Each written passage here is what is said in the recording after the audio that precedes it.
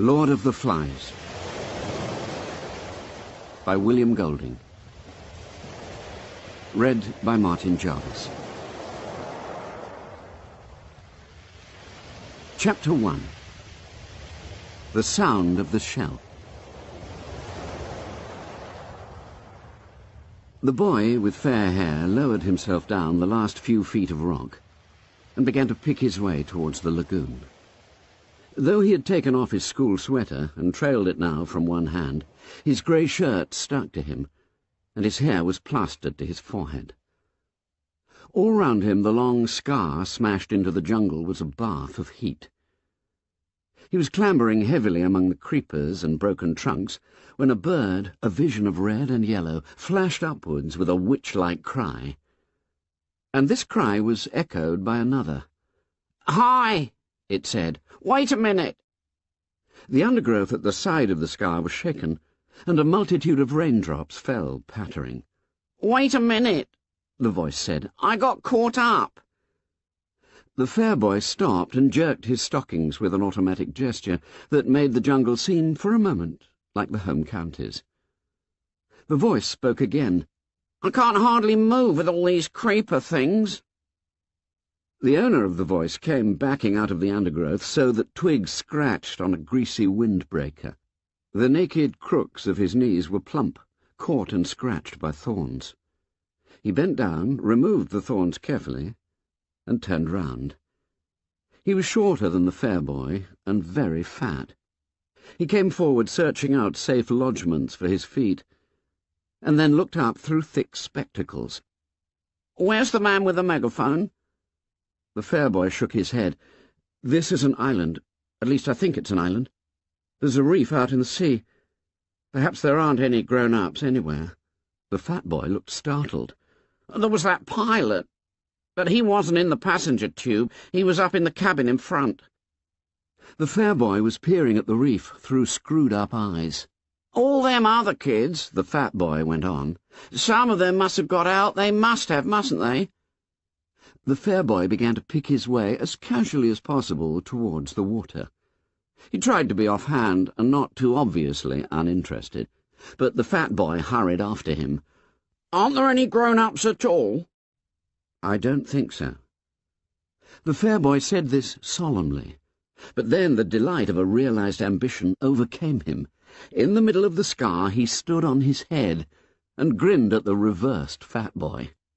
No grown-ups, the fat boy thought for a moment. That pilot. The fair boy allowed his feet to come down and sat on the steamy earth. He must have flown off after he dropped us. He couldn't land here. Not in a plane with wheels. We was attacked. He'll be back all right. The fat boy shook his head. When we was coming down, I looked through one of them windows. I saw the other part of the plane. There were flames coming out of it. He looked up and down the scar. And this is what the tube done. The fair boy reached out and touched the jagged end of a trunk. For a moment he looked interested. What happened to it? he asked. Where's it got to now? That storm dragged it out to sea. It wasn't half dangerous with all them tree trunks falling. There must have been some kids still in it. He hesitated for a moment, then spoke again. What's your name? Ralph.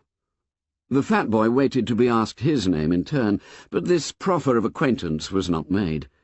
The fair boy, called Ralph, smiled vaguely, stood up, and began to make his way once more towards the lagoon. The fat boy hung steadily at his shoulder. I expect there's a lot more of us scattered about. You haven't seen any others, have you? Ralph shook his head and increased his speed. Then he tripped over a branch and came down with a crash. The fat boy stood by him, breathing hard. My auntie told me not to run, he explained, on account of my asthma. Asthma? That's right. Can't catch me breath. I was the only boy in our school what had asthma, said the fat boy, with a touch of pride, and I've been wearing specs since I was three. He took off his glasses and held them out to Ralph, blinking and smiling, and then started to wipe them against his grubby windbreaker. An expression of pain and inward concentration altered the pale contours of his face. He smeared the sweat from his cheeks, and quickly adjusted the spectacles on his nose. Them fruit. He glanced round the scar. Them fruit, he said, I expect. He put on his glasses, waded away from Ralph, and crouched down among the tangled foliage. I'll be out again in just a minute. Ralph disentangled himself cautiously and stole away through the branches. In a few seconds the fat boy's grunts were behind him, and he was hurrying towards the screen that still lay between him and the lagoon. He climbed over a broken trunk and was out of the jungle. The shore was fledged with palm trees. These stood or leaned or reclined against the light, and their green feathers were a hundred feet up in the air. The ground beneath them was a bank covered with coarse grass, torn everywhere by the upheavals of fallen trees, scattered with decaying coconuts and palm saplings. Behind this was the darkness of the forest proper, and the open space of the scar. Ralph stood, one hand against a grey trunk, and screwed up his eyes against the shimmering water. Out there, perhaps a mile away, the white surf flinked on a coral reef, and beyond that the open sea was dark blue. Within the irregular arc of coral, the lagoon was still as a mountain lake, blue of all shades and shadowy green and purple. The beach between the palm terrace and the water was a thin bowstave, endless apparently, for to Ralph's left the perspectives of palm and beach and water drew to a point at infinity, and always, almost invisible, was the heat. He jumped down from the terrace. The sand was thick over his black shoes, and the heat hit him. He became conscious of the weight of his clothes, kicked his shoes off fiercely, and ripped off each stocking with its elastic garter in a single movement. Then he leapt back on the terrace, pulled off his shirt, and stood there among the skull-like coconuts, with green shadows from the palms and the forest sliding over his skin. He undid the snake clasp of his belt, lugged off his shorts and pants, and stood there naked, looking at the dazzling beach and the water. He was old enough, twelve years and a few months, to have lost the prominent tummy of childhood, not yet old enough for adolescence to have made him awkward. You could see now that he might make a boxer, as far as width and heaviness of shoulders went, but there was a mildness about his mouth and eyes that proclaimed no devil. He patted the palm trunk softly, and, forced at last to believe in the reality of the island, laughed delightedly again, and stood on his head. He turned neatly onto his feet, jumped down to the beach, knelt, and swept a double armful of sand into a pile against his chest. Then he sat back and looked at the water with bright, excited eyes. Ralph! The fat boy lowered himself over the terrace and sat down carefully, using the edge as a seat. I'm sorry I've been such a time. Them fruits. He wiped his glasses and adjusted them on his button nose. The frame had made a deep pink V on the bridge. He looked critically at Ralph's golden body and then down at his own clothes. He laid a hand on the end of a zipper that extended down his chest. My auntie then he opened the zipper with decision and pulled the whole windbreaker over his head. There! Ralph looked at him sidelong and said nothing. I expect we'll want to know all their names, said the fat boy. I'll make a list. We ought to have a meeting. Ralph did not take the hint, so the fat boy was forced to continue. I don't care what they call me, he said confidentially so long as they don't call me what they used to call me at school. Ralph was faintly interested. What was that? The fat boy glanced over his shoulder, then leaned towards Ralph. He whispered, They used to call me Piggy. Ralph shrieked with laughter. He jumped up. Piggy! Piggy! Ralph, please! Piggy clasped his hands in apprehension. I said I didn't want Piggy! Piggy! Ralph danced out into the hot air of the beach, and then returned as a fighter plane with wings swept back, and machine-gunned Piggy. Xiao! He dived in the sand at Piggy's feet, and lay there laughing. Piggy! Piggy grinned reluctantly, pleased, despite himself, at even this much recognition. So long as you don't tell the others. Ralph giggled into the sand. The expression of pain and concentration returned to Piggy's face. Half a sec. He hastened back into the forest. Ralph stood up and trotted along to the right. Here the beach was interrupted abruptly by the square motif of the landscape. A great platform of pink granite thrust up uncompromisingly through forest and terrace and sand and lagoon to make a raised jetty four feet high. The top of this was covered with a thin layer of soil and coarse grass, and shaded with young palm trees. There was not enough soil for them to grow to any height, and when they reached perhaps twenty feet they fell and dried, forming a criss-cross pattern of trunks, very convenient to sit on. The palms that still stood made a green roof, covered on the underside with a quivering tangle of reflections from the lagoon. Ralph hauled himself onto this platform, noted the coolness and shade, shut one eye, and decided that the shadows on his body were really green. He picked his way to the seaward edge of the platform, and stood looking down into the water. It was clear to the bottom, and bright with the efflorescence of tropical weed and coral. A school of tiny glittering fish flicked hither and thither. Ralph spoke to himself, sounding the bass strings of delight. Wizzo! Beyond the platform there was more enchantment. Some act of God, a typhoon perhaps, or the storm that had accompanied his own arrival, had banked sand inside the lagoon, so that there was a long, deep pool in the beach, with a high ledge of pink granite at the further end.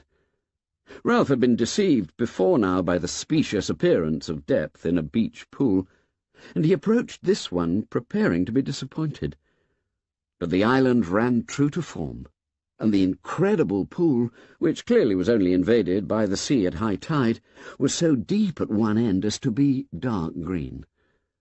Ralph inspected the whole thirty yards carefully, and then plunged in. The water was warmer than his blood, and he might have been swimming in a huge bath. Piggy appeared again, sat on the rocky ledge, and watched Ralph's green and white body enviously. You can't half swim. Piggy!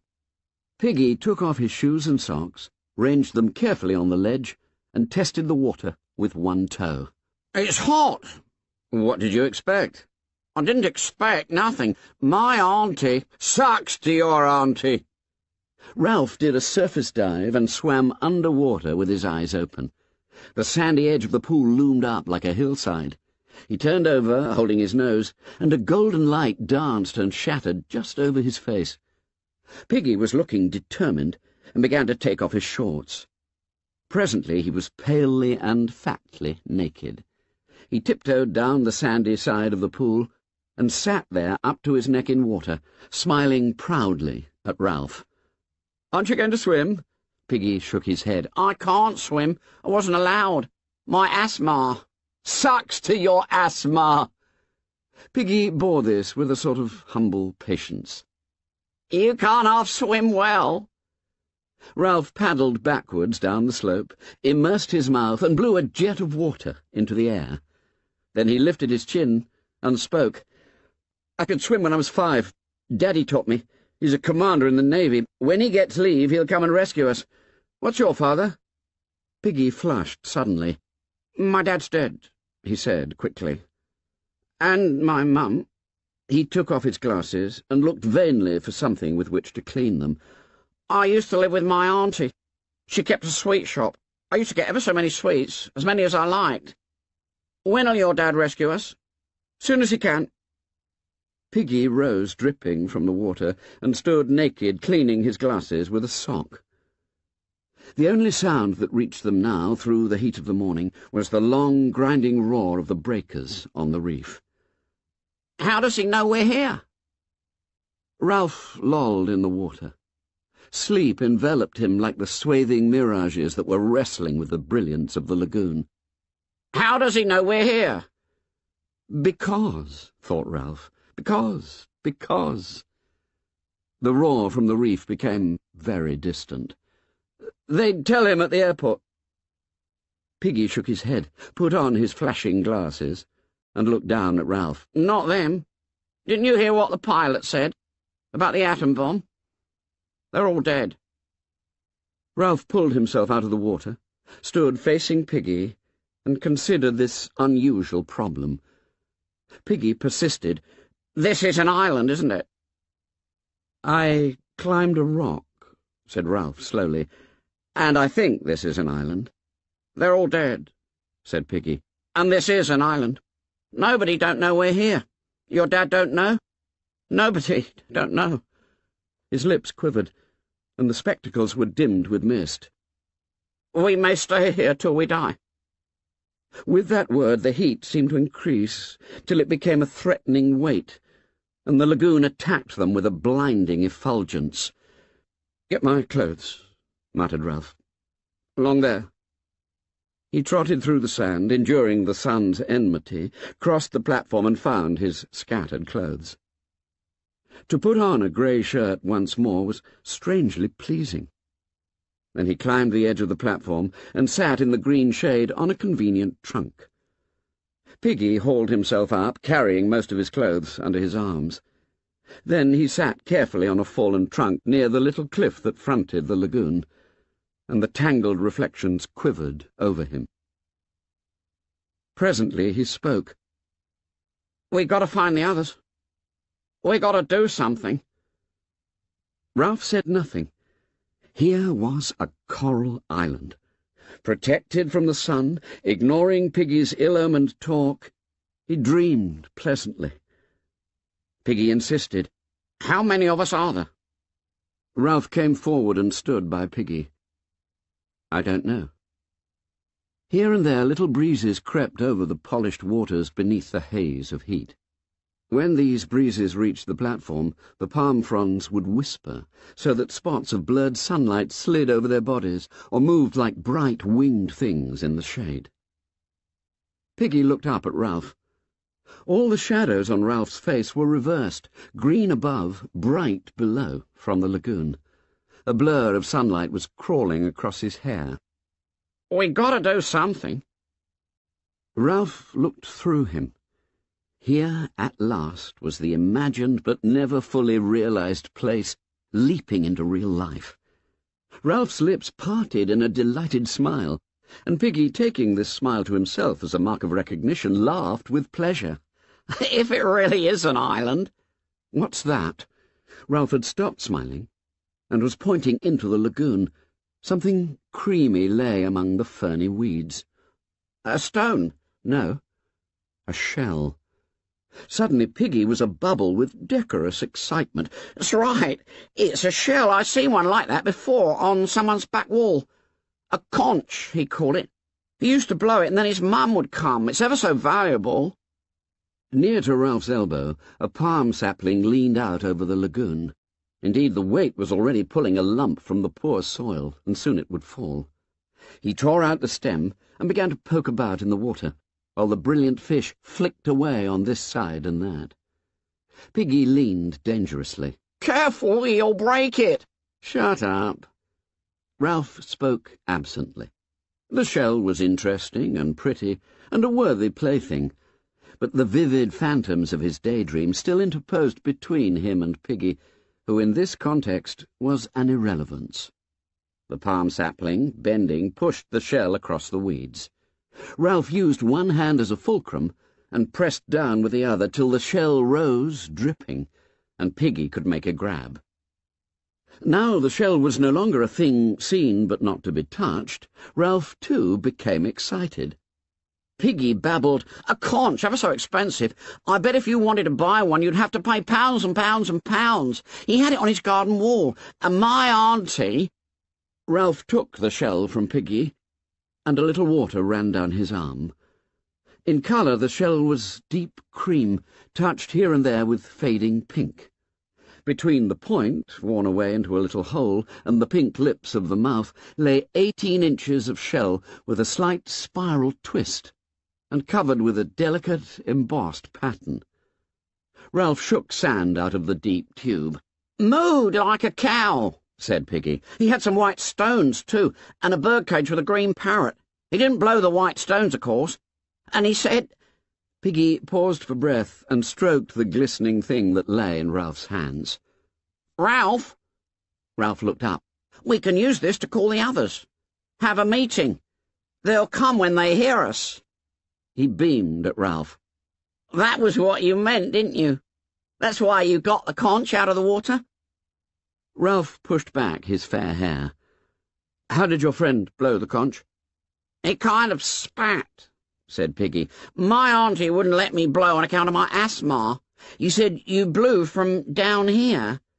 Piggy laid a hand on his jutting abdomen. You try, Ralph. You'll call the others. Doubtfully, Ralph laid the small end of the shell against his mouth and blew. There came a rushing sound from its mouth, but nothing more. Ralph wiped the salt water off his lips and tried again, but the shell remained silent. He kind of spat. Ralph pursed his lips and squirted air into the shell, which emitted a low farting noise. This amused both boys so much that Ralph went on squirting for some minutes, between bouts of laughter. He blew from down here. Ralph grasped the idea and hit the shell with air from his diaphragm. Immediately the thing sounded. A deep, harsh note boomed under the palms, spread through the intricacies of the forest, and echoed back from the pink granite of the mountain. Clouds of birds rose from the treetops, and something squealed and ran in the undergrowth. Ralph took the shell away from his lips. Gosh! His ordinary voice sounded like a whisper after the harsh note of the conch. He laid the conch against his lips, took a deep breath, and blew once more.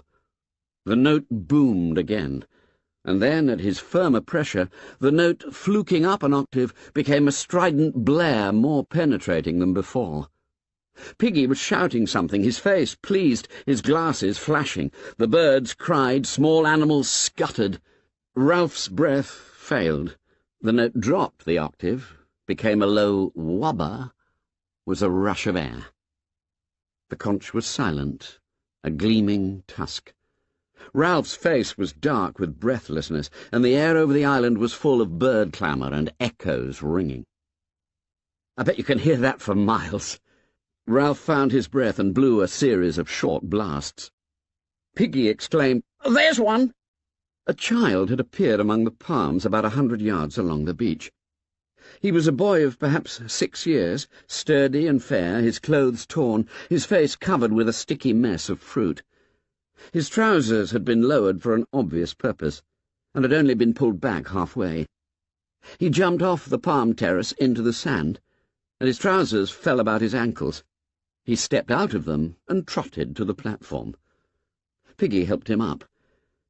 Meanwhile Ralph continued to blow till voices shouted in the forest. The small boy squatted in front of Ralph, looking up brightly and vertically. As he received the assurance of something purposeful being done, he began to look satisfied, and his only clean digit, a pink thumb, slid into his mouth. Piggy leaned down to him. What's your name? Johnny. Piggy muttered the name to himself and shouted it to Ralph, who was not interested because he was still blowing. His face was dark with the violent pleasure of making this stupendous noise, and his heart was making the stretched shirt shake. The shouting in the forest was nearer. Signs of life were visible now on the beach. The sand, trembling beneath the heat haze, concealed many figures in its miles of length. Boys were making their way towards the platform through the hot, dumb sand. Three small children, no older than Johnny, appeared from startlingly close at hand, where they'd been gorging fruit in the forest. A dark little boy, not much younger than Piggy, parted a tangle of undergrowth, walked onto the platform, and smiled cheerfully at everybody.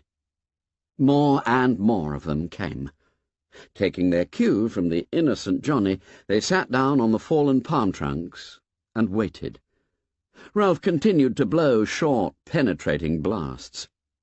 Piggy moved among the crowd, asking names and frowning to remember them. The children gave him the same simple obedience that they had given to the men with megaphones. Some were naked and carrying their clothes, others half naked or more or less dressed in school uniforms, grey, blue, fawn, jacketed or jerseyed. There were badges, mottos even, stripes of colour in stockings and pullovers. Their heads clustered above the trunks in the green shade, heads brown, fair, black, chestnut, sandy, mouse-coloured, heads muttering, whispering, heads full of eyes that watched Ralph and speculated. Something was being done. The children who came along the beach, singly or in twos, leapt into visibility when they crossed the line from heat haze to nearer sand. Here the eye was first attracted to a black bat-like creature that danced on the sand, and only later perceived the body above it. The bat was the child's shadow, shrunk by the vertical sun to a patch between the hurrying feet. Even while he blew, Ralph noticed the last pair of bodies that reached the platform above a fluttering patch of black.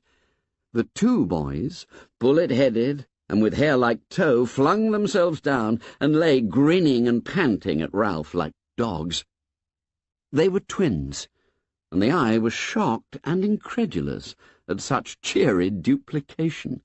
They breathed together, they grinned together, they were chunky and vital. They raised wet lips at Ralph, for they seemed provided with not quite enough skin, so that their profiles were blurred and their mouths pulled open. Piggy bent his flashing glasses to them, and could be heard between the blasts repeating their names. Sam Eric, Sam Eric. Then he got muddled. The twins shook their heads and pointed at each other, and the crowd laughed. At last Ralph ceased to blow, and sat there, the conch trailing from one hand, his head bowed on his knees. As the echoes died away, so did the laughter, and there was silence. Within the diamond haze of the beach, something dark was fumbling along. Ralph saw it first, and watched till the intentness of his gaze drew all eyes that way. Then the creature stepped from mirage onto clear sand, and they saw that the darkness was not all shadow, but mostly clothing. The creature was a party of boys marching approximately in step, in two parallel lines, and dressed in strangely eccentric clothing. Shorts, shirts, and different garments they carried in their hands but each boy wore a square black cap with a silver badge in it. Their bodies, from throat to ankle, were hidden by black cloaks, which bore a long silver cross on the left breast, and each neck was finished off with a ham-bone frill. The heat of the tropics, the descent, the search for food, and now this sweaty march along the blazing beach had given them the complexions of newly washed plums. The boy who controlled them was dressed in the same way, though his cap badge was golden. When his party was about ten yards from the platform, he shouted an order, and they halted, gasping, sweating, swaying in the fierce light. The boy himself came forward, vaulted onto the platform with his cloak flying, and peered into what to him was almost complete darkness. "Where's the man with the trumpet?" Ralph, sensing his sun-blindness, answered him. There's no man with a trumpet, only me. The boy came close and peered down at Ralph, screwing up his face as he did so. What he saw of the fair-haired boy with the creamy shell on his knees did not seem to satisfy him. He turned quickly, his black cloak circling. Isn't there a ship, then? Inside the floating cloak he was tall, thin, and bony, and his hair was red beneath the black cap. His face was crumpled and freckled, and ugly without silliness. Out of this face stared two light blue eyes, frustrated now, and turning, or ready to turn, to anger. Isn't there a man here? Ralph spoke to his back. No, we're having a meeting. Come and join in. The group of cloaked boys began to scatter from close line. The tall boy shouted at them. Choir, stand still! Wearily obedient, the choir huddled into line and stood there swaying in the sun. Nonetheless, some began to protest faintly. But Merridew, Please, Merridew, can't we... Then one of the boys flopped on his face in the sand, and the line broke up. They heaved the fallen boy to the platform and let him lie. Merridew, his eyes staring, made the best of a bad job. All right, then. Sit down. Let him alone. But Merridew... He's always throwing a faint, said Merridew. He did in Gib and Addis, and at Matins over the precentor. This last piece of sharp brought sniggers from the choir, who perched like black birds on the criss-cross trunks, and examined Ralph with interest. Piggy asked no names. He was intimidated by this uniformed superiority and the offhand authority in Merridew's voice. He shrank to the other side of Ralph and busied himself with his glasses. Merridew turned to Ralph. Aren't there any grown-ups? No. Merridew sat down on a trunk and looked round the circle. Then we'll have to look after ourselves. Secure on the other side of Ralph, Piggy spoke timidly. That's why Ralph made a meeting, so as we can decide what to do. We've heard names. That's Johnny. Those two, they're twins, Sam and Eric. Uh, which, which, is Eric? You? Uh, no, you're Sam. I'm Sam, and I'm Eric. We better all have names, said Ralph. So, I'm Ralph. We got most names, said Piggy. Got 'em just now. Kids' names, said Merridew. Why should I be Jack? I'm Merridew. Ralph turned to him quickly. This was the voice of one who knew his own mind. Then, went on Piggy, uh, uh, that boy... I forget. You're talking too much, said Jack Merridew. Shut up, fatty. Laughter arose. He's not fatty, cried Ralph. His real name's Piggy. Piggy, Piggy, oh, Piggy! A storm of laughter arose, and even the tiniest child joined in. For the moment the boys were a closed circuit of sympathy, with Piggy outside.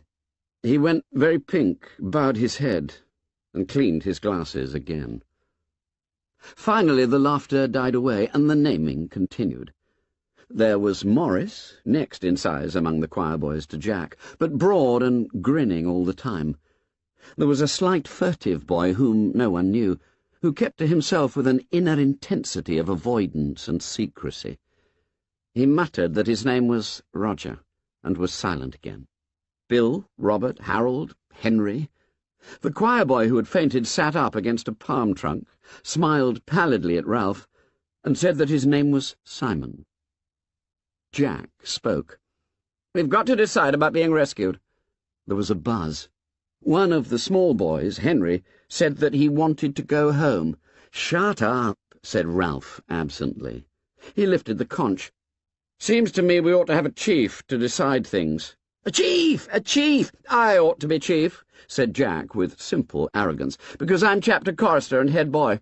I can sing C sharp. Another buzz. Well then, said Jack. I... He hesitated. The dark boy, Roger, stirred at last and spoke up. Let's have a vote. Yes, vote for a chief. Let's vote. This toy of voting was almost as pleasing as the conch. Jack started to protest, but the clamour changed from the general wish for a chief to an election by acclaim of Ralph himself. None of the boys could have found good reason for this. What intelligence had been shown was traceable to Piggy, while the most obvious leader was Jack. But there was a stillness about Ralph as he sat that marked him out. There was his size and attractive appearance, and most obscurely, yet most powerfully, there was the conch. The being that had blown that had sat waiting for them on the platform with the delicate thing balanced on his knees, was set apart. Him with the shell! Ralph! Ralph! Let him be chief with the trumpet thing! Ralph raised a hand for silence. All right. Who wants Jack for chief? With dreary obedience the choir raised their hands. Who wants me? Every hand outside the choir, except Piggy's, was raised immediately. Then Piggy, too, raised his hand grudgingly into the air. Ralph counted. I'm chief, then. The circle of boys broke into applause. Even the choir applauded. and the freckles on Jack's face disappeared under a blush of mortification. He started up, then changed his mind and sat down again while the air rang. Ralph looked at him, eager to offer something. The choir belongs to you, of course. They could be the army, or hunters. They could be... The suffusion drained away from Jack's face. Ralph waved again for silence. Jack's in charge of the choir. They can be... Uh, what do you want them to be? Hunters. Jack and Ralph smiled at each other with shy liking. The rest began to talk eagerly. Jack stood up. All right, choir. Take off your togs. As if released from class, the choir boys stood up, chattered, piled their black cloaks on the grass. Jack laid his on the trunk by Ralph. His grey shorts were sticking to him with sweat. Ralph glanced at them admiringly, and when Jack saw his glance, he explained, I tried to get over that hill to see if there was water all round, but your shell caught us. Ralph smiled and held up the conch for silence. Listen, everybody. I've got to have time to think things out. I can't decide what to do straight off. If this isn't an island, we might be rescued straight away. So we've got to decide if this is an island. Everybody must stay round here and wait and not go away. Three of us, if we take more, we'd get all mixed and lose each other. Three of us will go on an expedition and find out. I'll go, and Jack, and... and... He looked round the circle of eager faces. There was no lack of boys to choose from. And Simon. The boys round Simon giggled, and he stood up laughing a little. Now that the pallor of his faint was over, he was a skinny, vivid little boy, with a glance coming up from under a hut of straight hair that hung down black and coarse. He nodded at Ralph. I'll come. And I. Jack snatched from behind him a sizable sheath knife and clouted it into the trunk. The buzz rose and died away. Piggy stirred. I'll come. Ralph turned to him. You're no good on a job like this. All the same, we don't want you, said Jack flatly. Three's enough. Piggy's glasses flashed. I was with him when he found the conch. I was with him before anyone else was. Jack and the others paid no attention. There was a general dispersal. Ralph, Jack, and Simon jumped off the platform and walked along the sand past the bathing pool. Piggy hung bumbling behind them. If Simon walks in the middle of us, said Ralph. Then we could talk over his head. The three of them fell into step. This meant that every now and then Simon had to do a double shuffle to catch up with the others. Presently Ralph stopped and turned back to Piggy. Look. Jack and Simon pretended to notice nothing. They walked on. You can't come. Piggy's glasses were misted again, this time with humiliation. You told 'em. After what I said. His face flushed. His mouth trembled. After I said I didn't want... What on earth are you talking about? About being called Piggy. I said I didn't care as long as they didn't call me Piggy. And I said not to tell, and then you went and said straight out. Stillness descended on them. Ralph, looking with more understanding at Piggy, saw that he was hurt and crushed. He hovered between the two courses of apology or further insult. Better Piggy than Fatty, he said at last, with the directness of genuine leadership. And anyway, I'm sorry if you feel like that. Now go back, Piggy, and take names. That's your job. So long. He turned and raced after the other two. Piggy stood, and the rose of indignation faded slowly from his cheeks. He went back to the platform. The three boys walked briskly on the sand.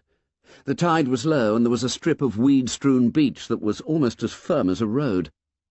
A kind of glamour was spread over them and the scene, and they were conscious of the glamour, and made happy by it. They turned to each other, laughing excitedly, talking, not listening. The air was bright. Ralph, faced by the task of translating all this into an explanation, stood on his head and fell over. When they had done laughing, Simon stroked Ralph's arm shyly, and they had to laugh again. Come on, said Jack presently. We're explorers. We'll go to the end of the island, said Ralph, and look round the corner. If it is an island. Now, towards the end of the afternoon, the mirages were settling a little. They found the end of the island quite distinct and not magicked out of shape or sense. There was a jumble of the usual squareness, with one great block sitting out in the lagoon. Seabirds were nesting there. Like icing, said Ralph. On a pink cake. We shan't see round this corner, said Jack, because there isn't one, only a slow curve and you can see the rocks get worse. Ralph shaded his eyes and followed the jagged outline of the crags up towards the mountain. This part of the beach was nearer the mountain than any other that they had seen. We'll try climbing the mountain from here, he said.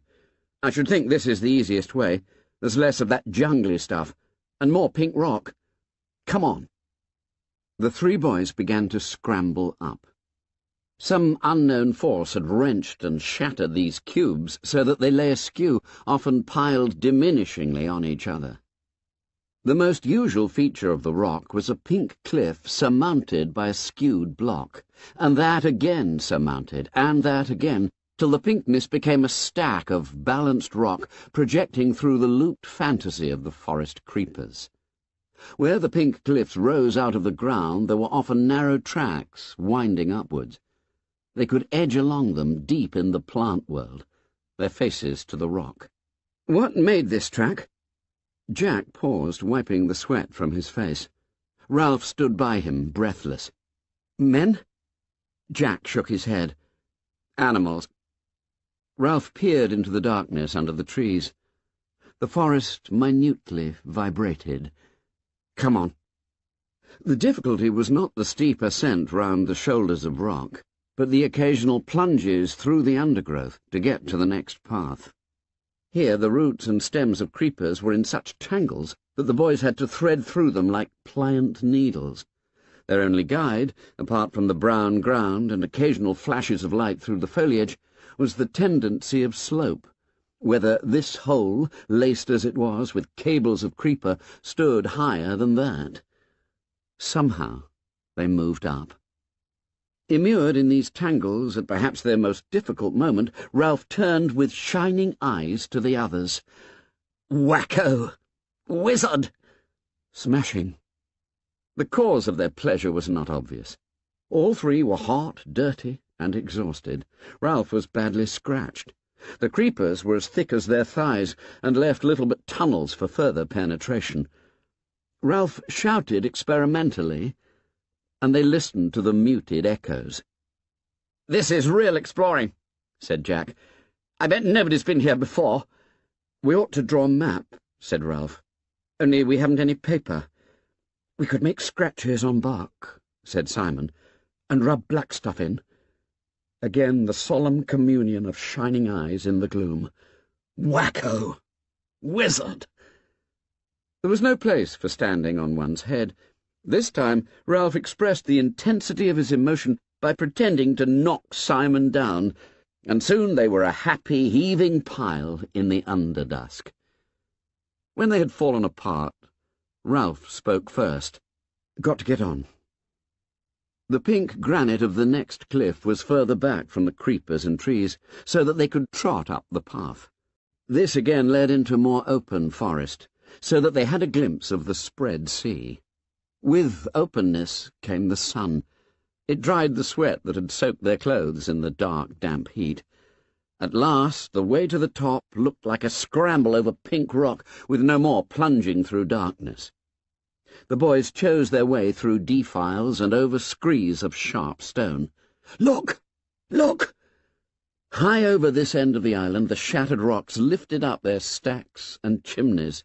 This one, against which Jack leaned, moved with a grating sound when they pushed. Come on! But not come on to the top. The assault on the summit must wait while the three boys accepted this challenge. The rock was as large as a small motor car.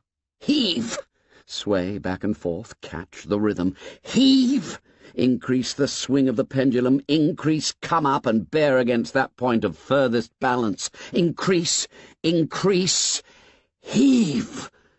The great rock loitered, poised on one toe, decided not to return, moved through the air, fell, struck, turned over, leapt droning through the air, and smashed a deep hole in the canopy of the forest. Echoes and birds flew, white and pink dust floated. The forest further down shook as with the passage of an enraged monster. And then the island was still. Wacko! Like a bomb! Wee-yahoo! Not for five minutes could they drag themselves away from this triumph. But they left at last. The way to the top was easy after that. As they reached the last stretch, Ralph stopped. Golly! They were on the lip of a cirque, or a half-cirque, in the side of the mountain. This was filled with a blue flower, a rock plant of some sort, and the overflow hung down the vent and spilled lavishly among the canopy of the forest. The air was thick with butterflies, lifting, fluttering, settling. Beyond the cirque was the square top of the mountain, and soon they were standing on it. They had guessed before that this was an island, clambering among the pink rocks with the sea on either side and the crystal heights of air. They had known by some instinct that the sea lay on every side. But there seemed something more fitting in leaving the last word till they stood on the top and could see a circular horizon of water. Ralph turned to the others. This belongs to us. It was roughly boat-shaped humped near this end, with behind them the jumbled descent to the shore. On either side, rocks, cliffs, tree-tops, and a steep slope. Forward there, the length of the boat, a tamer descent, tree-clad, with hints of pink. And then the jungly flat of the island, dense green, but drawn at the end to a pink tail.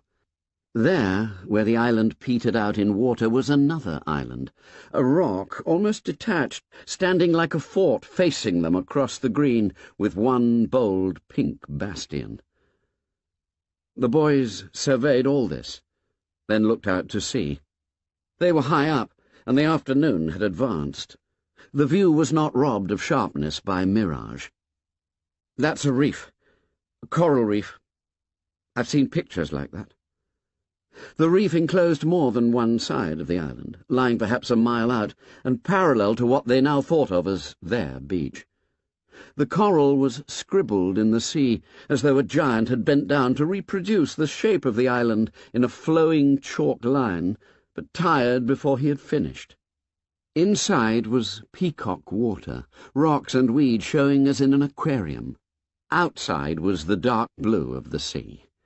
The tide was running, so that long streaks of foam tailed away from the reef, and for a moment they felt that the boat was moving steadily astern. Jack pointed down.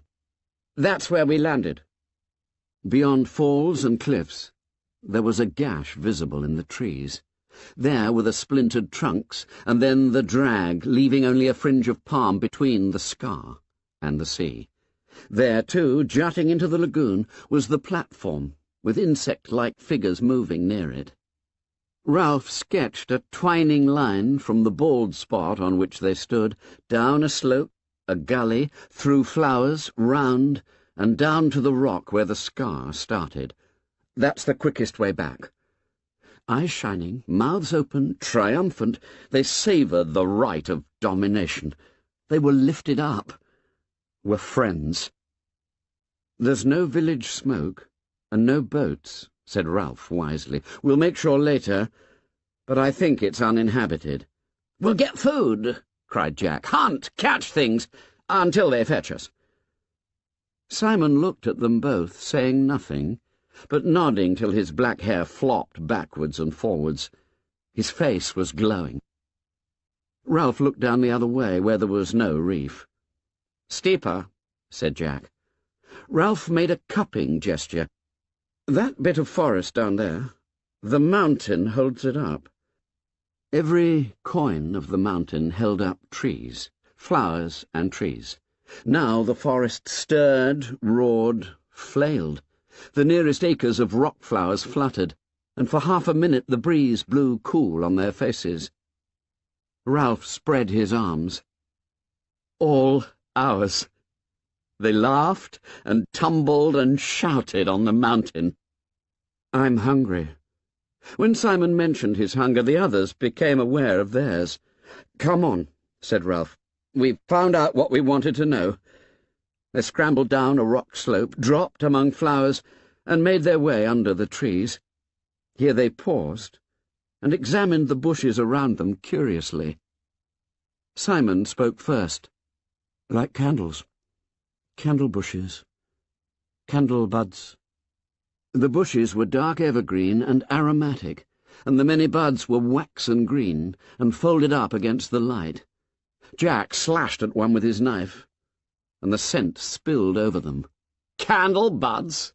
You couldn't light them, said Ralph. They just looked like candles. Green candles, said Jack contemptuously. We can't eat them.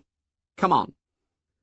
They were in the beginnings of the thick forest, plonking with weary feet on a track, when they heard the noises, squeakings, and the hard strike of hoofs on a path. As they pushed forward, the squeaking increased till it became a frenzy. They found a piglet caught in a curtain of creepers, throwing itself at the elastic traces in all the madness of extreme terror. Its voice was thin, needle-sharp, and insistent. The three boys rushed forward, and Jack drew his knife again with a flourish. He raised his arm in the air. There came a pause, a hiatus. The pig continued to scream and the creepers to jerk and the blade continued to flash at the end of a bony arm. The pause was only long enough for them to realize what an enormity the downward stroke would be. Then the piglet tore loose from the creepers and scurried into the undergrowth. They were left looking at each other and the place of terror. Jack's face was white under the freckles. He noticed that he still held the knife aloft, and brought his arm down, replacing the blade in the sheath. Then they all three laughed ashamedly and began to climb back to the track. I was choosing a place, said Jack. I was just waiting for a moment to decide where to stab him. You should stick a pig, said Ralph fiercely. They always talk about sticking a pig. You cut a pig's throat to let the blood out, said Jack. Otherwise you can't eat the meat. Why didn't you? They knew very well why he hadn't because of the enormity of the knife descending and cutting into living flesh, because of the unbearable blood. I was going to, said Jack. He was ahead of them, and they could not see his face. I was choosing a place. Next time, he snatched his knife out of the sheath and slammed it into a tree trunk. Next time there would be no mercy. He looked round, fiercely daring them to contradict. Then they broke out into the sunlight, and for a while they were busy finding and devouring food as they moved down the scar towards the platform and the meeting. Chapter 2 Fire on the Mountain By the time Ralph finished blowing the conch, the platform was crowded. There were differences between this meeting and the one held in the morning. The afternoon sun slanted in from the other side of the platform, and most of the children, feeling too late the smart of sunburn, had put their clothes on. The choir, noticeably less of a group, had discarded their cloaks. Ralph sat on a fallen trunk, his left side to the sun. On his right were most of the choir. On his left, the larger boys who had known each other before the evacuation. Before him, small children squatted in the grass. Silence now. Ralph lifted the cream and pink shell to his knees, and a sudden breeze scattered light over the platform. He was uncertain whether to stand up or remain sitting. He looked sideways to his left, towards the bathing pool. Piggy was sitting near, but giving no help. Ralph cleared his throat. Well, then. All at once he found he could talk fluently and explain what he had to say. He passed a hand through his fair hair and spoke. We're on an island. We've been on the mountain top and seen water all round. We saw no houses, no smoke, no footprints, no boats, no people. We're on an uninhabited island with no other people on it. Jack broke in. All the same, you need an army for hunting. Hunting pigs. Yes, there are pigs on the island. All three of them tried to convey the sense of the pink, live thing struggling in the creepers. We saw. Squealing. It broke away before I could kill it, but next time. Jack slammed his knife into a trunk and looked round challengingly. The meeting settled down again. So, you see, said Ralph, we need hunters to get us meat. And another thing. He lifted the shell on his knees and looked round the sun-slashed faces. There aren't any grown-ups. We shall have to look after ourselves. The meeting hummed and was silent. And another thing. We can't have everybody talking at once. We'll have to have hands up, like at school. He held the conch before his face and glanced round the mouth. Then I'll give him the conch. Conch? That's what this shell's called. I'll give the conch to the next person to speak. He can hold it when he's speaking. But, look, and he won't be interrupted except by me. Jack was on his feet. We'll have rules he cried excitedly. Lots of rules. Then when anyone breaks them, wee-hoo, whack-o, bong, doink. Ralph felt the conch lifted from his lap. Then Piggy was standing cradling the great cream shell, and the shouting died down. Jack, left on his feet, looked uncertainly at Ralph, who smiled and patted the log. Jack sat down. Piggy took off his glasses and blinked at the assembly while he wiped them on his shirt. You're hindering Ralph. You're not letting him get to the most important thing. He paused effectively. Who knows we're here? Eh? They knew at the airport. The man with the trumpet thing. My dad. Piggy put on his glasses. Nobody knows where we are, said Piggy. He was paler than before, and breathless. Perhaps they knew where we was going to, and perhaps not. But they don't know where we are, 'cause we never got there. He gaped at them for a moment, then swayed and sat down. Ralph took the conch from his hands. That's what I was going to say, he went on. When you all... you all... He gazed at their intent faces. The plane was shot down in flames. Nobody knows where we are. We may be here a long time. The silence was so complete that they could hear the fetch and miss of Piggy's breathing. The sun slanted in and lay golden over half the platform. The breezes that on the lagoon had chased their tails like kittens were finding their way across the platform and into the forest. Ralph pushed back the tangle of fair hair that hung on his forehead. So we may be here a long time. Nobody said anything. He grinned suddenly. But this is a good island. We, Jack, Simon and me, we climbed the mountain. It's wizard. There's food and drink and rocks, blue flowers. Piggy, partly recovered, pointed to the conch in Ralph's hands, and Jack and Simon fell silent. Ralph went on. While we're waiting, we can have a good time on this island.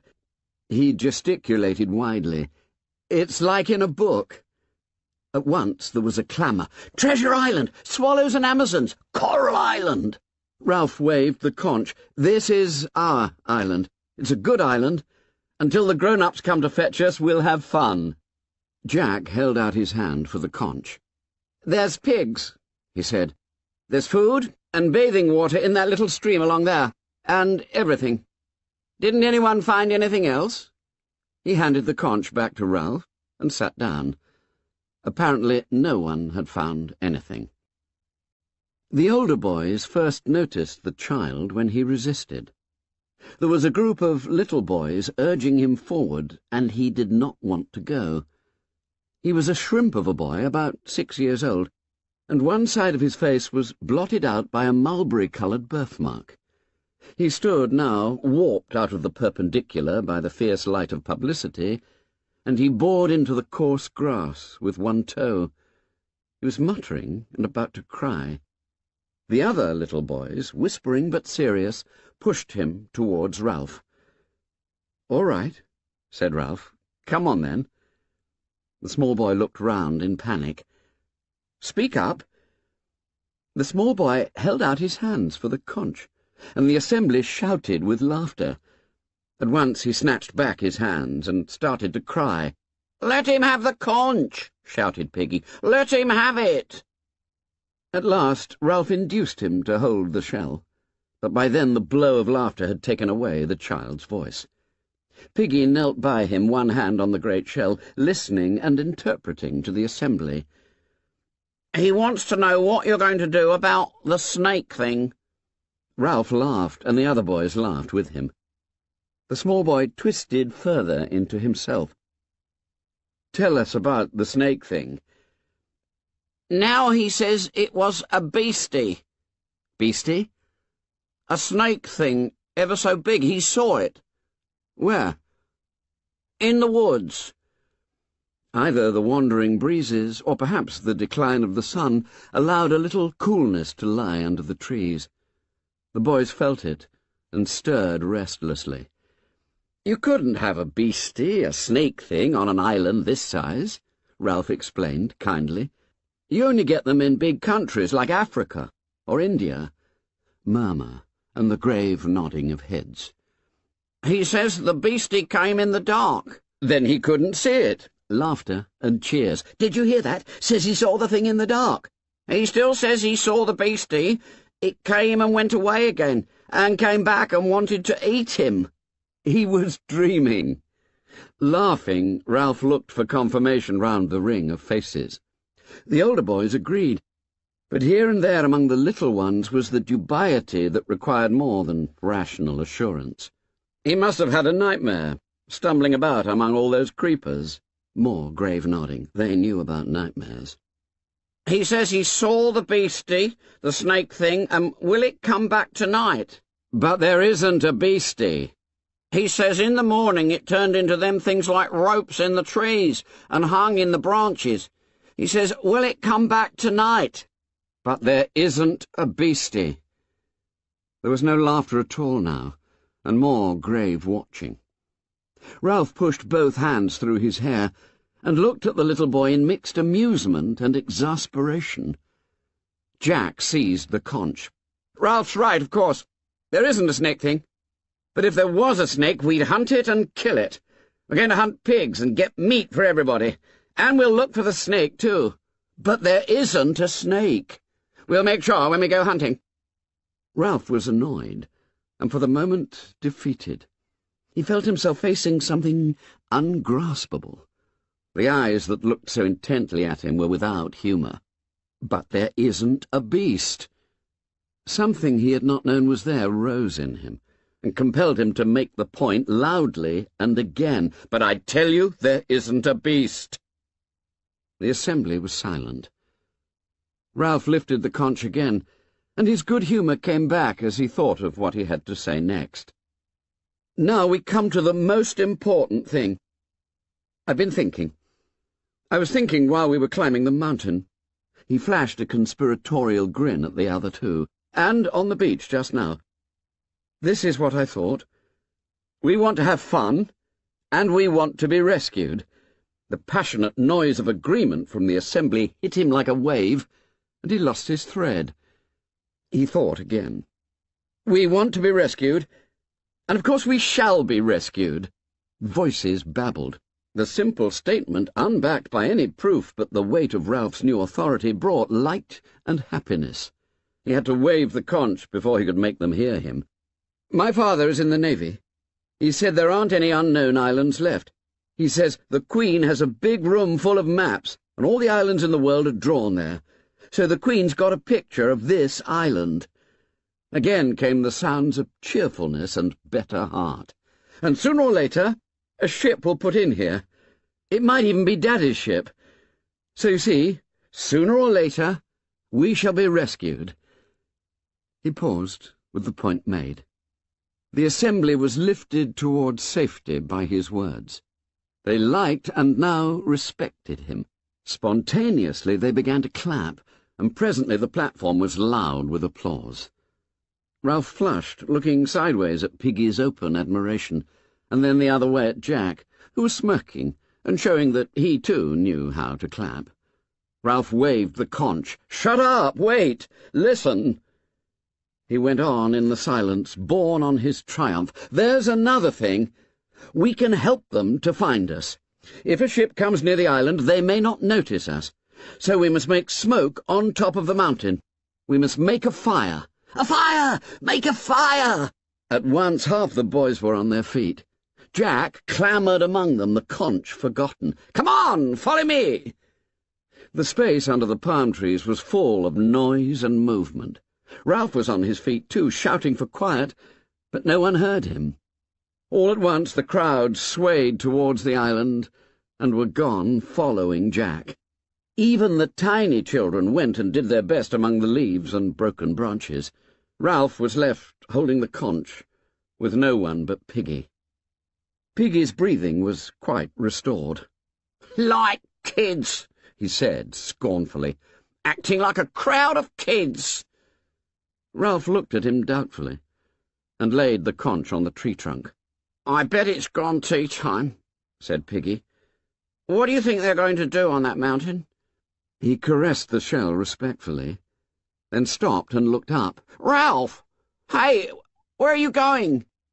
Ralph was already clambering over the first smashed swathes of the scar. A long way ahead of him was crashing and laughter. Piggy watched him in disgust. Like a crowd of kids. He sighed, bent, and laced up his shoes. The noise of the errant assembly faded up the mountain. Then, with the martyred expression of a parent who has to keep up with the senseless ebullience of the children, he picked up the conch, turned towards the forest, and began to pick his way over the tumbled scar. End of Disc 1 Lord of the Flies, Disc 2 Below the other side of the mountain top was a platform of forest. Once more Ralph found himself making the cupping gesture. Down there we could get as much wood as we want. Jack nodded and pulled at his underlip. Starting perhaps a hundred feet below them on the steeper side of the mountain, the patch might have been designed expressly for fuel. Trees, forced by the damp heat, found too little soil for full growth, fell early and decayed. Creepers cradled them, and new saplings searched a way up. Jack turned to the choir, who stood ready. Their black caps of maintenance were slid over one ear, like berets. We'll build a pile. Come on. They found the likeliest path down, and began tugging at the dead wood and the small boys who had reached the top came sliding too till everyone but Piggy was busy. Most of the wood was so rotten that when they pulled it, it broke up into a shower of fragments and woodlice and decay. But some trunks came out in one piece. The twins, Sam and Eric, were the first to get a likely log, but they could do nothing till Ralph, Jack, Simon, Roger, and Maurice found room for a handhold. Then they inched the grotesque dead thing up the rock and toppled it over on top. Each party of boys added a quota, less or more, and the pile grew. At the return, Ralph found himself alone on a limb with Jack, and they grinned at each other, sharing this burden. Once more, amid the breeze, the shouting, the slanting sunlight on the high mountain, was shed that glamour that strange invisible light of friendship, adventure, and content. Almost too heavy. Jack grinned back. Not for the two of us. Together, joined in effort by the burden, they staggered up the last steep of the mountain. Together they chanted, one, two, three, and crashed the log onto the great pile. Then they stepped back, laughing with triumphant pleasure, so that immediately Ralph had to stand on his head. Below them boys were still labouring, though some of the small ones had lost interest, and were searching this new forest for fruit. Now the twins, with unsuspected intelligence, came up the mountain with armfuls of dried leaves and dumped them against the pile.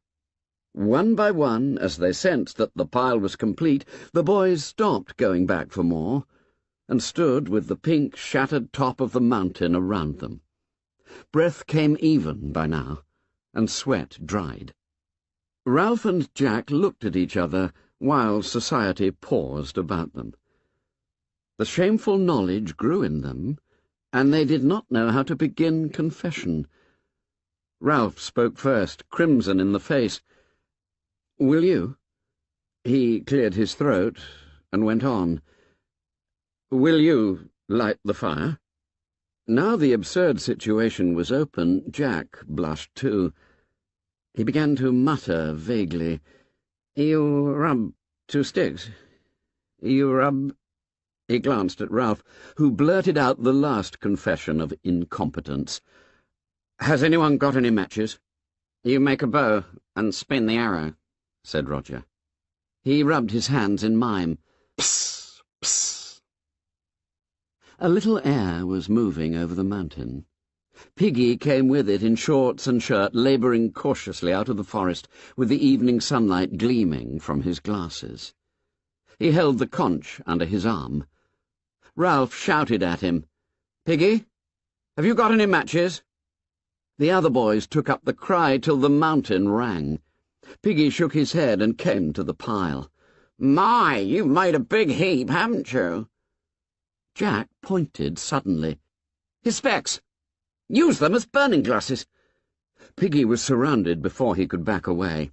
Here, let me go! His voice rose to a shriek of terror as Jack snatched the glasses off his face. Find out! Give 'em back! I can hardly see! You'll break the conch! Ralph elbowed him to one side and knelt by the pile. Stand out of the light. There was pushing and pulling and officious cries. Ralph moved the lenses back and forth, this way and that, till a glossy white image of the declining sun lay on a piece of rotten wood. Almost at once, a thin trickle of smoke rose up and made him cough. Jack knelt too, and blew gently, so that the smoke drifted away, thickening, and a tiny flame appeared. The flame, nearly invisible at first in that bright sunlight, enveloped a small twig, grew, was enriched with colour, and reached up to a branch which exploded with a sharp crack. The flame flapped higher, and the boys broke into a cheer. My specs! howled Piggy. Give me my specs! Ralph stood away from the pile and put the glasses into Piggy's groping hands. His voice subsided to a mutter. Just blurs, that's all. Hardly see my hand. The boys were dancing.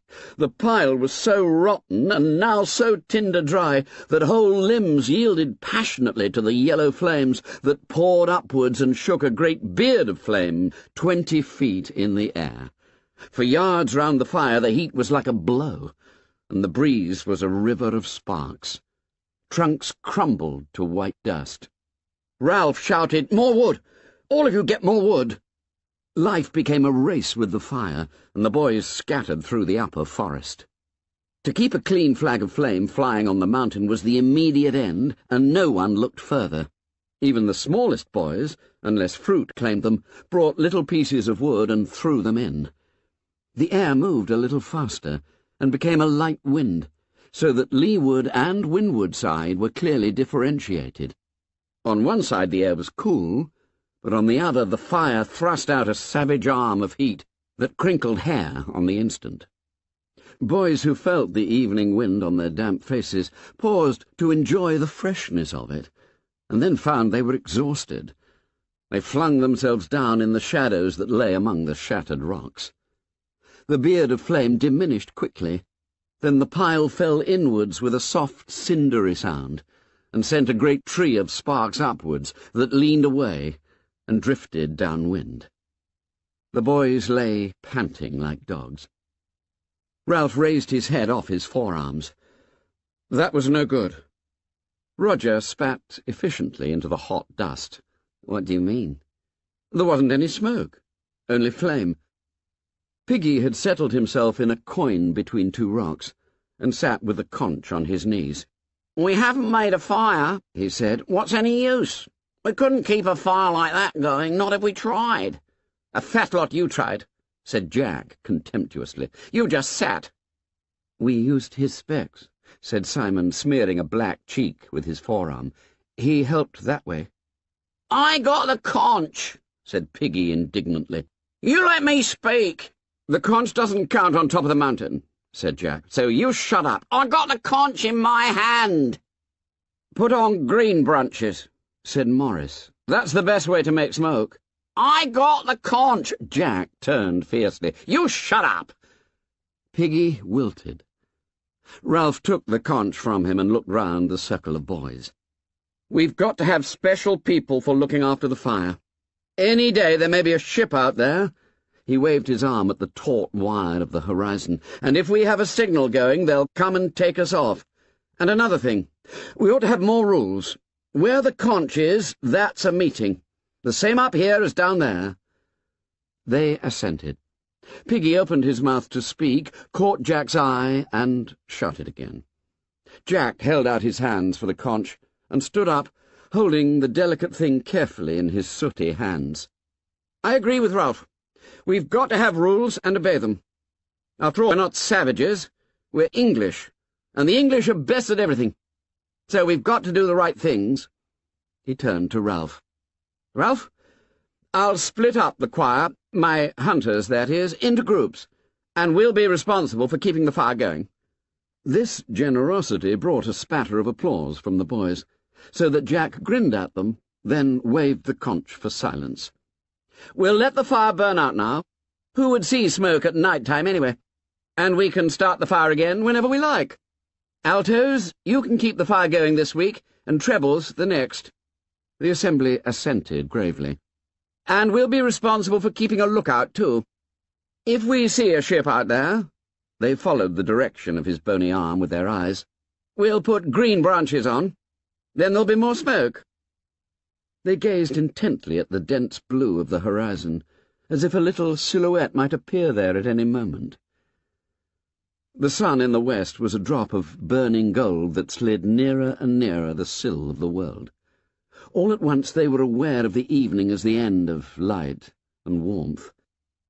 Roger took the conch and looked round at them gloomily. I've been watching the sea. There hasn't been the trace of a ship. Perhaps we'll never be rescued. A murmur rose and swept away. Ralph took back the conch. I said before, we'll be rescued sometime. We've just got to wait, that's all. Daring, indignant Piggy took the conch. That's what I said. I said about our meetings and things, and then you said, shut up. His voice lifted into the whine of virtuous recrimination. They stirred and began to shout him down. You said you wanted a small fire, and you've been and built a pile like a hayrick. If I say anything, cried Piggy with bitter realism, you say shut up. But if Jack or Maurice or Simon... He paused in the tumult, standing, looking beyond them and down the unfriendly side of the mountain to the great patch where they had found dead wood. Then he laughed so strangely that they were hushed, looking at the flash of his spectacles in astonishment. They followed his gaze to find the sour joke.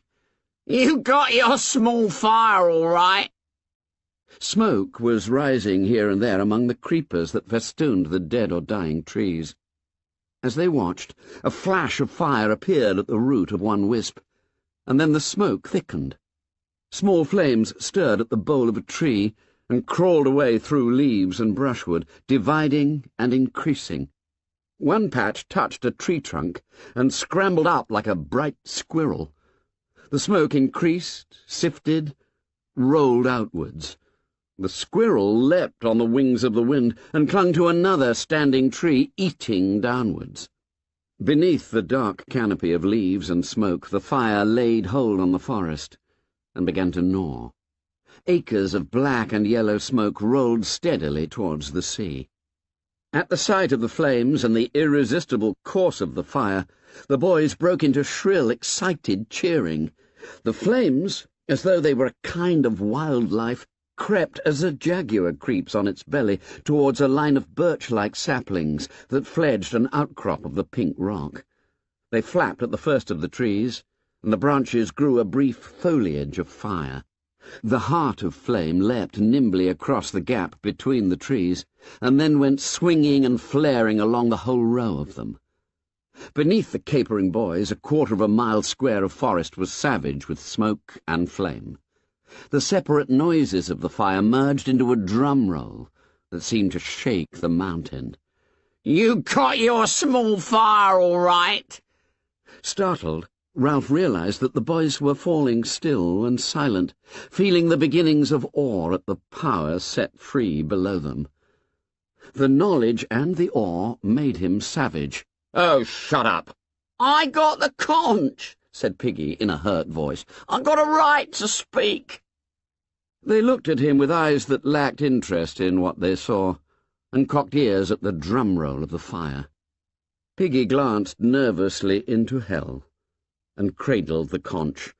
We gotta let that burn out now, and that was our firewood. He licked his lips. There ain't nothing we can do. We ought to be more careful. I'm scared. Jack dragged his eyes away from the fire. You're always scared, yah, fatty. I got the conch, said Piggy bleakly. He turned to Ralph. I got the conch, ain't I, Ralph? Unwillingly, Ralph turned away from the splendid, awful sight. What's that? The conch. I got a right to speak. The twins giggled together. We wanted smoke. Now look. A pall stretched for miles away from the island. All the boys except Piggy started to giggle. Presently they were shrieking with laughter. Piggy lost his temper. I got a conch. Just you listen. The first thing we ought to have made was shelters down there by the beach. It wasn't half cold down there in the night. But the first time Ralph says fire, you goes howling and screaming up this here mountain like a pack of kids. By now they were listening to the tirade. How can you expect to be rescued if you don't put first things first and act proper? He took off his glasses and made as if to put down the conch, but the sudden motion towards it of most of the older boys changed his mind. He tucked the shell under his arm and crouched back on a rock. Then when you get here, you build a bonfire that isn't no use. Now you've been and set the whole island on fire. Won't we look funny if the whole island burns up? Cooked fruit, that's what we'll have to eat. And roast pork, and that's nothing to laugh at. You said Ralph was chief, and you don't give him time to think. And when he says something, you rush off like... like... He paused for breath, and the fire growled at them. And that's not all. Them kids, the little uns, who took any notice of of 'em? Who knows how many we got? Ralph took a sudden step forward. I told you to. I told you to get a list of names. How could I? cried Piggy indignantly. All by myself. They waited for two minutes, then they fell in the sea. They went into the forest. They just scattered everywhere. How was I to know which was which? Ralph licked his pale lips. Then you don't know how many of us there ought to be? How could I, with them little uns running round like insects? Then when you three came back, as soon as you said make a fire, they all ran away, and I never had a chance. That's enough, said Ralph sharply, and snatched back the conch. If you didn't, you didn't. Then you come up here and pinch my specs. Jack turned on him. You shut up. And them little uns was wandering about down there where the fire is. How'd you know they aren't still there? Piggy stood up and pointed to the smoke and flames. A murmur rose among the boys and died away. Something strange was happening to Piggy, for he was gasping for breath. The little un, gasped Piggy. Him, with the mark on his face. I don't see him. Where is he now? The crowd was as silent as death. Him that talked about the snakes. He was down there. A tree exploded in the fire like a bomb. Tall swathes of creepers rose for a moment into view, agonized, and went down again. The little boys screamed at them, Snakes! Snakes! Look at the snakes! In the west, and unheeded, the sun lay only an inch or two above the sea. Their faces were lit redly from beneath. Piggy fell against a rock and clutched it with both hands. There, little un had a mark on his face. Where is he, he now? I tell you, I don't see him. The boys looked at each other fearfully, unbelieving. Where is he now? Ralph muttered the reply, as if in shame. Perhaps he went back to the... the... Beneath them, on the unfriendly side of the mountain, the drum roll continued.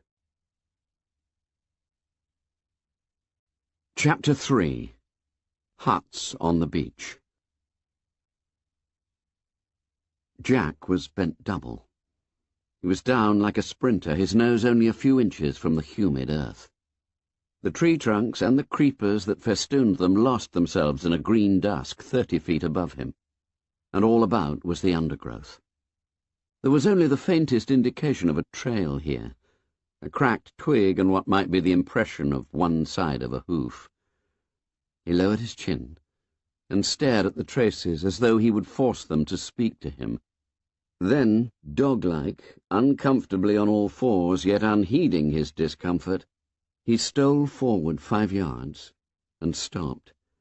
Here was a loop of creeper with a tendril pendant from a node. The tendril was polished on the underside. Pigs passing through the loop brushed it with their bristly hide.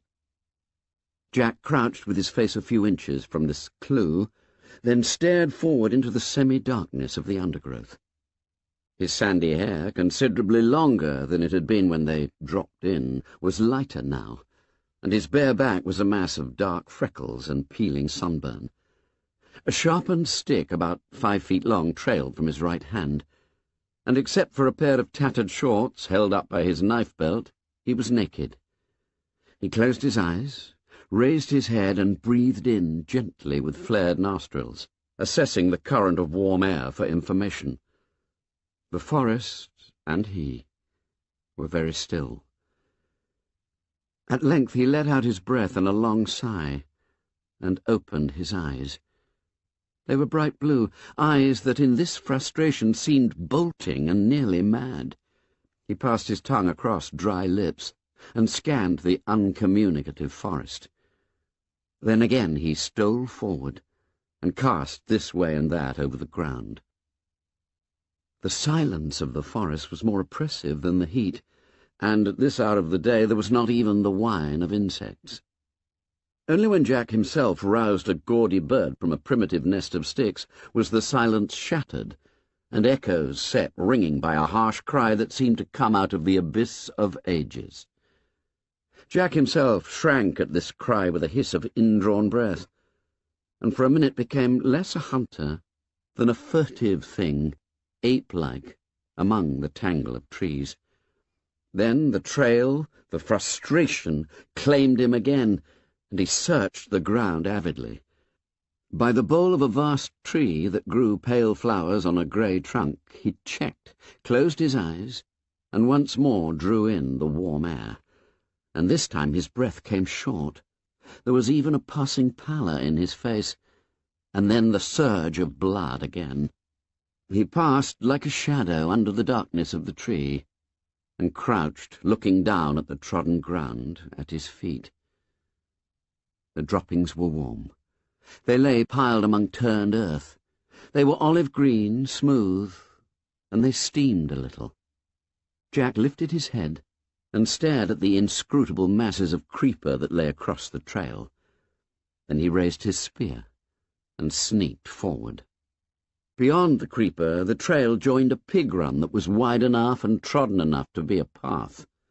The ground was hardened by an accustomed tread, and as Jack rose to his full height he heard something moving on it. He swung back his right arm and hurled the spear with all his strength. From the pig run came the quick, hard patter of hoofs, a castanet sound, seductive, maddening, the promise of meat. He rushed out of the undergrowth and snatched up his spear. The pattering of pigs' trotters died away in the distance. Jack stood there, streaming with sweat, streaked with brown earth, stained by all the vicissitudes of a day's hunting. Swearing, he turned off the trail and pushed his way through until the forest opened a little, and instead of bald trunks supporting a dark roof, there were light grey trunks and crowns of feathery palm.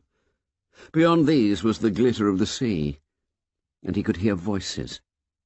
Ralph was standing by a contraption of palm trunks and leaves, a rude shelter that faced the lagoon and seemed very near to falling down.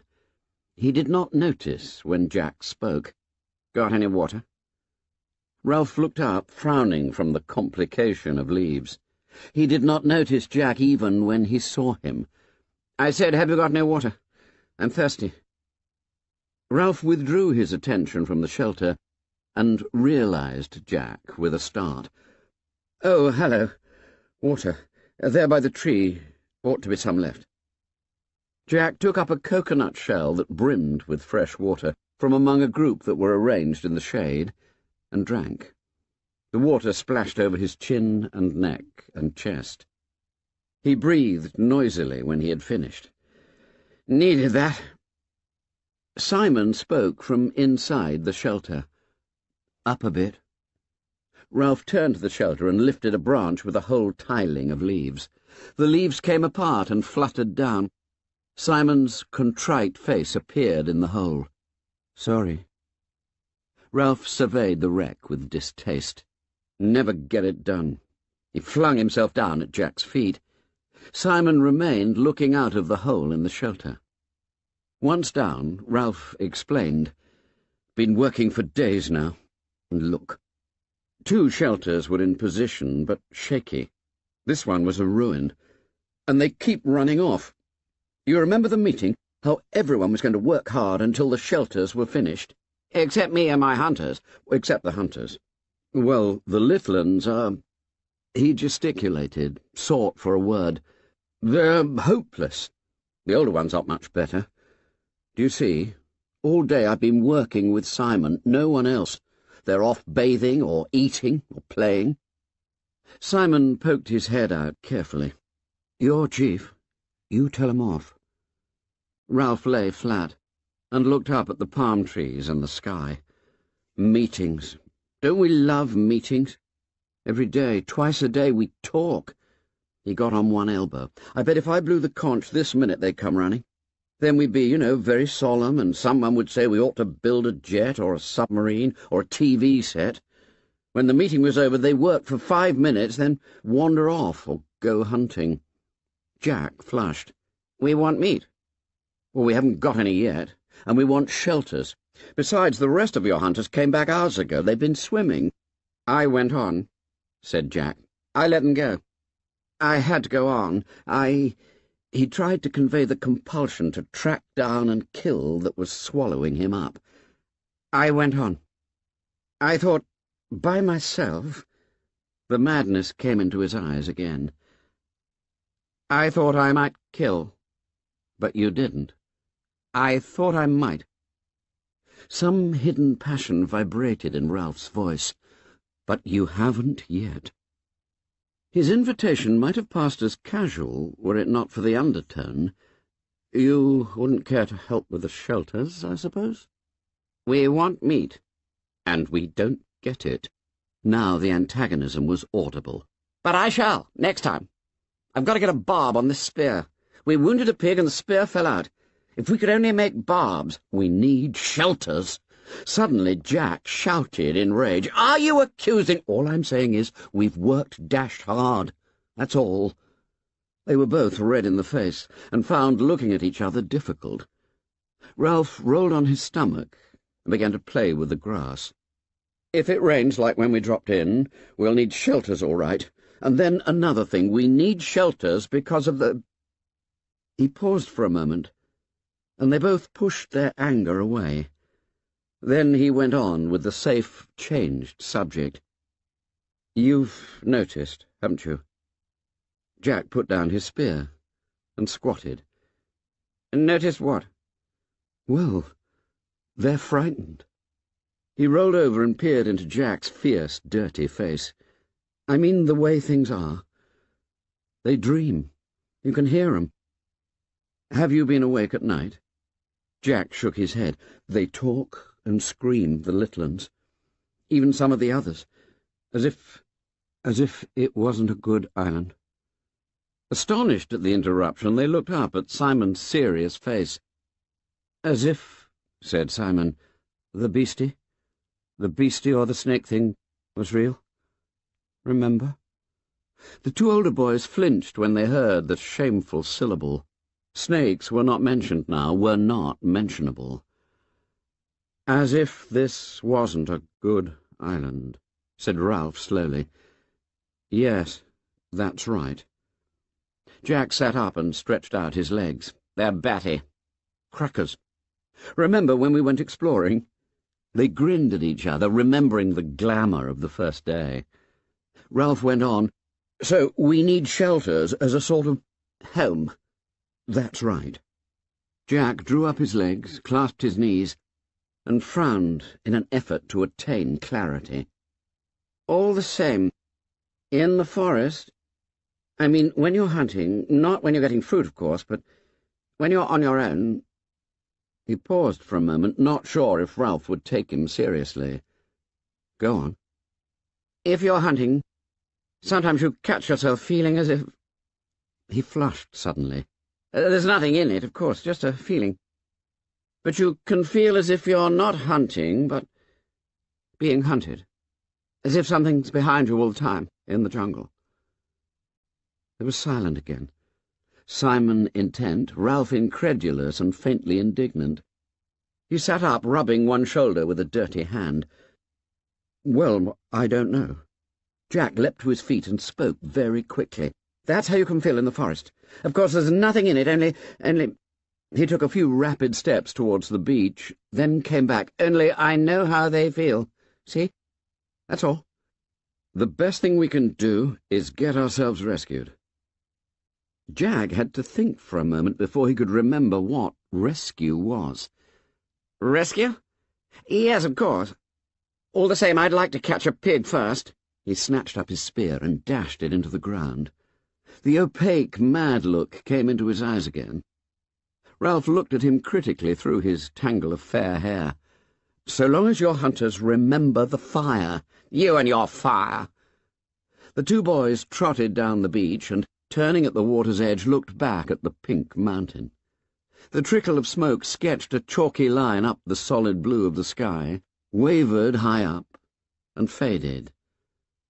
Ralph frowned. I wonder how far off you could see that. Miles. We don't make enough smoke. The bottom part of the trickle, as though conscious of their gaze, thickened to a creamy blur which crept up the feeble column. They've put on green branches muttered Ralph. I wonder.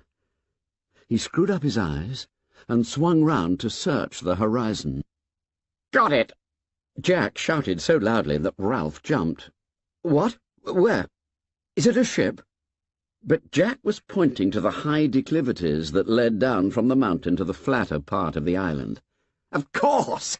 They'll lie up there, they must do, when the sun's too hot. Ralph gazed, bewildered at his rapt face. They get up high, high up and in the shade, resting during the heat like cows at home. I thought you saw a ship. We could steal up on one, paint our faces so they wouldn't see, perhaps surround them, and then... Indignation took away Ralph's control. I was talking about smoke. Don't you want to be rescued? All you can talk about is pig, pig, pig. But we want meat, and I work all day with nothing but Simon, and you come back and don't even notice the huts. I was working too. But you like it, shouted Ralph. You want to hunt, while I... They faced each other on the bright beach, astonished at the rub of feeling. Ralph looked away first, pretending interest in a group of little uns on the sand. From beyond the platform came the shouting of the hunters in the swimming pool. On the end of the platform, Piggy was lying flat, looking down into the brilliant water. People don't help much. He wanted to explain how people were never quite what you thought they were. Simon, he helps. He pointed at the shelters. All the rest rushed off. He's done as much as I have, only, well, Simon's always about. Ralph started back to the shelters with Jack by his side. Do a bit for you, muttered Jack, before I have a bathe. Don't bother. But when they reached the shelters, Simon was not to be seen. Ralph put his head in the hole, withdrew it, and turned to Jack. He's buzzed off. Got fed up, said Jack, and gone for a bathe. Ralph frowned. He's queer. He's funny. Jack nodded, as much for the sake of agreeing as anything, and by tacit consent they left the shelter and went towards the bathing pool. And then, said Jack, when I've had a bathe and something to eat, I'll just trek over to the other side of the mountain and see if I can see any traces. Coming? But the sun's nearly set. I might have time.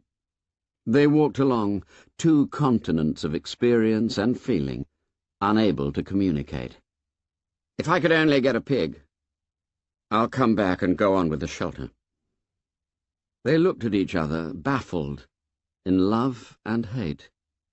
All the warm salt water of the bathing pool and the shouting and splashing and laughing were only just sufficient to bring them together again. Simon, whom they expected to find there, was not in the bathing pool. When the other two had trotted down the beach to look back at the mountain, he had followed them for a few yards, and then stopped. He had stood frowning down at a pile of sand on the beach where somebody had been trying to build a little house or hut. Then he turned his back on this and walked into the forest with an air of purpose. He was a small, skinny boy, his chin pointed, and his eyes so bright they had deceived Ralph into thinking him delightfully gay and wicked. The coarse mop of black hair was long and swung down, almost concealing a low, broad forehead. He wore the remains of shorts, and his feet were bare like Jack's. Always darkish in colour, Simon was burned by the sun to a deep tan that glistened with sweat. He picked his way up the scar, past the great rock where Ralph had climbed on the first morning, then turned off to his right among the trees. He walked with an accustomed tread through the acres of fruit trees, where the least energetic could find an easy, if unsatisfying, meal. Flower and fruit grew together on the same tree, and everywhere was the scent of ripeness and the booming of a million bees at pasture.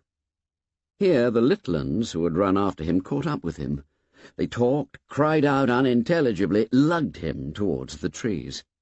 Then, amid the roar of bees in the afternoon sunlight, Simon found for them the fruit they could not reach, pulled off the choicest from up in the foliage, passed them back down to the endless, outstretched hands. When he had satisfied them, he paused and looked round.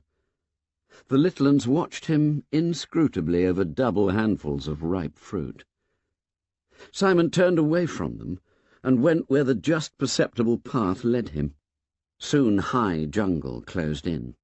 Tall trunks bore unexpected pale flowers all the way up the dark canopy, where life went on clamorously. The air here was dark, too, and the creepers dropped their ropes like the rigging of foundered ships. His feet left prints in the soft soil, and the creepers shivered throughout their lengths when he bumped them. He came at last to a place where more sunshine fell. Since they had not so far to go for light, the creepers had woven a great mat that hung at the side of an open space in the jungle. For here a patch of rock came close to the surface and would not allow more than little plants and ferns to grow. The whole space was walled with dark aromatic bushes, and was a bowl of heat and light.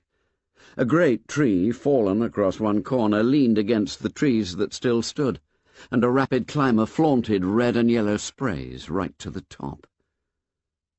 Simon paused. He looked over his shoulder, as Jack had done at the close ways behind him, and glanced swiftly round to confirm that he was utterly alone. For a moment his movements were almost furtive. Then he bent down and wormed his way into the centre of the mat.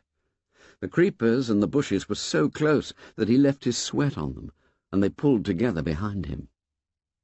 When he was secure in the middle, he was in a little cabin screened off from the open space by a few leaves. He squatted down, parted the leaves, and looked out into the clearing. Nothing moved but a pair of gaudy butterflies that danced round each other in the hot air. Holding his breath, he cocked a critical ear at the sounds of the island. Evening was advancing towards the island. The sounds of the bright fantastic birds, the bee sounds, even the crying of the gulls that were returning to their roosts among the square rocks, were fainter. The deep sea, breaking miles away on the reef, made an undertone less perceptible than the susurration of the blood. Simon dropped the screen of leaves back into place. The slope of the bars of honey-coloured sunlight decreased.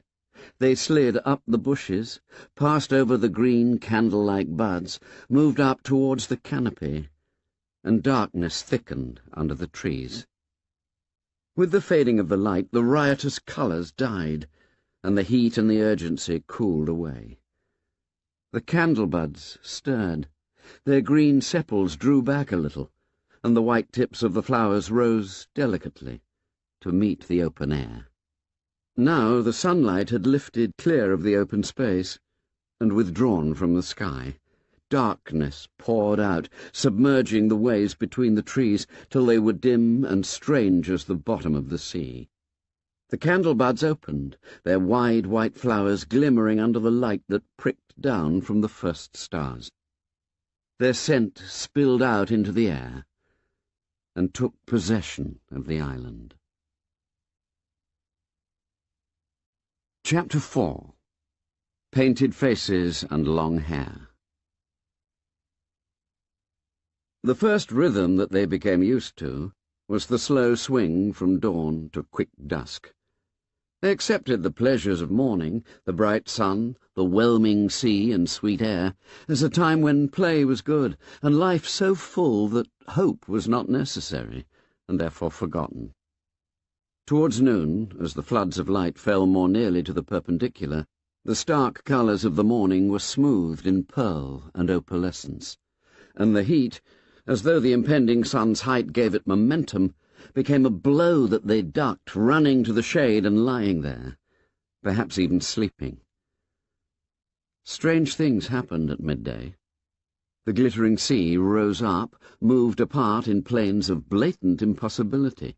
The coral reef and the few stunted palms that clung to the more elevated parts would float up into the sky, would quiver, be plucked apart, run like raindrops on a wire, or be repeated, as in an odd succession of mirrors.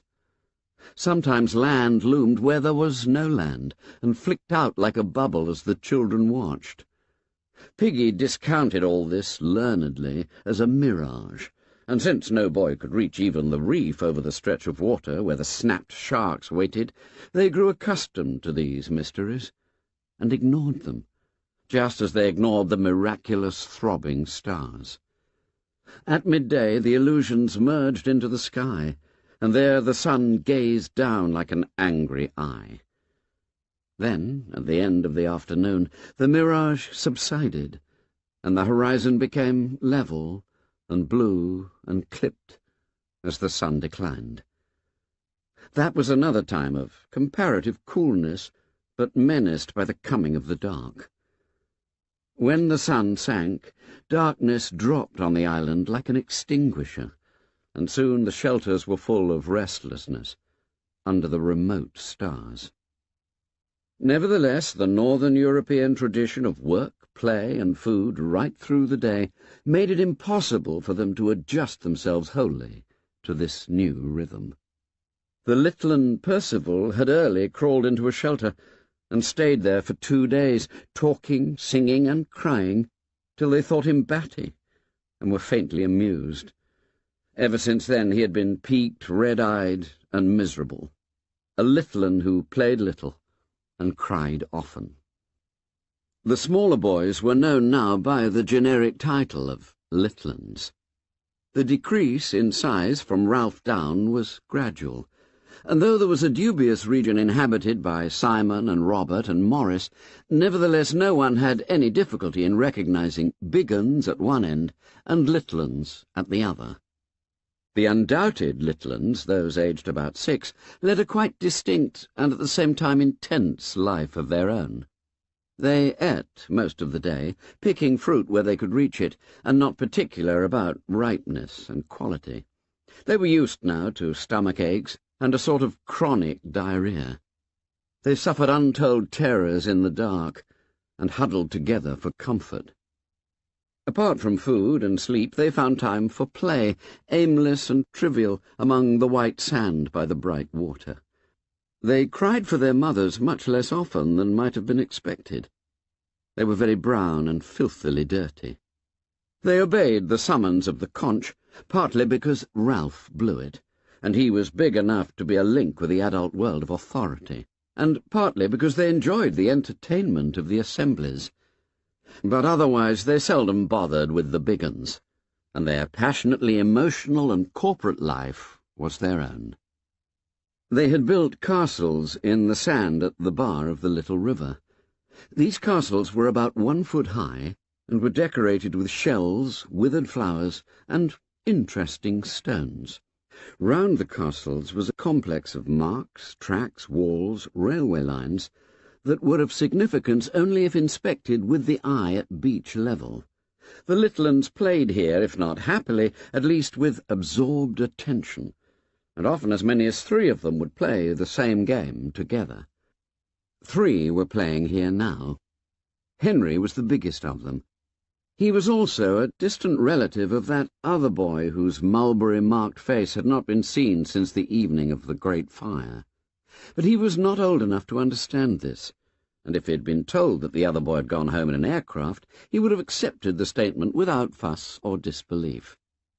Henry was a bit of a leader this afternoon, because the other two were Percival and Johnny, the smallest boys on the island. Percival was mouse-coloured, and had not been very attractive even to his mother. Johnny was well built, with fair hair and a natural belligerence.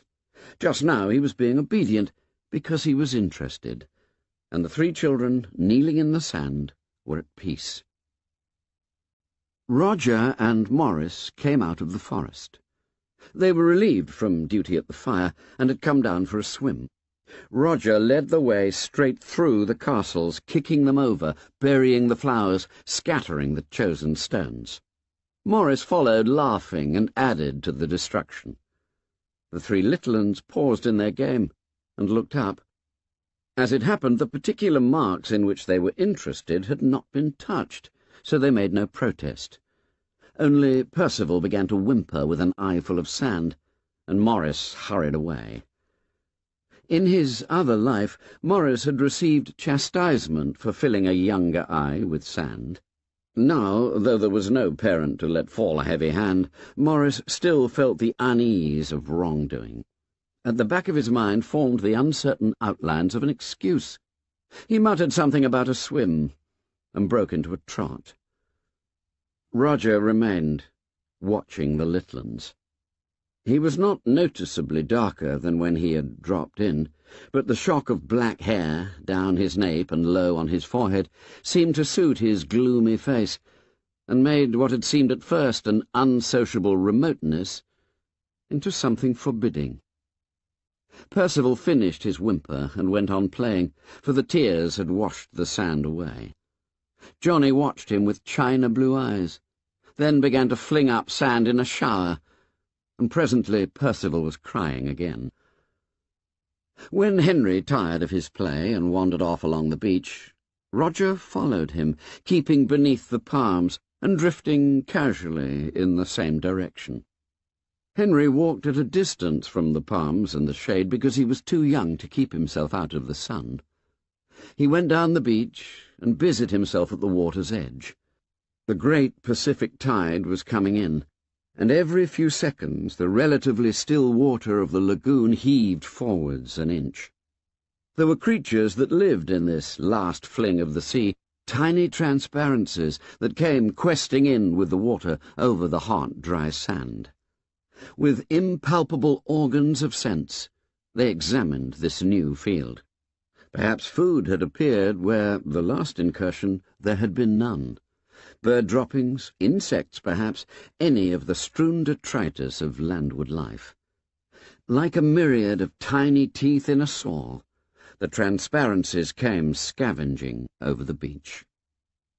This was fascinating to Henry. He poked about with a bit of stick that itself was wave-worn and whitened and a vagrant, and tried to control the motions of the scavengers. He made little runnels that the tide filled and tried to crowd them with creatures. He became absorbed beyond mere happiness as he felt himself exercising control over living things. He talked to them, urging them, ordering them. Driven back by the tide, his footprints became bays in which they were trapped, and gave him the illusion of mastery. He squatted on his hams at the water's edge, bowed, with a shock of hair falling over his forehead and past his eyes, and the afternoon sun emptied down invisible arrows. Roger waited too.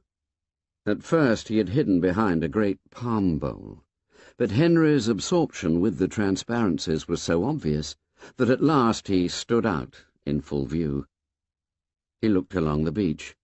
Percival had gone off, crying, and Johnny was left in triumphant possession of the castles. He sat there, crooning to himself and throwing sand at an imaginary Percival. Beyond him, Roger could see the platform and the glints of spray where Ralph and Simon and Piggy and Maurice were diving in the pool. He listened carefully, but could only just hear them. A sudden breeze shook the fringe of palm trees so that the fronds tossed and fluttered.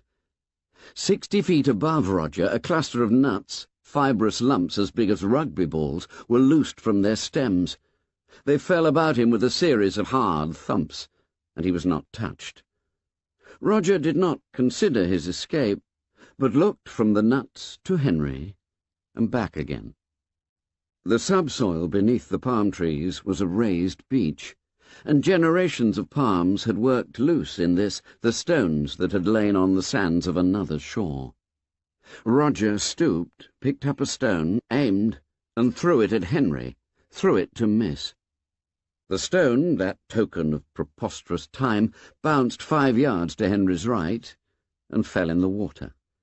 Roger gathered a handful of stones and began to throw them. Yet there was a space round Henry, perhaps six yards in diameter, into which he dare not throw. Here, invisible yet strong, was the taboo of the old life. Round the squatting child was the protection of parents and school and policemen and the law. Roger's arm was conditioned by a civilization that knew nothing of him and was in ruins. Henry was surprised by the plopping sounds in the water. He abandoned the noiseless transparencies and pointed at the centre of the spreading rings like a setter. This side and that the stones fell, and Henry turned obediently, but always too late to see the stones in the air. At last he saw one, and laughed, looking for the friend who was teasing him but Roger had whipped behind the palm bole again, was leaning against it, breathing quickly, his eyelids fluttering. Then Henry lost interest in stones and wandered off. Roger? Jack was standing under a tree about ten yards away. When Roger opened his eyes and saw him, a darker shadow crept beneath the swarthiness of his skin. But Jack noticed nothing. He was eager, impatient, beckoning so that Roger went to him. There was a pool at the end of the river, a tiny mere dammed back by sand and full of white water lilies and needle-like reeds. Here Sam and Eric were waiting, and Bill. Jack, concealed from the sun, knelt by the pool and opened the two large leaves that he carried. One of them contained white clay, and the other red. By them lay a stick of charcoal brought down from the fire. Jack explained to Roger as he worked. They don't smell me, they see me, I think. Something pink under the trees. He smeared on the clay. If only I'd some green. He turned a half-concealed face up to Roger and answered the comprehension of his gaze. For hunting, like in the war, You know, dazzle paint. Like things trying to look like something else. He twisted in the urgency of telling, like moths on a tree trunk. Roger understood and nodded gravely. The twins moved towards Jack and began to protest timidly about something. Jack waved them away. Shut up! He rubbed the charcoal stick between the patches of red and white on his face. No, you two come with me. He peered at his reflection and disliked it. He bent down, took up a double handful of lukewarm water, and rubbed the mess from his face. Freckles and sandy eyebrows appeared.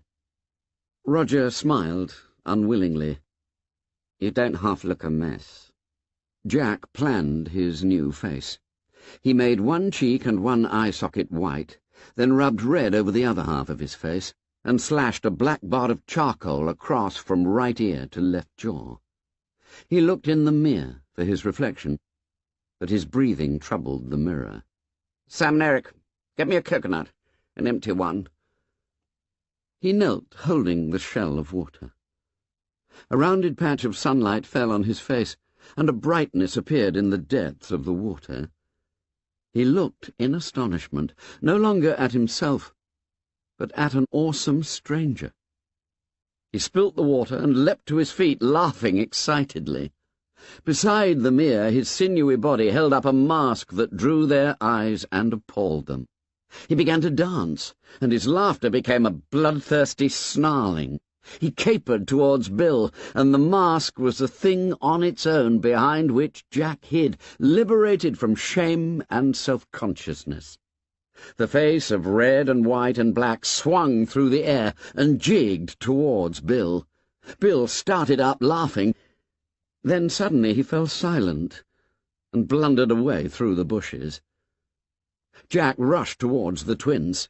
The rest are making a line. Come on. But we come on! I'll creep up and stab! The mask compelled them. Ralph climbed out of the bathing pool and trotted up the beach and sat in the shade beneath the palms. His fair hair was plastered over his eyebrows, and he pushed it back. Simon was floating in the water and kicking with his feet, and Maurice was practising diving. Piggy was mooning about, aimlessly picking up things and discarding them. The rock pools which so fascinated him were covered by the tide, and so he was without an interest until the tide went back. Presently, seeing Ralph under the palms, he came and sat by him. Piggy wore the remainders of a pair of shorts. His fat body was golden brown, and the glasses still flashed when he looked at anything. He was the only boy on the island whose hair never seemed to grow. The rest were shock-headed, but Piggy's hair still lay in wisps over his head, as though baldness were his natural state, and this imperfect covering would soon go, like the velvet on a young stag's antlers. "'I've been thinking,' he said, "'about a clock. We could make a sundial. We could put a stick in the sand, and then the effort to express the mathematical processes involved was too great. He made a few passes instead. And an airplane and a TV set, said Ralph sourly, and a steam engine. Piggy shook his head. You have to have a lot of metal things for that, he said, and we haven't got no metal, but we got a stick. Ralph turned and smiled involuntarily. Piggy was a bore. His fat, his asthma, and his matter-of-fact ideas were dull.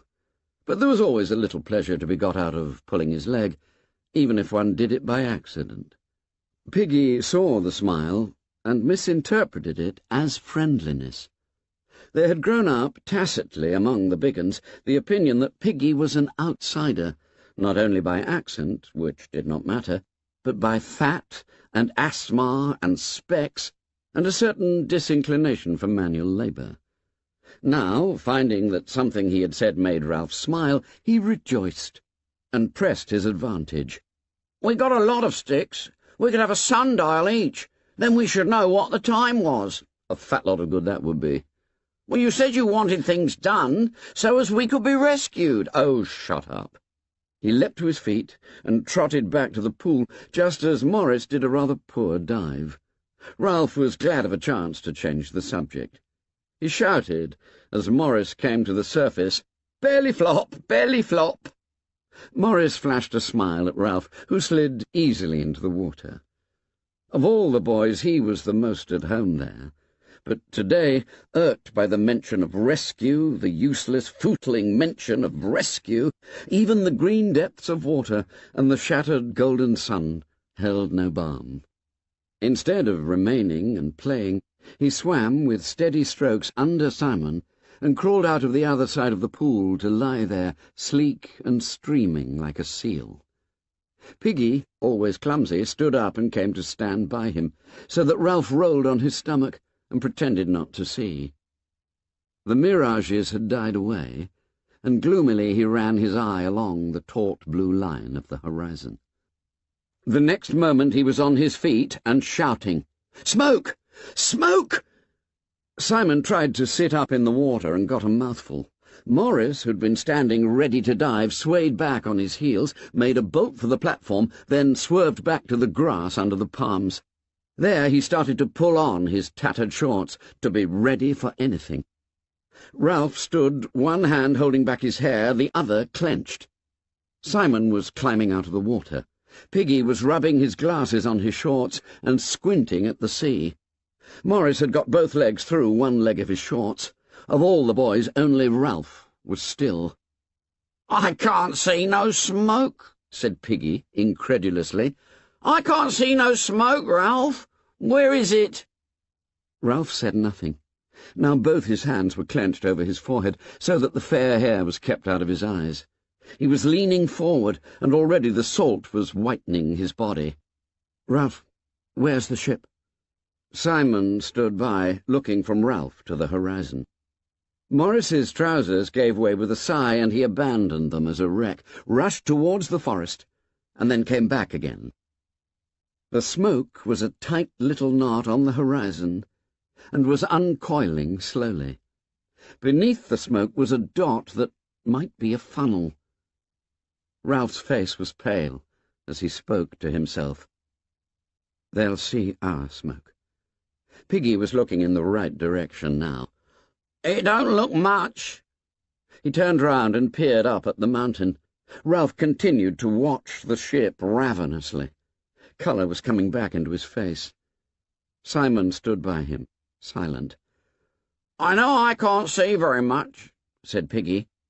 But have we got any smoke? Ralph moved impatiently, still watching the ship. The smoke on the mountain? Maurice came running and stared out to sea. Both Simon and Piggy were looking up at the mountain. Piggy screwed up his face, but Simon cried out as though he had hurt himself. Ralph! Ralph! The quality of his speech slewed Ralph on the sand. You tell me, said Piggy anxiously. Is there a signal? Ralph looked back at the dispersing smoke on the horizon, then up at the mountain. Ralph, please, is there a signal? Simon put out his hand timidly to touch Ralph. But Ralph started to run, splashing through the shallow end of the bathing pool, across the hot white sand, and under the palms.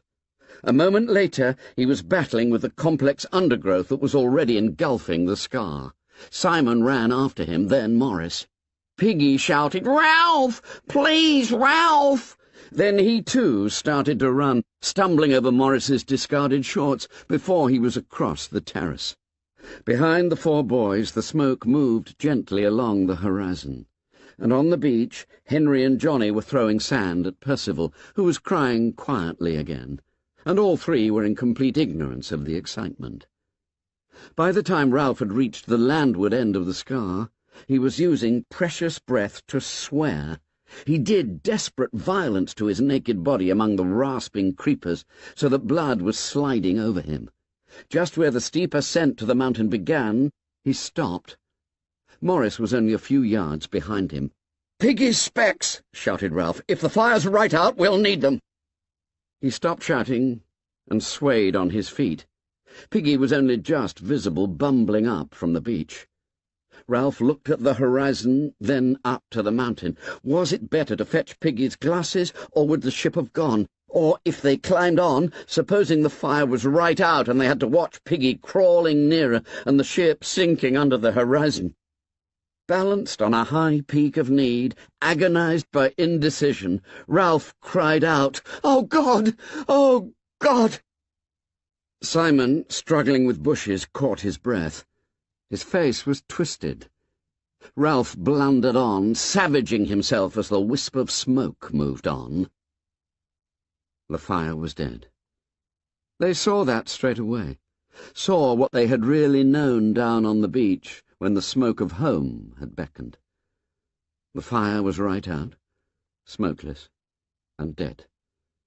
The watchers were gone. A pile of unused fuel lay ready. Ralph turned to the sea. The horizon stretched impersonal once more, barren of all but the faintest trace of smoke. Ralph ran stumbling along the rocks, saved himself on the edge of the pink cliff, and screamed at the ship, Come back! Come back! He ran backwards and forwards along the cliff, his face always to the sea, and his voice rose insanely, Come back! Come back! Simon and Maurice arrived. Ralph looked at them with unwinking eyes. Simon turned away, smearing the water from his cheeks. Ralph reached inside himself for the worst word he knew. They let the bloody fire out. He looked down the unfriendly side of the mountain. Piggy arrived out of breath and whimpering like a little. Ralph clenched his fists and went very red. The intentness of his gaze, the bitterness of his voice pointed for him. There they are! A procession had appeared, far down among the pink screes that lay near the water's edge. Some of the boys wore black caps, but otherwise they were almost naked. They lifted sticks in the air together whenever they came to an easy patch. They were chanting, something to do with the bundle that the errant twins carried so carefully. Ralph picked out Jack easily, even at that distance, tall, red-haired, and inevitably leading the procession. Simon looked now from Ralph to Jack, as he had looked from Ralph to the horizon, and what he saw seemed to make him afraid. Ralph said nothing more, but waited while the procession came nearer.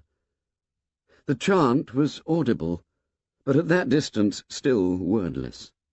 Behind Jack walked the twins carrying a great stake on their shoulders. The gutted carcass of a pig swung from the stake, swinging heavily as the twins toiled over the uneven ground. The pig's head hung down with gaping neck, and seemed to search for something on the ground. At last the words of the chant floated up to them, across the bowl of blackened wood and ashes. Kill the pig! Cut her throat! Spill her blood! Yet as the words became audible, the procession reached the steepest part of the mountain, and in a minute or two the chant had died away. Piggy snivelled, and Simon shushed him quickly as though he had spoken too loudly in church. Jack, his face smeared with clays, reached the top first, and hailed Ralph excitedly with lifted spear. Look! We've killed a pig! We stole up on them, we got in a circle. Voices broke from the hunters. We got in a circle, we crept up, the pig squealed. The twins stood with the pig swinging between them, dropping black gouts on the rock. They seemed to share one wide, ecstatic grin. Jack had too many things to tell Ralph at once. Instead, he danced a step or two, then remembered his dignity, and stood still, grinning. He noticed blood on his hands, and grimaced distastefully, looked for something on which to clean them, then wiped them on his shorts, and laughed. Ralph spoke. You let the fire out. Jack checked, vaguely irritated by this irrelevance, but too happy to let it worry him. We can light the fire again. You should have been with us, Ralph. We had a smashing time. The twins got knocked over. We hit the pig. I fell on top. I cut the pig's throat, said Jack, proudly, and yet twitched as he said it. Can I borrow yours, Ralph, to make a nick in the hilt? The boys chattered and danced. The twins continued to grin. There was lashings of blood, said Jack, laughing and shuddering. You should have seen it. We'll go hunting every day. Ralph spoke again, hoarsely. He had not moved.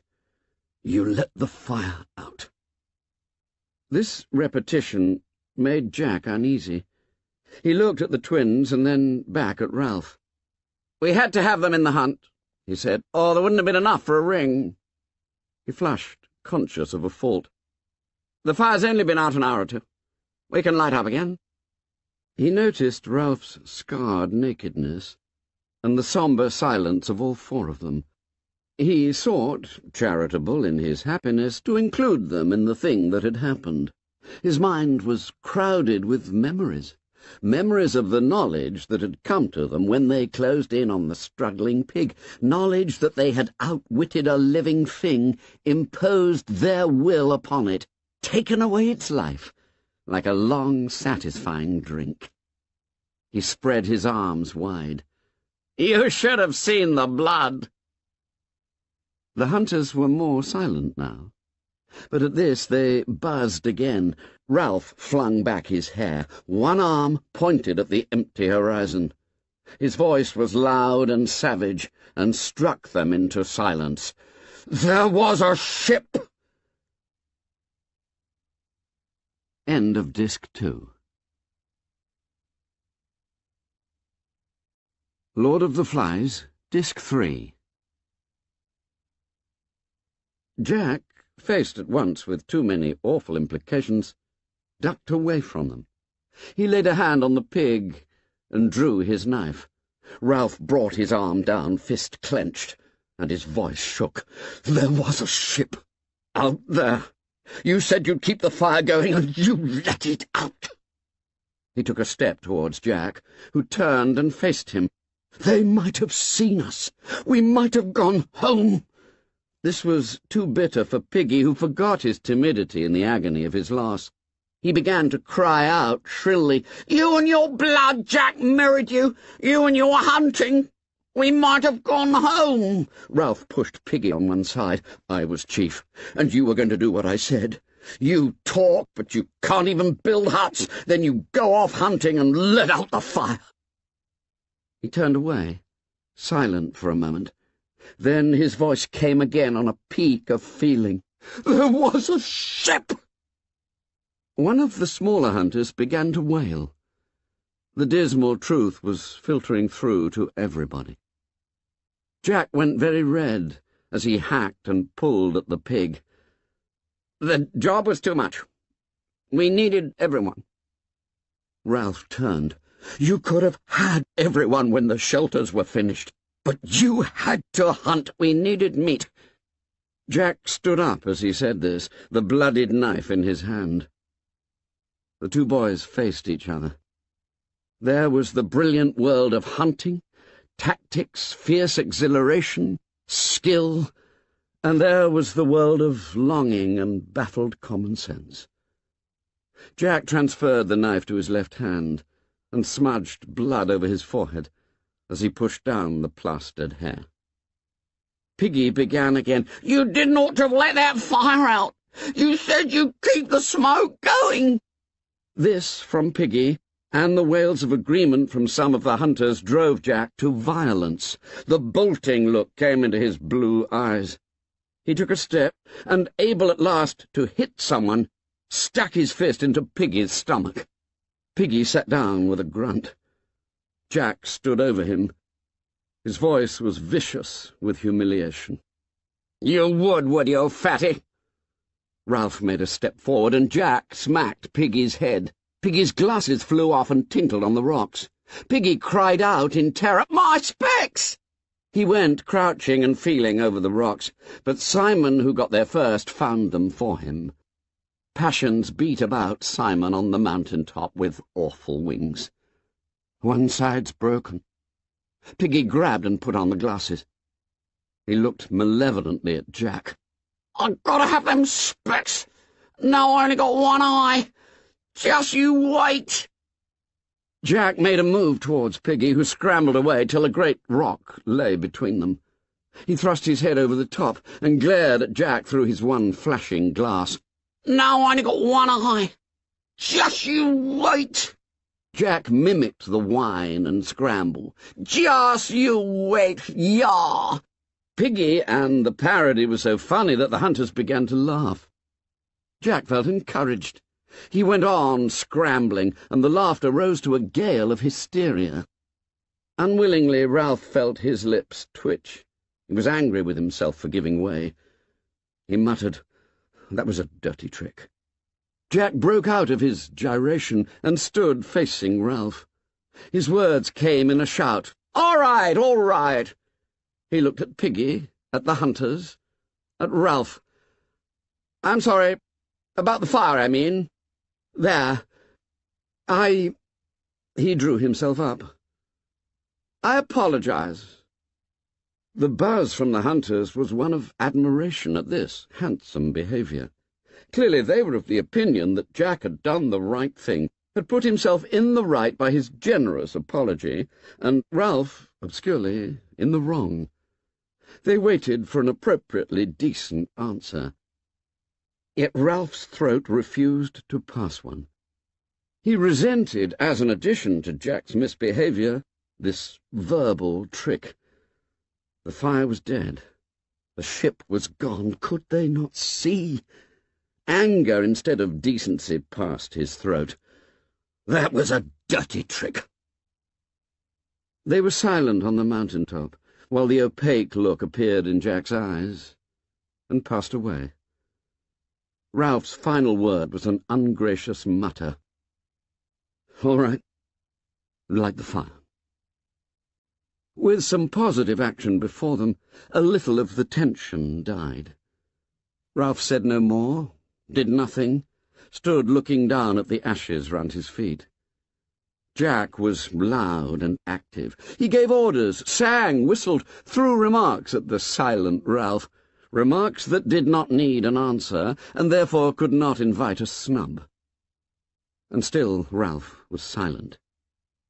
No one, not even Jack, would ask him to move, and in the end they had to build the fire three yards away, and in a place not really as convenient. So Ralph asserted his chieftainship, and could not have chosen a better way if he had thought for days. Against this weapon, so indefinable and so effective, Jack was powerless, and raged without knowing why. By the time the pile was built, they were on different sides of a high barrier. When they had dealt with the fire, another crisis arose. Jack had no means of lighting it. Then, to his surprise, Ralph went to Piggy and took the glasses from him. Not even Ralph knew how a link between him and Jack had been snapped and fastened elsewhere. I'll bring them back. I'll come too. Piggy stood behind him, islanded in a sea of meaningless colour, while Ralph knelt and focused the glossy spot. Instantly the fire was alight, Piggy held out his hand and grabbed the glasses back. Before these fantastically attractive flowers of violet and red and yellow, unkindness melted away. They became a circle of boys round a campfire, and even Piggy and Ralph were half drawn in. Soon some of the boys were rushing down the slope for more wood, while Jack hacked the pig. They tried holding the whole carcass on a stake over the fire, but the stake burnt more quickly than the pig roasted. In the end they skewered bits of meat on branches, and held them in the flames, and even then almost as much boy was roasted as meat. Ralph dribbled. He meant to refuse meat, but his past diet of fruit and nuts, with an odd crab or fish, gave him too little resistance. He accepted a piece of half-raw meat, and gnawed it like a wolf. Piggy spoke, almost dribbling. Aren't I having none? Jack had meant to leave him in doubt as an assertion of power, but Piggy, by advertising this omission, made more cruelty necessary. You didn't hunt. No more did Ralph, said Piggy wetly. Nor Simon. He amplified.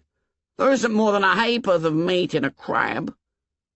Ralph stirred uneasily. Simon, sitting between the twins and Piggy, wiped his mouth and shoved his piece of meat over the rocks to Piggy, who grabbed it.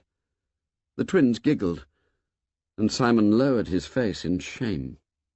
Then Jack leapt to his feet, slashed off a great hunk of meat, and flung it down at Simon's feet. Eat, damn you! He glared at Simon. Take it! He spun on his heel, centre of a bewildered circle of boys. I got you meat! Numberless and inexpressible frustrations combined to make his rage elemental and awe-inspiring. I painted my face. I stole up. Now you eat, all of you. And I... Slowly the silence on the mountain top deepened, till the click of the fire and the soft hiss of roasting meat could be heard clearly. Jack looked round for understanding, but found only respect. Ralph stood among the ashes of the signal fire, his hands full of meat, saying nothing. Then, at last, Maurice broke the silence. He changed the subject to the only one that could bring the majority of them together. Where did you find the pig? Roger pointed down the unfriendly side. They were there, by the sea. Jack, recovering, could not bear to have his story told. He broke in quickly. We spread round. I crept on hands and knees. The spears fell out because they hadn't barbs on. The pig ran away and made an awful noise. It turned back and ran into the circle, bleeding. All the boys were talking at once, relieved and excited. We closed in. The first blow had paralyzed its hind quarters, so then the circle could close in and beat and beat. I cut the pig's throat. The twins, still sharing their identical grin, jumped up and ran round each other. Then the rest joined in, making pig-dying noises and shouting, One for his knob! Give him a forty-one! Then Maurice pretended to be the pig and ran squealing into the centre, and the hunters, circling still, pretended to beat him. As they danced, they sang, Kill the pig! Cut her throat! Bash her in! Ralph watched them envious and resentful. Not till they flagged and the chant died away did he speak. I'm calling an assembly. One by one they halted and stood watching him.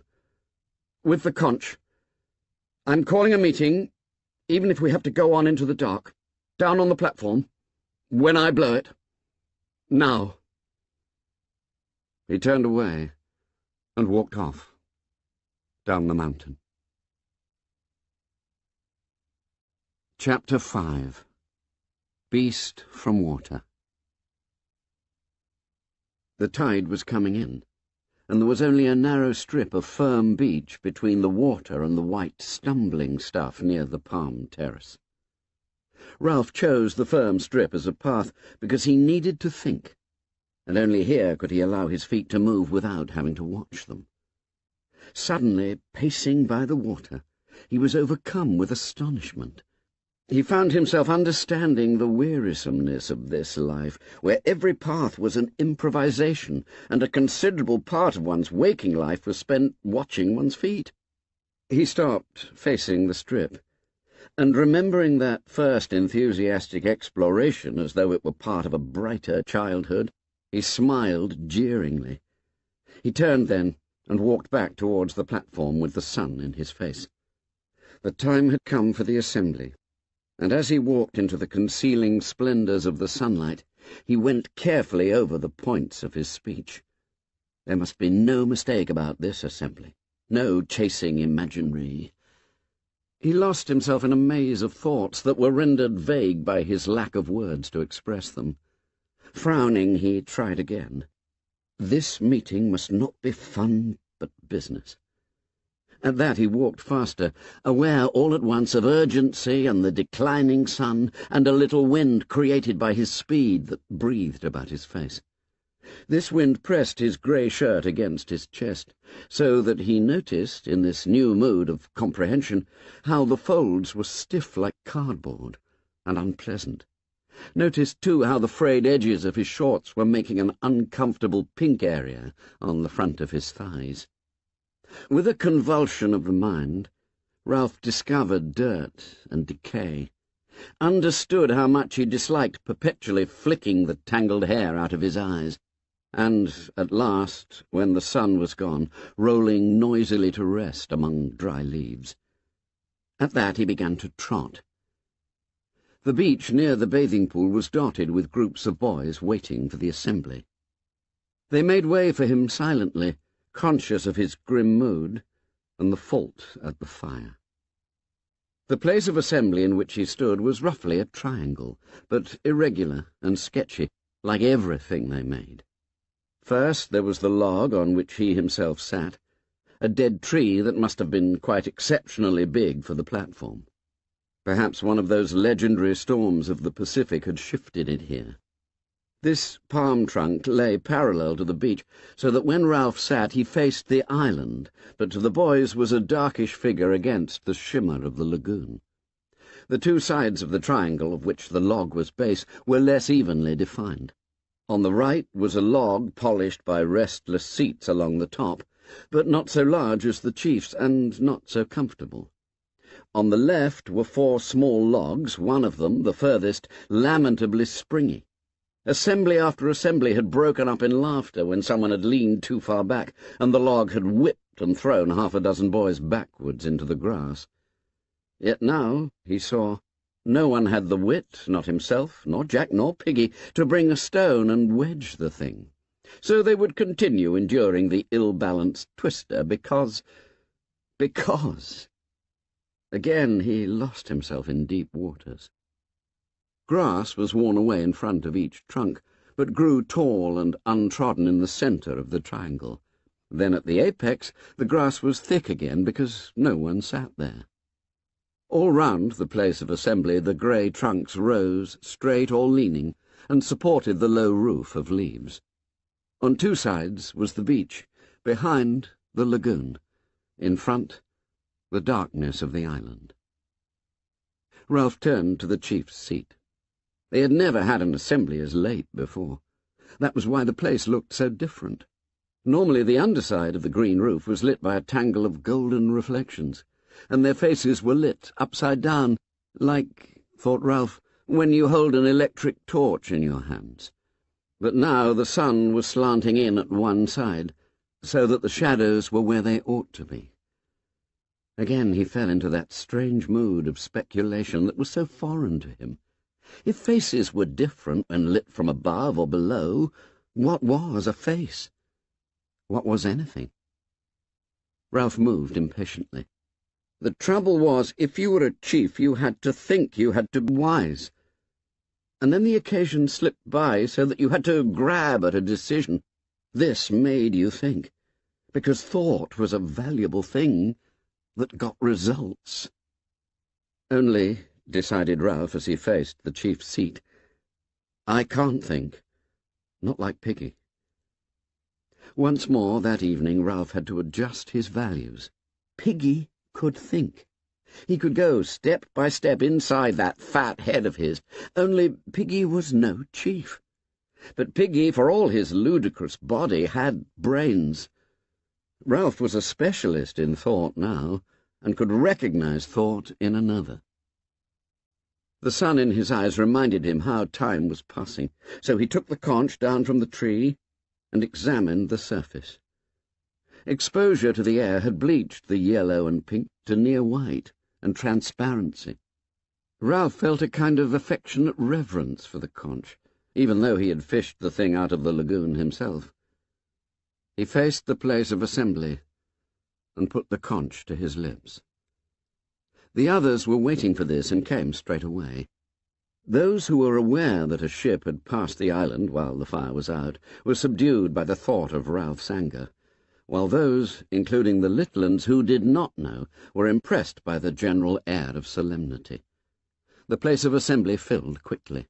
Jack, Simon, Maurice, most of the hunters on Ralph's right, the rest on the left, under the sun. Piggy came and stood outside the triangle. This indicated that he wished to listen but would not speak, and Piggy intended it as a gesture of disapproval. The thing is, we need an assembly. No one said anything. but the faces turned to Ralph were intent. He flourished the conch. He had learned, as a practical business, that fundamental statements like this had to be said at least twice before everyone understood them. One had to sit attracting all eyes to the conch and drop words like heavy round stones among the little groups that crouched or squatted. He was searching his mind for simple words so that even the Littluns would understand what the assembly was about. Later, perhaps, practised debaters, Jack, Maurice, Piggy, would use their whole art to twist the meeting. But now, at the beginning, the subject of the debate must be laid out clearly.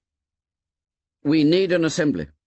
Not for fun, not for laughing and falling off the log. The group of Littluns on the twister giggled and looked at each other. Not for making jokes or for... He lifted the conch in an effort to find the compelling word. For cleverness. Not for these things. But to put things straight. He paused for a moment. I've been along. By myself I went, thinking what's what. I know what we need an assembly to put things straight, and first of all, I'm speaking. He paused for a moment and automatically pushed back his hair. Piggy tiptoed to the triangle, his ineffectual protest made, and joined the others. Ralph went on. We have lots of assemblies. Everybody enjoys speaking and being together. We decide things, but they don't get done. We were going to have water brought from the stream and left in those coconut shells under fresh leaves. So it was for a few days. Now there's no water. The shells are dry. People drink from the river. There was a murmur of assent. Not that there's anything wrong with drinking from the river. I mean, I'd sooner have water from that place, you know, the pool where the waterfall is, than out of an old coconut shell. Only we said we'd have the water brought, and now not. There were only two full shells there this afternoon. He licked his lips. Then there's huts, shelters. The murmur swelled again and died away. You mostly sleep in shelters. Tonight, except for Samneric up by the fire, you'll all sleep there. Who built the shelters? Clamour rose at once. Everyone had built the shelters. Ralph had to wave the conch once more. Wait a minute. I mean, who built all three? We all built the first one, four of us the second, and me and Simon built the last one over there. That's why it's so tottery. No, don't laugh. That shelter might fall down if the rain comes back. We'll need those shelters then. He paused and cleared his throat. There's another thing.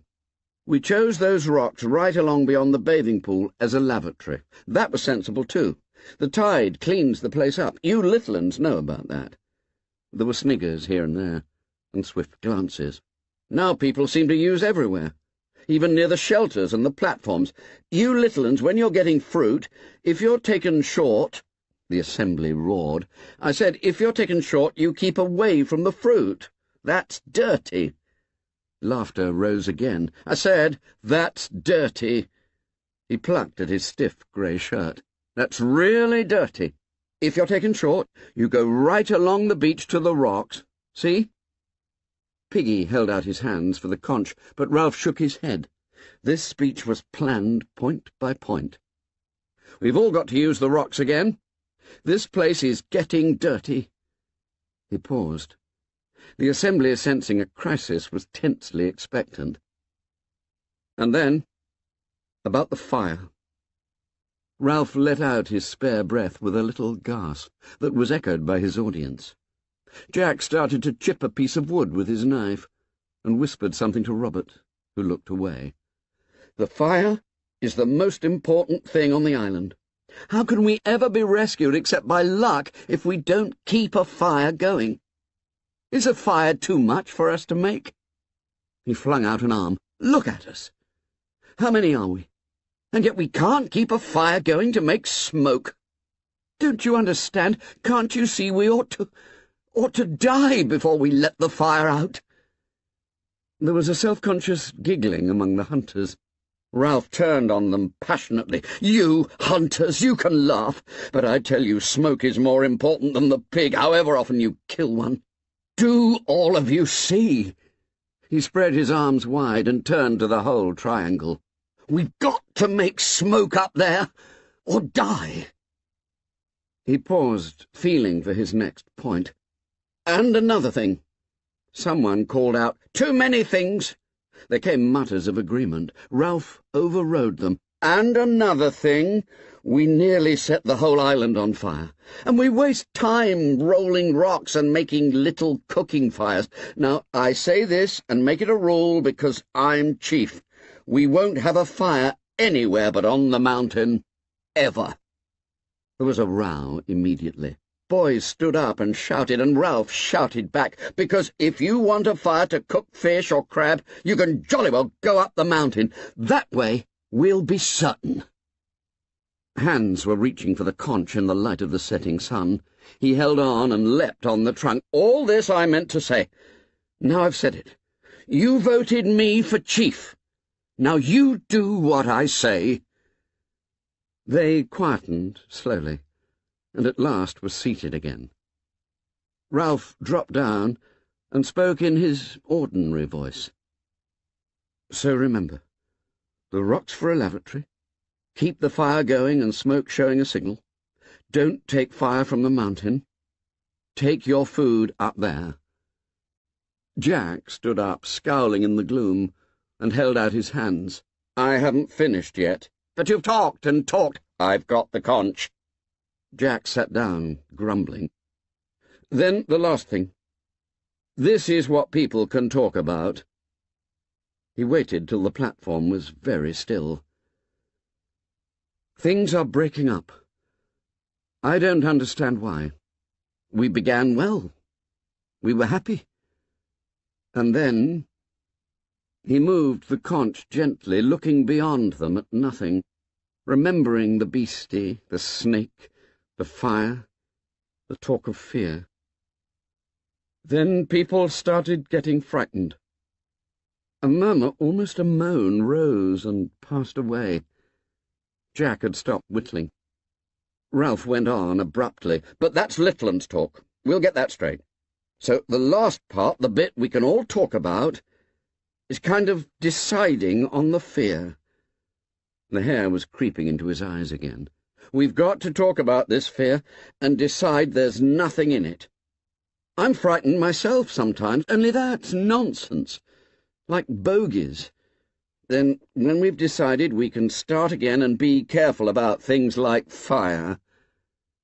A picture of three boys walking along the bright beach flitted through his mind and be happy. Ceremonially, Ralph laid the conch on the trunk beside him, as a sign that the speech was over. What sunlight reached them was level. Jack stood up and took the conch. So this is a meeting to find out what's what. I'll tell you what's what. You Littluns started all this with the fear talk. Beasts. Where from? Of course we're frightened sometimes, but we put up with being frightened. Only Ralph says you scream in the night. What does that mean but nightmares? Anyway, you don't hunt or build or help. You're a lot of crybabies and sissies, that's what. And as for the fear, you'll have to put up with that like the rest of us.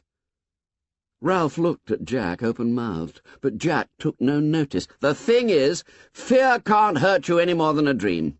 There aren't any beasts to be afraid of on this island. He looked along the row of whispering Littluns. Serve you right if something did get you, you useless lot of crybabies. But there is no animal. Ralph interrupted him testily. What is all this? Who said anything about an animal? You did the other day. You said they dream and cry out. Now they talk, not only the Littluns, but my hunters sometimes. Talk of a thing, a dark thing, a beast, some sort of animal. I've heard. You thought not, didn't you? Now listen, you don't get big animals on small islands, only pigs. You only get lions and tigers in big countries like Africa and India, and the zoo. I've got the conch. I'm not talking about the fear. I'm talking about the beast. Be frightened if you like. But as for the beast... Jack paused, cradling the conch, and turned to his hunters with their dirty black caps. Am I a hunter, or am I not? They nodded, simply. He was a hunter, all right, no one doubted that. Well, then, I've been all over this island, by myself. If there were a beast, I'd have seen it.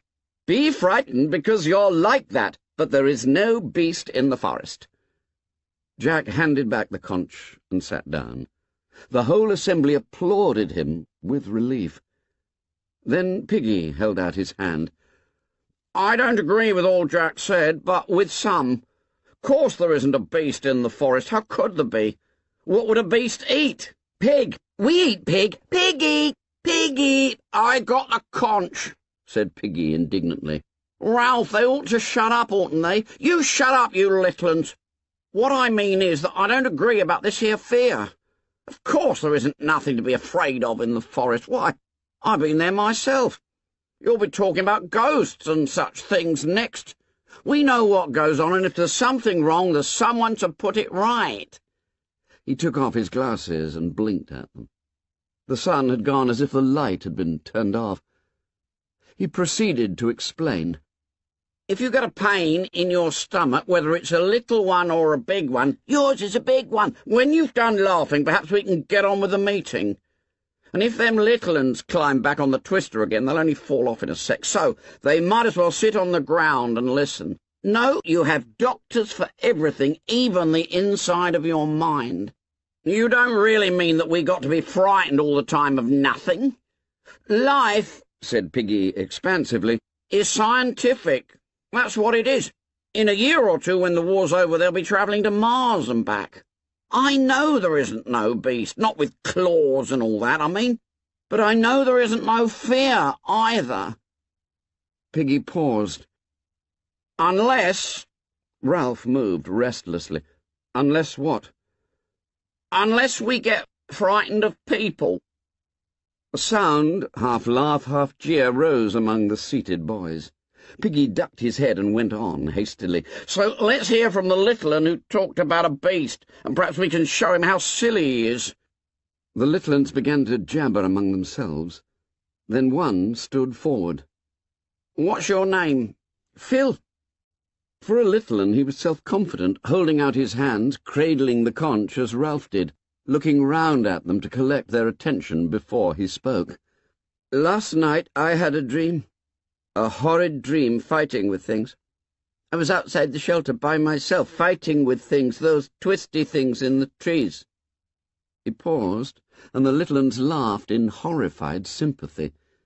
Then I was frightened, and I woke up, and I was outside the shelter by myself in the dark, and the twisty things had gone away. The vivid horror of this, so possible and so nakedly terrifying, held them all silent. The child's voice went piping on from behind the white conch. And I was frightened, and started to call out for Ralph.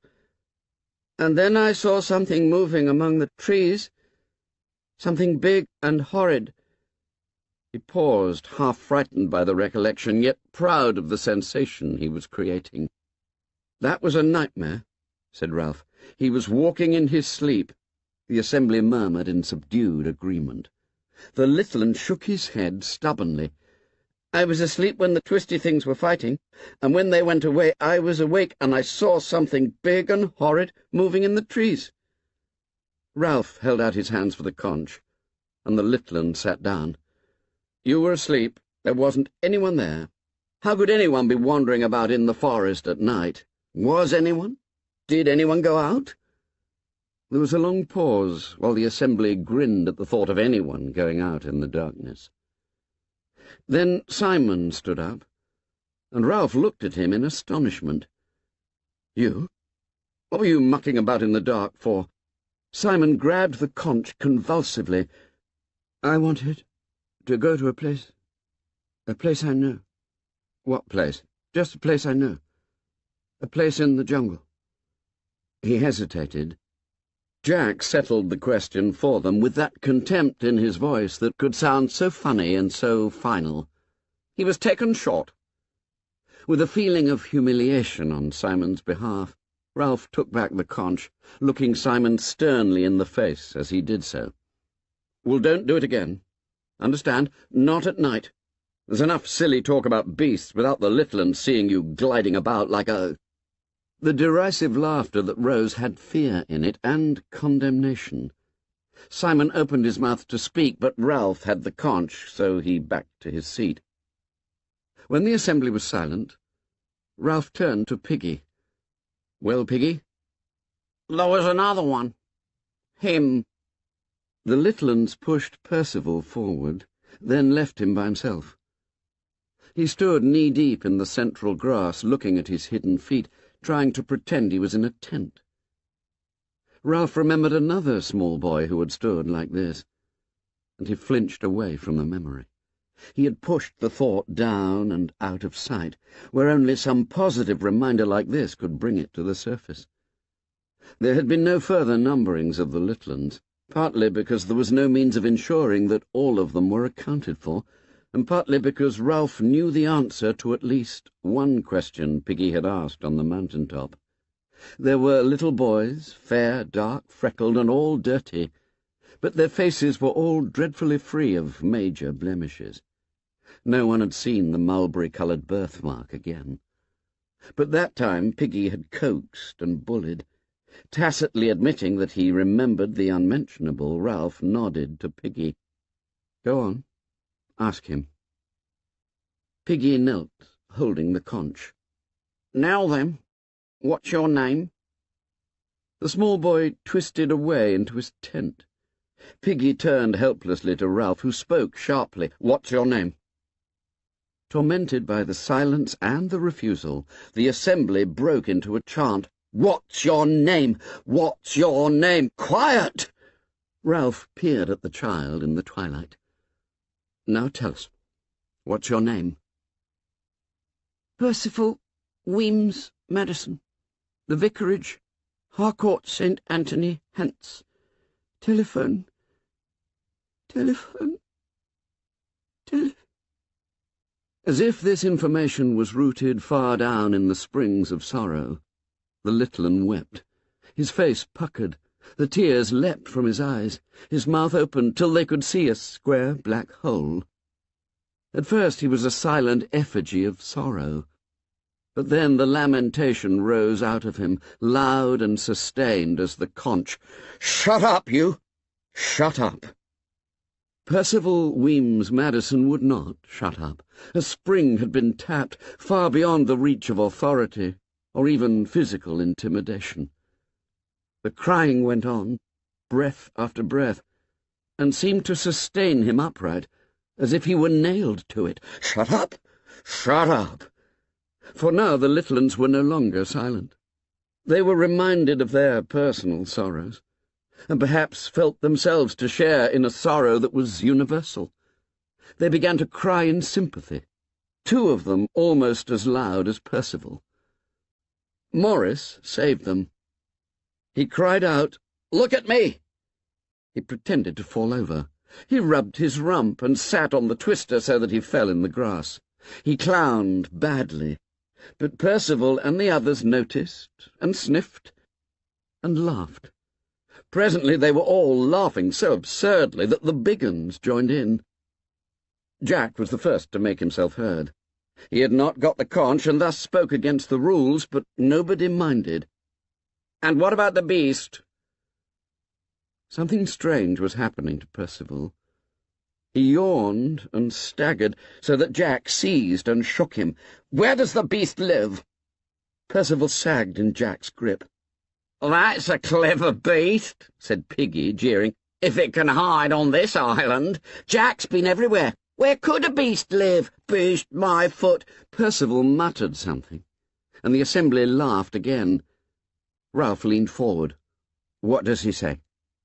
Jack listened to Percival's answer and then let go of him. Percival, released, surrounded by the comfortable presence of humans, fell in the long grass and went to sleep. Jack cleared his throat, then reported casually, He says the beast comes out of the sea. The last laugh died away. Ralph turned involuntarily, a black humped figure against the lagoon. The assembly looked with him considered the vast stretches of water, the high sea beyond, unknown indigo of infinite possibility, heard silently the sough and whisper from the reef. Maurice spoke, so loudly that they jumped. Daddy says they haven't found all the animals in the sea yet. Argument started again. Ralph held out the glimmering conch, and Maurice took it obediently. The meeting subsided. I mean, when Jack says you can be frightened because people are frightened anyway, that's all right. But when he says there's only pigs on this island, I expect he's right, but he doesn't know. Not really. Not certainly, I mean. Maurice took a breath. My daddy says there's things, what do you call 'em, that make ink, squids, that are hundreds of yards long and eat whales whole. He paused again and laughed gaily. I don't believe in the beast, of course. As Piggy says, life's scientific, but we don't know, do we? Not certainly, I mean. Someone shouted, A squid couldn't come up out of the water. Could, couldn't. In a moment the platform was full of arguing, gesticulating shadows. To Ralph, seated, this seemed the breaking up of sanity. Fear, beasts, no general agreement that the fire was all important and when one tried to get the thing straight, the argument sheared off, bringing up fresh, unpleasant matter. He could see a whiteness in the gloom near him, so he grabbed it from Maurice and blew as loudly as he could. The assembly was shocked into silence. Simon was close to him, laying hands on the conch. Simon felt a perilous necessity to speak, but to speak in assembly was a terrible thing to him. Maybe, he said, hesitantly. Maybe there is a beast. The assembly cried out savagely, and Ralph stood up in amazement. You, Simon? You believe in this? I don't know, said Simon. His heartbeats were choking him. But the storm broke. Sit down! Shut up! Take the conch! Sod you! Shut up! Ralph shouted. Hear him! He's got the conch! What I mean is, Maybe it's only us. Nuts! That was from Piggy, shocked out of decorum. Simon went on. We could be sort of... Simon became inarticulate in his effort to express mankind's essential illness. Inspiration came to him. What's the dirtiest thing there is? As an answer, Jack dropped into the uncomprehending silence that followed it, the one crude expressive syllable. Release was like an orgasm. Those little uns who had climbed back on the twister fell off again and did not mind. The hunters were screaming with delight. Simon's effort fell about him in ruins. The laughter beat him cruelly, and he shrank away, defenceless, to his seat. At last the assembly was silent again. Someone spoke out of turn. Maybe he means it's some sort of ghost. Ralph lifted the conch and peered into the gloom. The lightest thing was the pale beach. Surely the Littluns were nearer.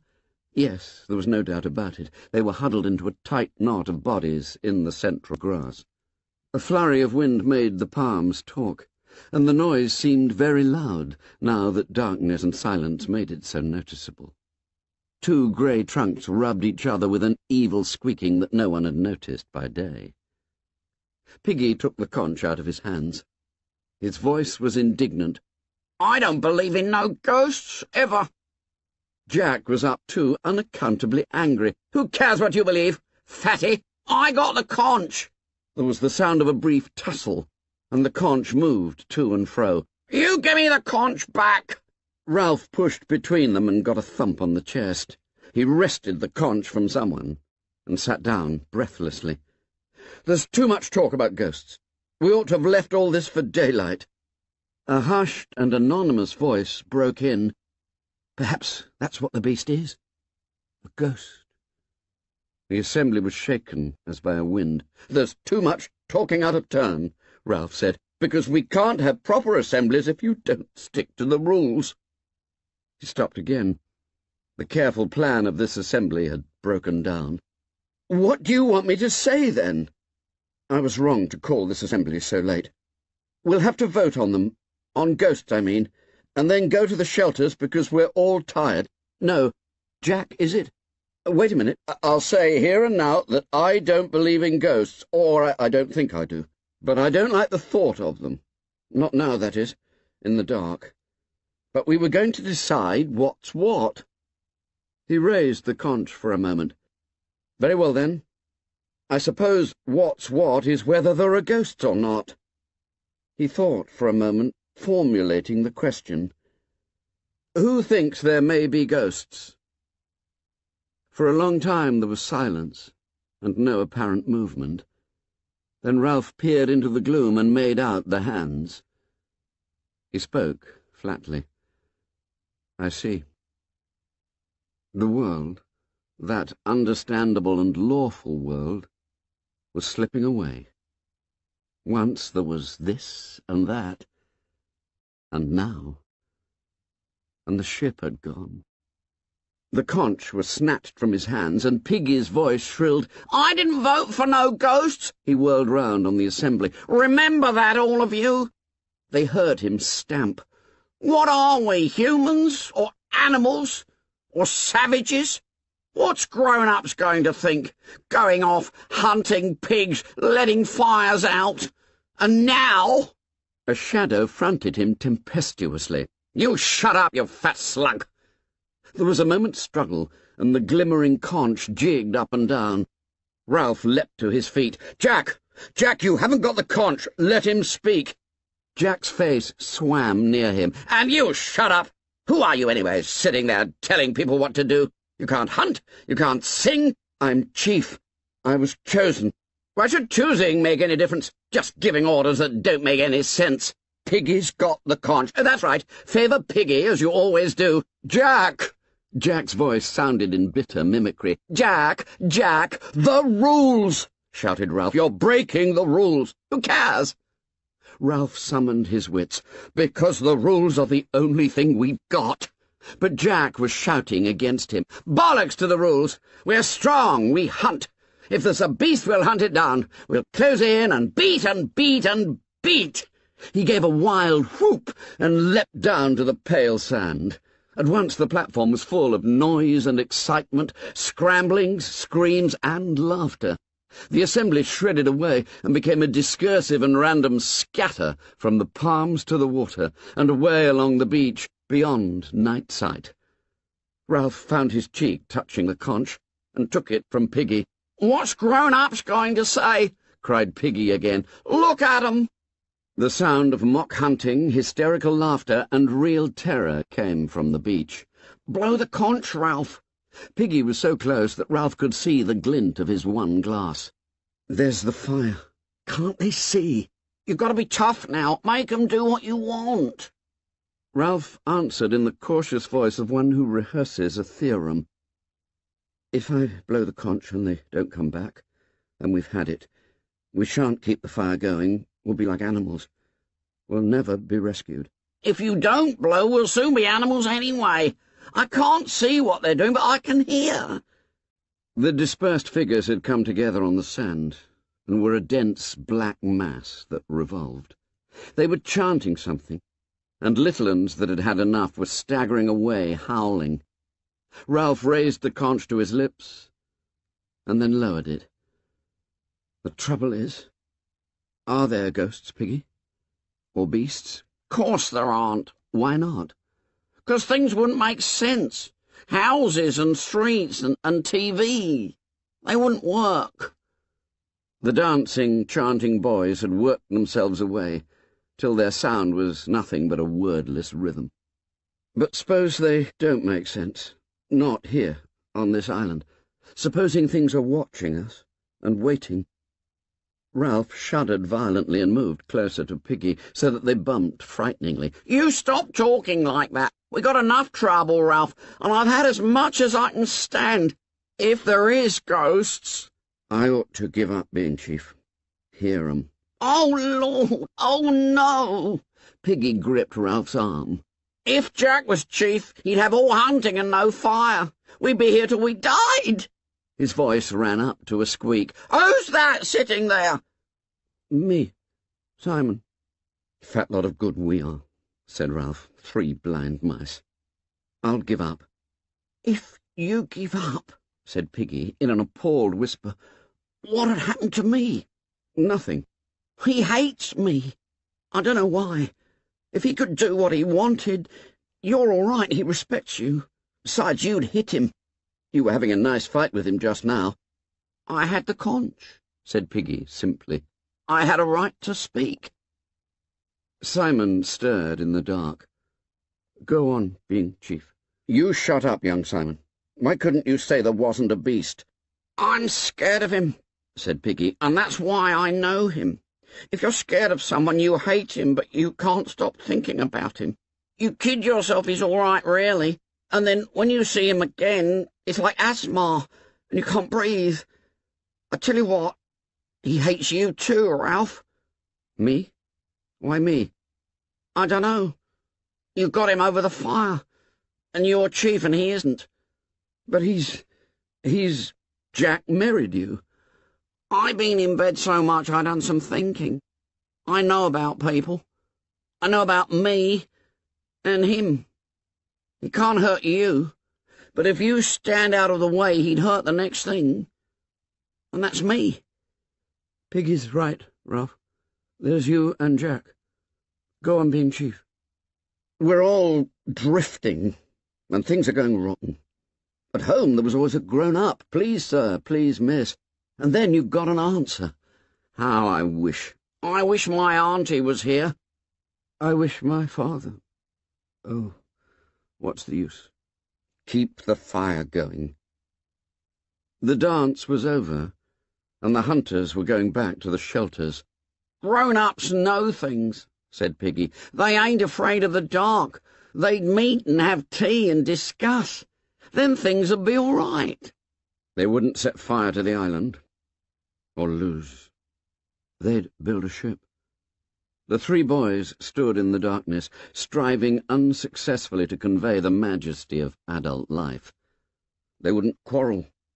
Or break my specs. Or talk about a beast. If only they could get a message to us, cried Ralph desperately. If only they could send us something grown up. A sign or something. A thin wail out of the darkness chilled them and set them grabbing for each other. Then the wail rose, remote and unearthly, and turned to an inarticulate gibbering. Percival Wemys Madison, of the vicarage, Harcourt St. Anthony, lying in the long grass, was living through circumstances in which the incantation of his address was powerless to help him. Chapter 6 Beast from Air There was no light left save that of the stars. When they had understood what made this ghostly noise, and Percival was quiet again, Ralph and Simon picked him up unhandily and carried him to a shelter. Piggy hung about near for all his brave words, and the three bigger boys went together to the next shelter. They lay restlessly and noisily among the dry leaves, watching the patch of stars that was opening towards the lagoon. Sometimes a littlun cried out from the other shelters, and once a bigun spoke in the dark. Then they too fell asleep. A sliver of moon rose over the horizon, hardly large enough to make a path of light, even when it sat right down on the water. But there were other lights in the sky that moved fast, winked, or went out, though not even a faint popping came down from the battle fought at ten miles' height. But a sign came down from the world of grown-ups, though at the time there was no child awake to read it. There was a sudden bright explosion and a corkscrew trail across the sky, then darkness again, and stars. There was a speck above the island, a figure dropping swiftly beneath a parachute, a figure that hung with dangling limbs. The changing winds of various altitudes took the figure where they would. Then, three miles up, the wind steadied and bore it in a descending curve round the sky and swept it in a great slant across the reef and the lagoon towards the mountain. The figure fell and crumpled among the blue flowers of the mountainside. But now there was a gentle breeze at this height, too, and the parachute flopped and banged and pulled. So the figure, with feet that dragged behind it, slid up the mountain. Yard by yard, puff by puff, the breeze hauled the figure through the blue flowers, over the boulders and red stones, till it lay huddled among the shattered rocks of the mountain top. Here the breeze was fitful, and allowed the strings of the parachute to tangle and festoon, and the figure sat, its helmeted head between its knees, held by a complication of lines. When the breeze blew, the lines would strain taut, and some accident of this pull lifted the head and chest upright, so that the figure seemed to peer across the brow of the mountain. Then, each time the wind dropped, the lines would slacken, and the figure bow forward again, sinking its head between its knees.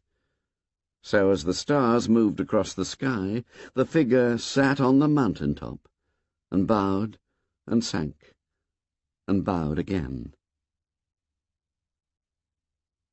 In the darkness of early morning there were noises by a rock a little way down the side of the mountain.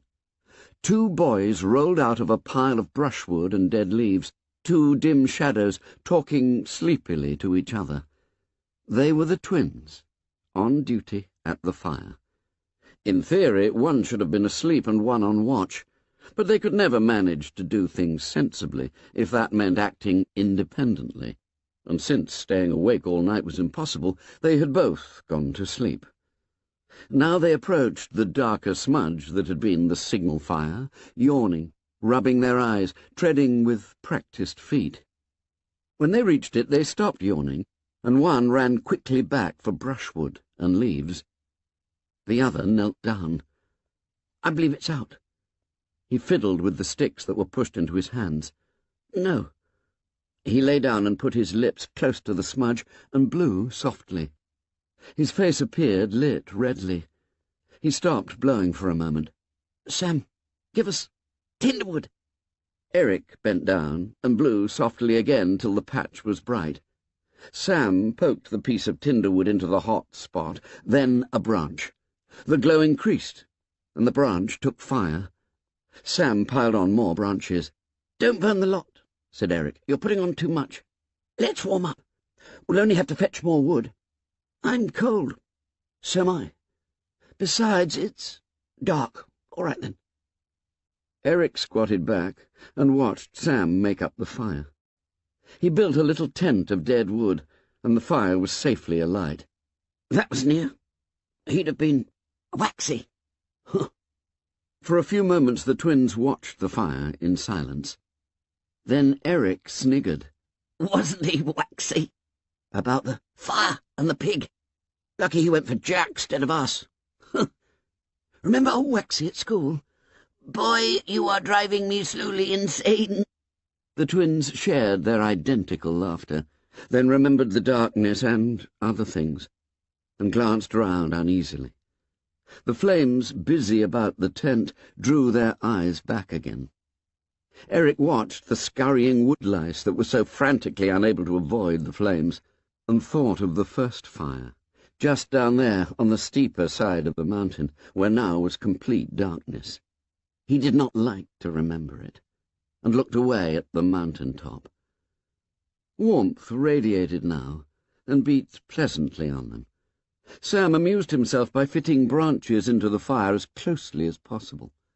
Eric spread out his hands, searching for the distance at which the heat was just bearable. Idly looking beyond the fire, he resettled the scattered rocks from their flat shadows into daylight contours. Just there was the big rock, and the three stones there, that split rock, and there beyond was a gap, just there. Sam? Nothing. The flames were mastering the branches. The bark was curling and falling away, the wood exploding. The tent fell inwards and flung a wide circle of light over the mountain top. Sam! Huh? Sam! Sam! Sam looked at Eric irritably. The intensity of Eric's gaze made the direction in which he looked terrible, for Sam had his back to it. He scrambled round the fire, squatted by Eric, and looked to see. They became motionless, gripped in each other's arms, four unwinking eyes aimed. and two mouths open. Far beneath them the trees of the forest sighed, then roared. The hair on their foreheads fluttered, and flames blew out sideways from the fire. Fifteen yards away from them came the plopping noise of fabric blown open. Neither of the boys screamed, but the grip of their arms tightened, and their mouths grew peaked. For perhaps ten seconds they crouched like that, while the flailing fire sent smoke and sparks and waves of inconstant light over the top of the mountain. Then, as though they had but one terrified mind between them, they scrambled away over the rocks and fled. Ralph was dreaming. He had fallen asleep after what seemed hours of tossing and turning noisily among the dry leaves. Even the sounds of nightmare from the other shelters no longer reached him, for he was back from where he came from, feeding the ponies with sugar over the garden wall.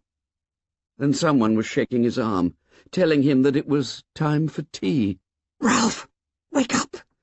The leaves were roaring like the sea. Ralph, wake up! What's the matter?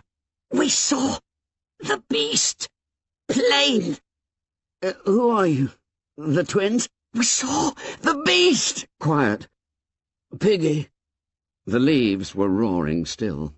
Piggy bumped into him, and a twin grabbed him as he made for the oblong of paling stars. You can't go out.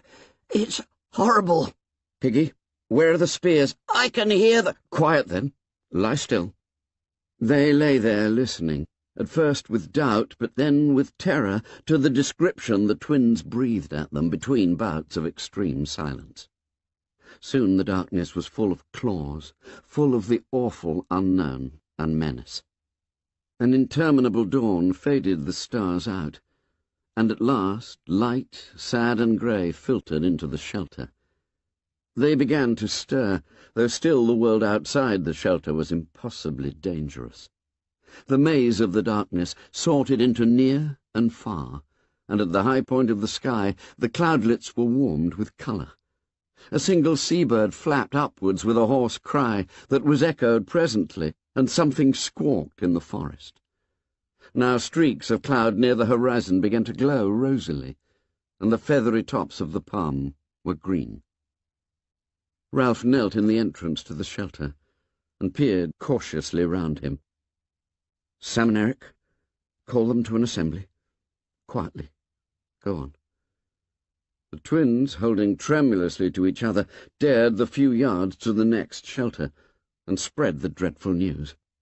Ralph stood up and walked, for the sake of dignity, though with his back pricking, to the platform. Piggy and Simon followed him, and the other boys came sneaking after. Ralph took the conch from where it lay on the polished seat and held it to his lips. But then he hesitated and did not blow. He held the shell up instead and showed it to them, and they understood. The rays of the sun that were fanning upwards from below the horizon swung downwards to eye level. Ralph looked for a moment at the growing slice of gold that lit them from the right hand, and seemed to make speech possible. The circle of boys before him bristled with hunting spears. He handed the conch to Eric, the nearest of the twins. We've seen the beast with our own eyes. No, we weren't asleep. Sam took up the story. By custom now, one conch did for both twins, for their substantial unity was recognized. It was furry. There was something moving behind its head. Wings. The beast moved, too. That was awful. Kind of sat up. The fire was bright. We'd just made it up. More sticks on. There were eyes, teeth, claws. We ran as fast as we could, bashed into things. The beast followed us. I saw it slinking behind the trees. Nearly touched me.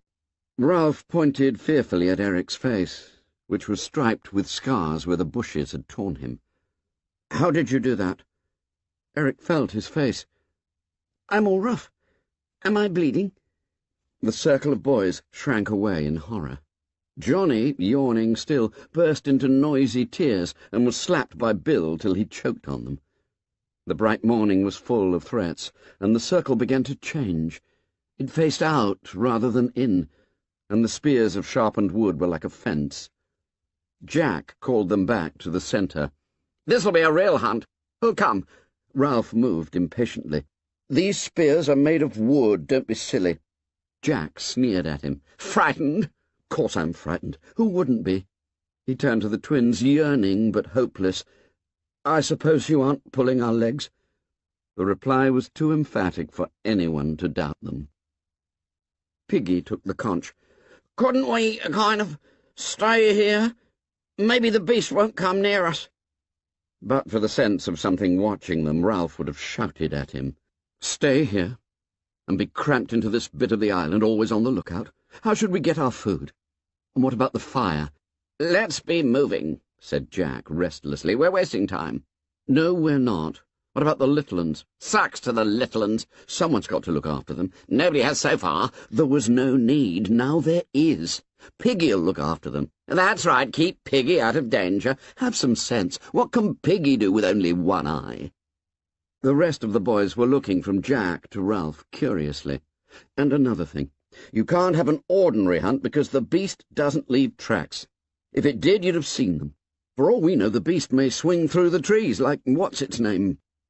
They nodded. So we've got to think. Piggy took off his damaged glasses and cleaned the remaining lens. How about us, Ralph? You haven't got the conch. Here. Oh, I mean, how about us? Suppose the beast comes when you're all away. I can't see proper, and if I get scared... Jack broke in contemptuously. You're always scared. I got the conch. Conch! Conch! shouted Jack. We don't need the conch any more. We know who ought to say things. What good did Simon do speaking, or Bill, or Walter? It's time some people knew they've got to keep quiet and leave deciding things to the rest of us. Ralph could no longer ignore his speech. The blood was hot in his cheeks. You haven't got the conch, he said. Sit down. Jack's face went so white that the freckles showed as clear brown flecks. He licked his lips and remained standing. This is a hunter's job. The rest of the boys watched intently. Piggy, finding himself uncomfortably embroiled, slid the conch to Ralph's knees and sat down. The silence grew oppressive, and Piggy held his breath. This is more than a hunter's job, said Ralph at last, because you can't track the beast. And don't you want to be rescued? He turned to the assembly. Don't you all want to be rescued? He looked back at Jack. I said before, the fire is the main thing. Now the fire must be out. The old exasperation saved him and gave him the energy to attack. Hasn't anyone got any sense? We've got to relight that fire. You never thought of that, Jack, did you? Or don't any of you want to be rescued? Yes, they wanted to be rescued. There was no doubt about that. And with a violent swing to Ralph's side, the crisis passed. Piggy let out his breath with a gasp, reached for it again, and failed. He lay against a log, his mouth gaping, blue shadows creeping round his lips. Nobody minded him. Now think, Jack. Is there anywhere on the island you haven't been? Unwillingly, Jack answered. There's only... But of course. You remember the tail-end part where the rocks are all piled up? I've been near there. The rock makes a sort of bridge. There's only one way up. And the thing might live there. All the assembly talked at once. Quiet! All right. That's where we'll look. If the beast isn't there, we'll go up the mountain and look, and light the fire. Let's go. We'll eat first, then go. Ralph paused. We'd better take spears. End of Disc 3 Lord of the Flies, Disc 4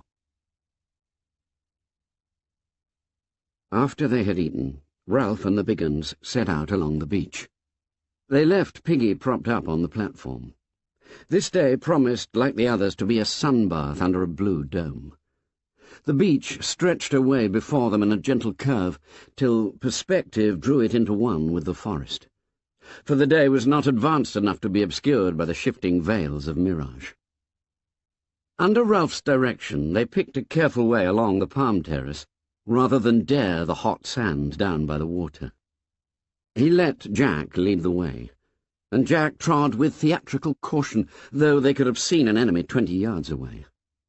Ralph walked in the rear, thankful to have escaped responsibility for a time. Simon, walking in front of Ralph, felt a flicker of incredulity.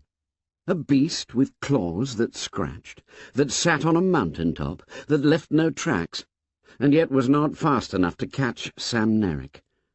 However Simon thought of the beast, there rose before his inward sight the picture of a human, at once heroic and sick. He sighed. Other people could stand up and speak to an assembly, apparently, without that dreadful feeling of the pressure of personality, could say what they would, as though they were speaking to only one person. He stepped aside and looked back. Ralph was coming along holding his spear over his shoulder. Diffidently, Simon allowed his pace to slacken, until he was walking side by side with Ralph, and looking up at him through the coarse black hair that fell now to his eyes. Ralph glanced sideways, smiled constrainedly as though he had forgotten that Simon had made a fool of himself, then looked away again at nothing. For a moment or two Simon was happy to be accepted, and then he ceased to think about himself. When he bashed into a tree, Ralph looked sideways impatiently, and Robert sniggered. Simon reeled, and a white spot on his forehead turned red and trickled. Ralph dismissed Simon and returned to his personal hell. They would reach the castle sometime, and the chief would have to go forward. Jack came trotting back. We're in sight now. All right. We'll get as close as we can. He followed Jack towards the castle, where the ground rose slightly. On their left was an impenetrable tangle of creepers and trees. Why couldn't there be something in that? Because you can see nothing goes in or out. What about the castle, then? Look. Ralph parted the screen of grass and looked out. There were only a few more yards of stony ground, and then the two sides of the island came almost together, so that one expected a peak of headland. But instead of this, a narrow ledge of rock, a few yards wide and perhaps fifteen long, continued the island out into the sea. There lay another of those pieces of pink squareness that underlay the structure of the island. This side of the castle, perhaps a hundred feet high, was the pink bastion they had seen from the mountain top. The rock of the cliff was split, and the top littered with great lumps that seemed to totter. Behind Ralph, the tall grass had filled with silent hunters. Ralph looked at Jack. You're a hunter. Jack went red. I know. All right. Something deep in Ralph spoke for him. I'm chief. I'll go. Don't argue. He turned to the others. You. Hide here. Wait for me. He found his voice tended either to disappear or to come out too loud. He looked at Jack. Do you think... Jack muttered. I've been all over. It must be here. I see. Simon mumbled confusedly, I don't believe in the beast. Ralph answered him politely, as if agreeing about the weather. No, I suppose not. His mouth was tight and pale. He put back his hair very slowly. Well, so long. He forced his feet to move until they had carried him out onto the neck of land. He was surrounded on all sides by chasms of empty air. There was nowhere to hide, even if one did not have to go on. He paused on the narrow neck and looked down.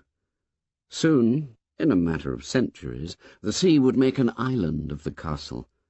On the right hand was the lagoon, troubled by the open sea. And on the left... Ralph shuddered. The lagoon had protected them from the Pacific and for some reason only Jack had gone right down to the water on the other side. Now he saw the landsman's view of the swell, and it seemed like the breathing of some stupendous creature. Slowly the waters sank among the rocks, revealing pink tables of granite, strange growths of coral, polyp, and weed.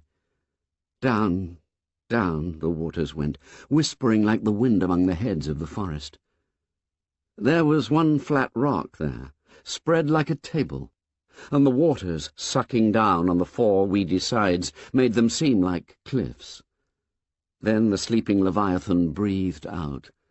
The waters rose, the weed streamed, and the water boiled over the table rock with a roar. There was no sense of the passage of waves, only this minute-long fall and rise and fall. Ralph turned away to the red cliff. They were waiting behind him in the long grass, waiting to see what he would do.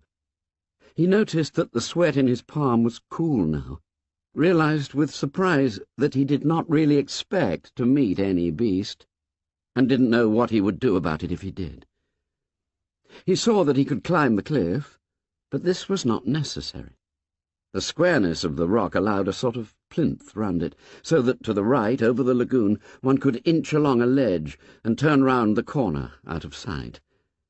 It was easy going, and soon he was peering round the rock. Nothing but what you might expect.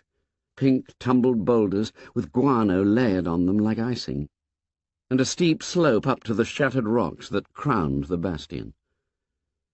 A sound behind him made him turn. Jack was edging along the ledge. Couldn't let you do it on your own. Ralph said nothing. He led the way over the rocks, inspected a sort of half-cave that held nothing more terrible than a clutch of rotten eggs, and at last sat down, looking round him and tapping the rock with the butt of his spear. Jack was excited. What a place for a fort! A column of spray wetted them. No fresh water. Oh, what's that, then? There was indeed a long green smudge halfway up the rock. They climbed up and tasted the trickle of water. You could keep a coconut shell there, filling all the time. Not me. This is a rotten place. Side by side they scaled the last height to where the diminishing pile was crowned by the last broken rock. Jack struck the near one with his fist, and it grated slightly.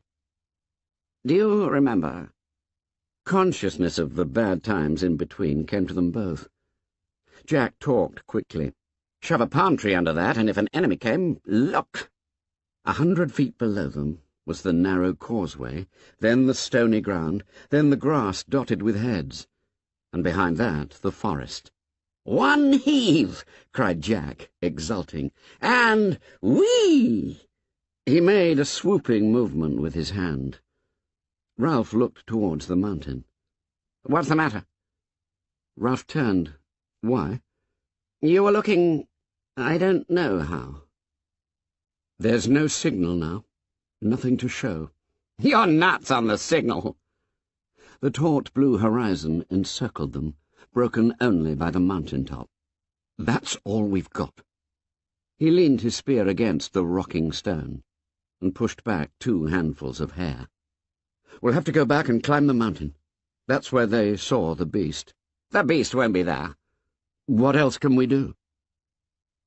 The others, waiting in the grass, saw Jack and Ralph unharmed and broke cover into the sunlight. They forgot the beast in the excitement of exploration. They swarmed across the bridge and soon were climbing and shouting.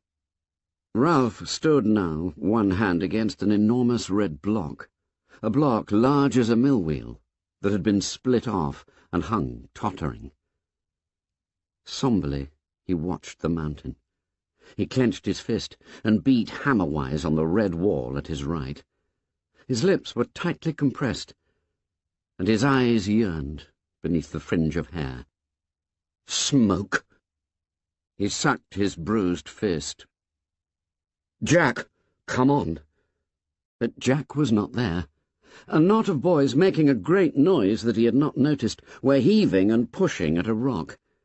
As he turned, the base cracked, and the whole mass toppled into the sea, so that a thunderous plume of spray leapt halfway up the cliff. "Stop it! Stop it!" His voice struck a silence among them. Smoke. A strange thing happened in his head. Something flitted there in front of his mind like a bat's wing, obscuring his idea. Smoke! At once the ideas were back, and the anger. We want smoke, and you go wasting your time. You roll rocks. Roger shouted, We've got plenty of time. Ralph shook his head. We'll go to the mountain. The clamour broke out. Some of the boys wanted to go back to the beach. Some wanted to roll more rocks. The sun was bright, and danger had faded with the darkness. Jack, the beast might be on the other side. You can lead again. You've been. We could go by the shore. There's fruit. Bill came up to Ralph. Why can't we stay here for a bit? That's right. Let's have a fort. There's no food here, said Ralph, and no shelter. Not much fresh water. This would make a wizard fort. We can roll rocks right onto the bridge. I say we'll go on, shouted Ralph furiously. We've got to make certain. We'll go now. Let's stay here. Back to the shelter. I'm tired. No! Ralph struck the skin off his knuckles. They did not seem to hurt. I'm chief. We've got to make certain. Can't you see the mountain? There's no signal showing. There may be a ship out there. Are you all off your rockers? Mutinously the boys fell silent, or muttering. Jack led the way down the rock and across the bridge. Chapter 7 Shadows and Tall Trees The pig run kept close to the jumble of rocks that lay down by the water on the other side, and Ralph was content to follow Jack along it. If you could shut your ears to the slow suck-down of the sea and boil of the return, if you could forget how dun and unvisited were the ferny coverts on either side, then there was a chance that you might put the beast out of mind and dream for a while. The sun had swung over the vertical, and the afternoon heat was closing in on the island. Ralph passed a message forward to Jack, and when they next came to fruit, the whole party stopped and ate. Sitting, Ralph was aware of the heat for the first time that day. He pulled distastefully at his grey shirt, and wondered whether he might undertake the adventure of washing it. Sitting under what seemed an unusual heat even for this island, Ralph planned his toilet. He would like to have a pair of scissors and cut this hair. He flung the mass back. Cut this filthy hair right back to half an inch. He would like to have a bath, a proper wallow with soap. He passed his tongue experimentally over his teeth and decided that a toothbrush would come in handy too. Then there were his nails. Ralph turned his hand over and examined them. They were bitten down to the quick, though he could not remember when he had restarted this habit, nor any time when he indulged it. Be sucking my thumb next. He looked round furtively. Apparently no one had heard. The hunters sat stuffing themselves with this easy meal, trying to convince themselves that they got sufficient kick out of bananas and that other olive-grey, jelly-like fruit. With the memory of his sometime clean self as a standard, Ralph looked them over. They were dirty, not with the spectacular dirt of boys who had fallen into mud or been brought down hard on a rainy day. Not one of them was an obvious subject for a shower, and yet hair much too long, tangled here and there, knotted round a dead leaf or a twig, faces cleaned fairly well by the process of eating and sweating, but marked in the less accessible angles with a kind of shadow. Clothes worn away, stiff like his own with sweat, put on not for decorum or comfort, but out of custom. The skin of the body scurfy with brine. He discovered, with a little fall of the heart, that these were the conditions he took as normal now, and that he did not mind. He sighed, and pushed away the stalk from which he had stripped the fruit. Already the hunters were stealing away to do their business in the woods or down by the rocks. He turned and looked out to sea. Here, on the other side of the island, the view was utterly different. The filmy enchantments of mirage could not endure the cold ocean water, and the horizon was hard, clipped blue. Ralph wandered down to the rocks. Down here, almost on a level with the sea, you could follow with your eye the ceaseless bulging passage of the deep sea waves. They were miles wide, apparently not breakers or the banked ridges of shallow water. They travelled the length of the island with an air of disregarding it and being set on other business. They were less a progress than a momentous rise and fall of the whole ocean. Now the sea would suck down, making cascades and waterfalls of retreating water, would sink past the rocks and plaster down the seaweed like shining hair, then, pausing, gather and rise with a roar, irresistibly swelling over point and outcrop, climbing the little cliff, sending, at last, an arm of surf up a gully, to end a yard or so from him, in fingers of spray. Wave after wave, Ralph followed the rise and fall, until something of the remoteness of the sea numbed his brain. Then, gradually, the almost infinite size of this land forced itself on his attention. This was the divider, the barrier. On the other side of the island, swathed at midday with mirage, defended by the shield of the quiet lagoon, one might dream of rescue. But here, faced by the brute obtuseness of the ocean, the miles of division, one was clamped down, one was helpless, one was condemned, one was... Simon was speaking almost in his ear. Ralph found that he had rock painfully gripped in both hands, found his body arched, the muscles of his neck stiff, his mouth strained open. You'll get back to where you came from. Simon nodded as he spoke. He was kneeling on one knee, looking down from a higher rock, which he held with both hands. His other leg stretched down to Ralph's level. Ralph was puzzled, and searched Simon's face for a clue. It's so big. I mean... Simon nodded. All the same, you'll get back all right. I think so, anyway. Some of the strain had gone from Ralph's body. He glanced at the sea, and then smiled bitterly at Simon. Got a ship in your pocket? Simon grinned and shook his head. How do you know, then? When Simon was still silent, Ralph said curtly, You're batty. Simon shook his head violently till the coarse black hair flew backwards and forwards across his face. No, I'm not. I just think you'll get back all right. For a moment nothing more was said, and then they suddenly smiled at each other. Roger called from the coverts. Come and see! The ground was turned over near the pig run, and there were droppings that steamed. Jack bent down to them, as though he loved them. Ralph, we need meat, even if we are hunting the other thing. If you mean going the right way, we'll hunt. They set off again, the hunters bunched a little by fear of the mentioned beast, while Jack quested ahead. They went more slowly than Ralph had bargained for. Yet in a way he was glad to loiter, cradling his spear. Jack came up against some emergency of his craft, and soon the procession stopped. Ralph leaned against a tree, and at once the daydreams came swarming up.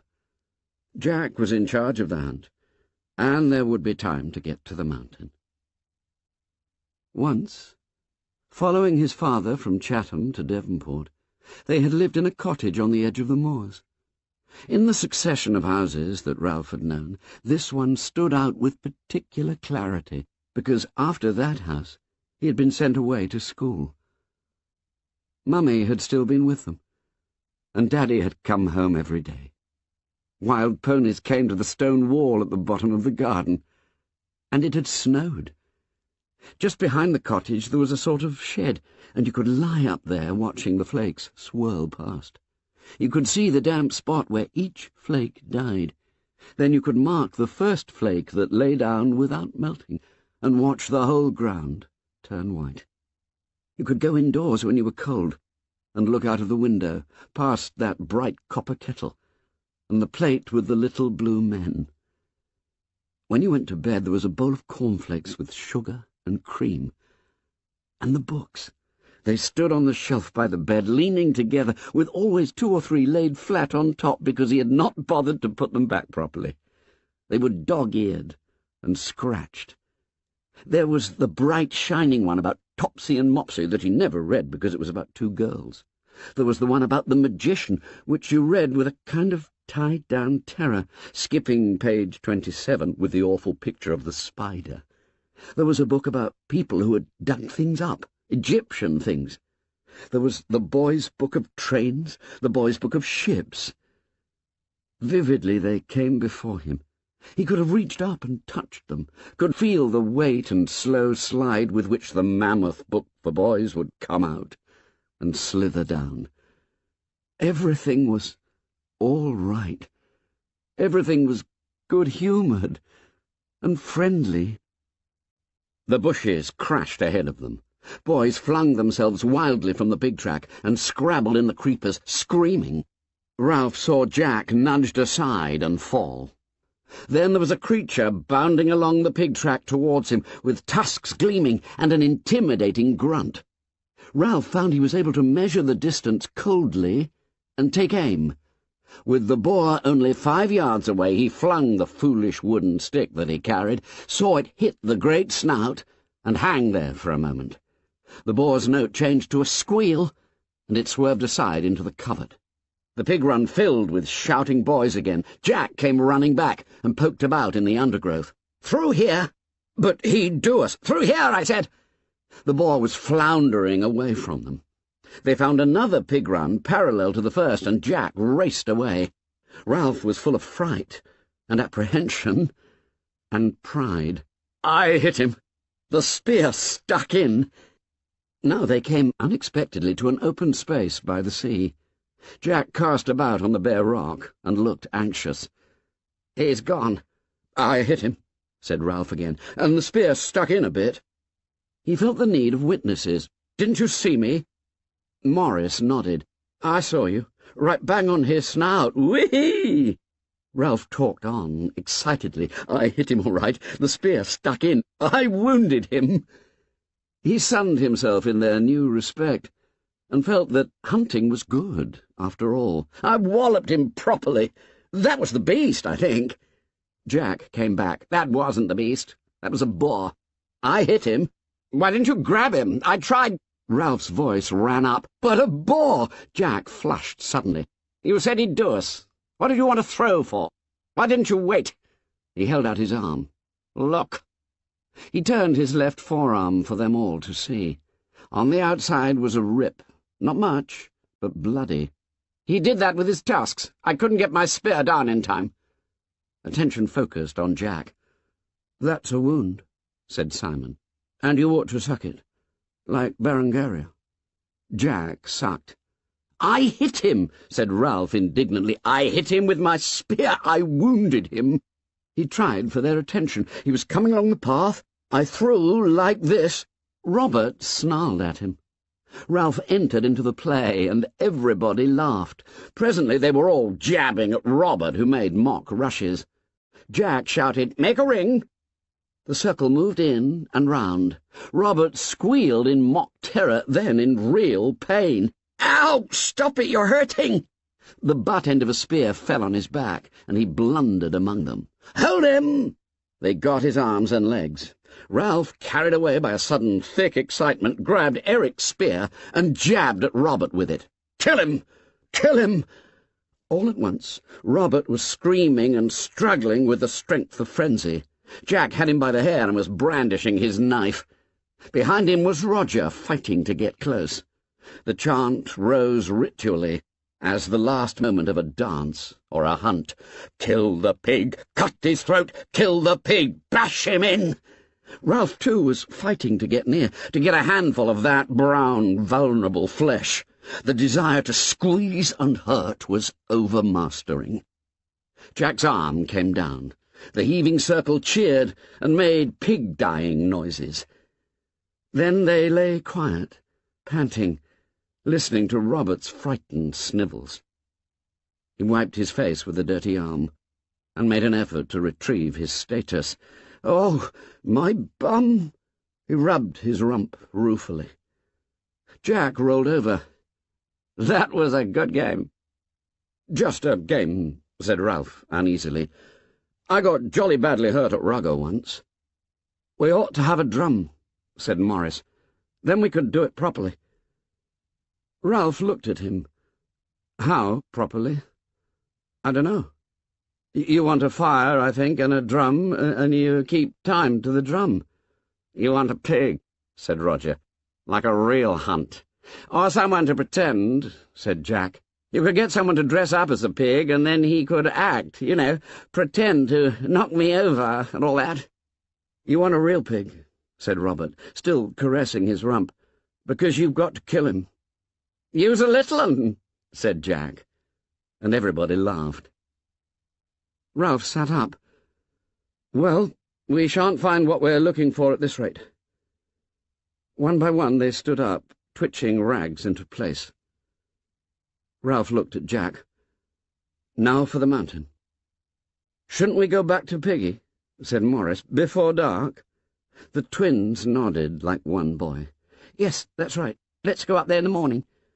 Ralph looked out and saw the sea. We've got to start the fire again. You haven't got Piggy's specs, said Jack, so you can't. Then we'll find out if the mountain's clear. Maurice spoke, hesitating, not wanting to seem a funk.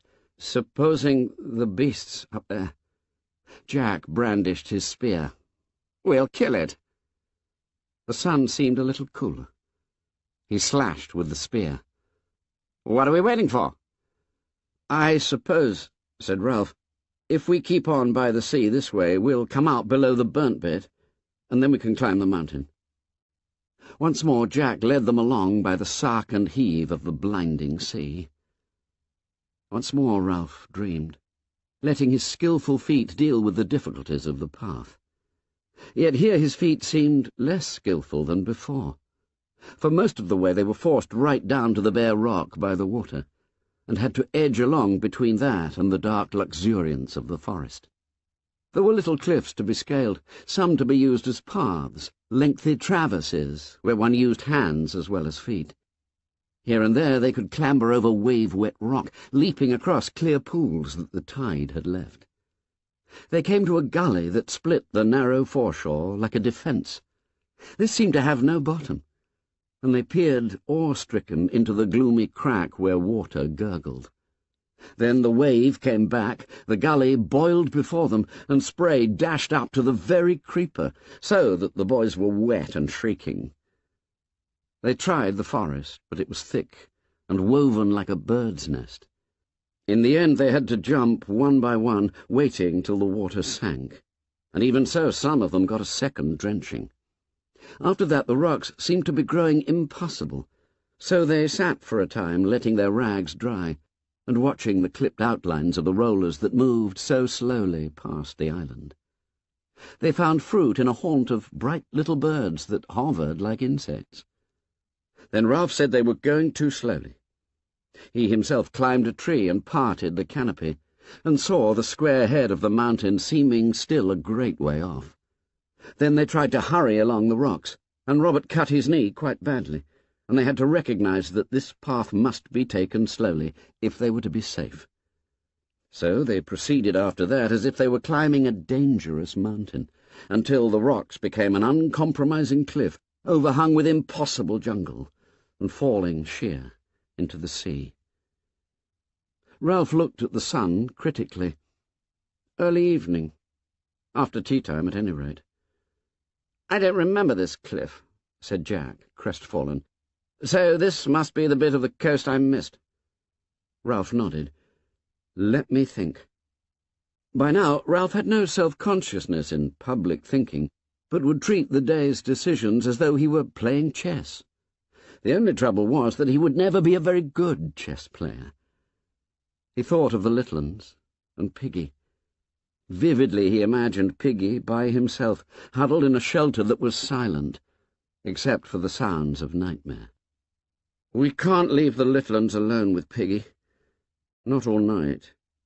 The other boys said nothing, but stood round, watching him.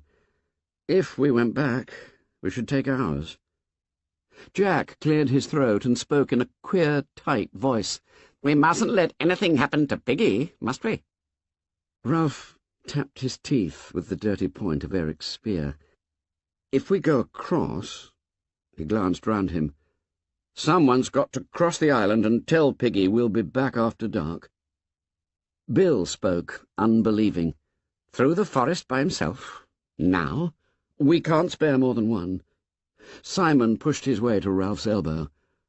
I'll go, if you like. I don't mind, honestly.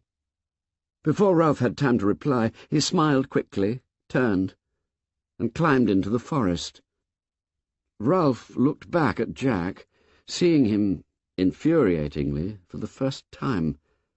Jack, that time you went the whole way to the Castle Rock. Jack glowered. Yes. You came along part of this shore, below the mountain, beyond there. Yes. And then? I found a pig run. It went for miles. Ralph nodded. He pointed at the forest. So the pig run must be somewhere in there. Everybody agreed, sagely. All right, then. We'll smash a way through till we find the pig run. He took a step and halted. Wait a minute, though. Where does the pig run go to? The mountain, said Jack. I told you. He sneered. Don't you want to go to the mountain? Ralph sighed, sensing the rising antagonism, understanding that this was how Jack felt as soon as he ceased to lead. I was thinking of the light. We'll be stumbling about. We were going to look for the beast. There won't be enough light. I don't mind going, said Jack hotly. I'll go when we get there. Won't you? Would you rather go back to the shelters and tell Piggy? Now it was Ralph's turn to flush but he spoke despairingly, out of the new understanding that Piggy had given him. Why do you hate me? The boys stirred uneasily, as though something indecent had been said. The silence lengthened. Ralph, still hot and hurt, turned away first. Come on. He led the way, and set himself, as by right, to hack at the tangles. Jack brought up the rear, displaced and brooding. The pig track was a dark tunnel, for the sun was sliding quickly towards the edge of the world, and in the forest shadows were never far to seek. The track was broad and beaten, and they ran along at a swift trot. Then the roof of leaves broke up, and they halted, breathing quickly, looking at the few stars that pricked round the head of the mountain. There you are. The boys peered at each other doubtfully. Ralph made a decision. We'll go straight across to the platform and climb tomorrow. They murmured agreement. But Jack was standing by his shoulder. If you're frightened, of course. Ralph turned on him. Who went first on the castle rock? I went too, and that was daylight. All right. Who wants to climb the mountain now? Silence was the only answer. Samneric, what about you? We ought to go and tell Piggy. Yes, Tell Piggy that... But Simon went. We ought to tell Piggy in case... Robert? Bill? They were going straight back to the platform now. Not, of course, that they were afraid, but tired. Ralph turned back to Jack. You see? I'm going up the mountain. The words came from Jack viciously, as though they were a curse. He looked at Ralph, his thin body tensed, his spear held as if he threatened him. I'm going up the mountain to look for the beast. Now. Then the supreme sting, the casual, bitter word. Coming. At that word, the other boys forgot their urge to be gone, and turned back to sample this fresh rub of two spirits in the dark. The word was too good, too bitter, too successfully daunting to be repeated. It took Ralph at low water, when his nerve was relaxed for the return to the shelter, and the still friendly waters of the lagoon. I don't mind. Astonished, he heard his voice come out, cool and casual, so that the bitterness of Jack's taunt fell powerless. If you don't mind, of course. Oh, not at all. Jack took a step. Well, then. Side by side, watched by silent boys, the two started up the mountain. Ralph stopped. We're silly. Why should only two go? If we find anything, two won't be enough. There came the sound of boys scuttling away. Astonishingly, a dark figure moved against the tide. Roger? Yes. Well, that's three, then. Once more they set out to climb the slope of the mountain. The darkness seemed to flow round them like a tide. Jack, who said nothing, began to choke and cough, and a gust of wind set all three spluttering. Ralph's eyes were blinded with tears. Ashes. We're on the edge of the burnt patch. Their footsteps and the occasional breeze were stirring up small devils of dust. Now that they stopped again, Ralph had time, while he coughed, to remember how silly they were. If there was no beast, and almost certainly there was no beast, in that case, well and good. But if there was something waiting on top of the mountain, what was the use of three of them, handicapped by the darkness, and carrying only sticks? We're being fools. Out of the darkness came the answer. Windy? Irritably, Ralph shook himself. This was all Jack's fault. Course I am, but we're still being fools. If you don't want to go on, said the voice sarcastically, I'll go up by myself. Ralph heard the mockery and hated Jack. The sting of ashes in his eyes, tiredness, fear, enraged him. Go on, then. We'll wait here. There was silence. Why don't you go? Are you frightened?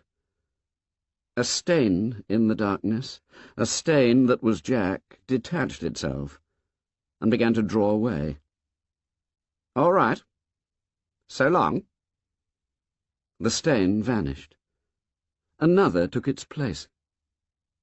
Ralph felt his knee against something hard and rocked a charred trunk that was edgy to the touch. He felt the sharp cinders that had been bark push against the back of his knee and knew that Roger had sat down. He felt with his hands and lowered himself beside Roger while the trunk rocked among invisible ashes. Roger, uncommunicative by nature, said nothing. He offered no opinion on the beast, nor told Ralph why he had chosen to come on this mad expedition. He simply sat and rocked the trunk gently. Ralph noticed a rapid and infuriating tapping noise, and realized that Roger was banging his silly wooden stick against something.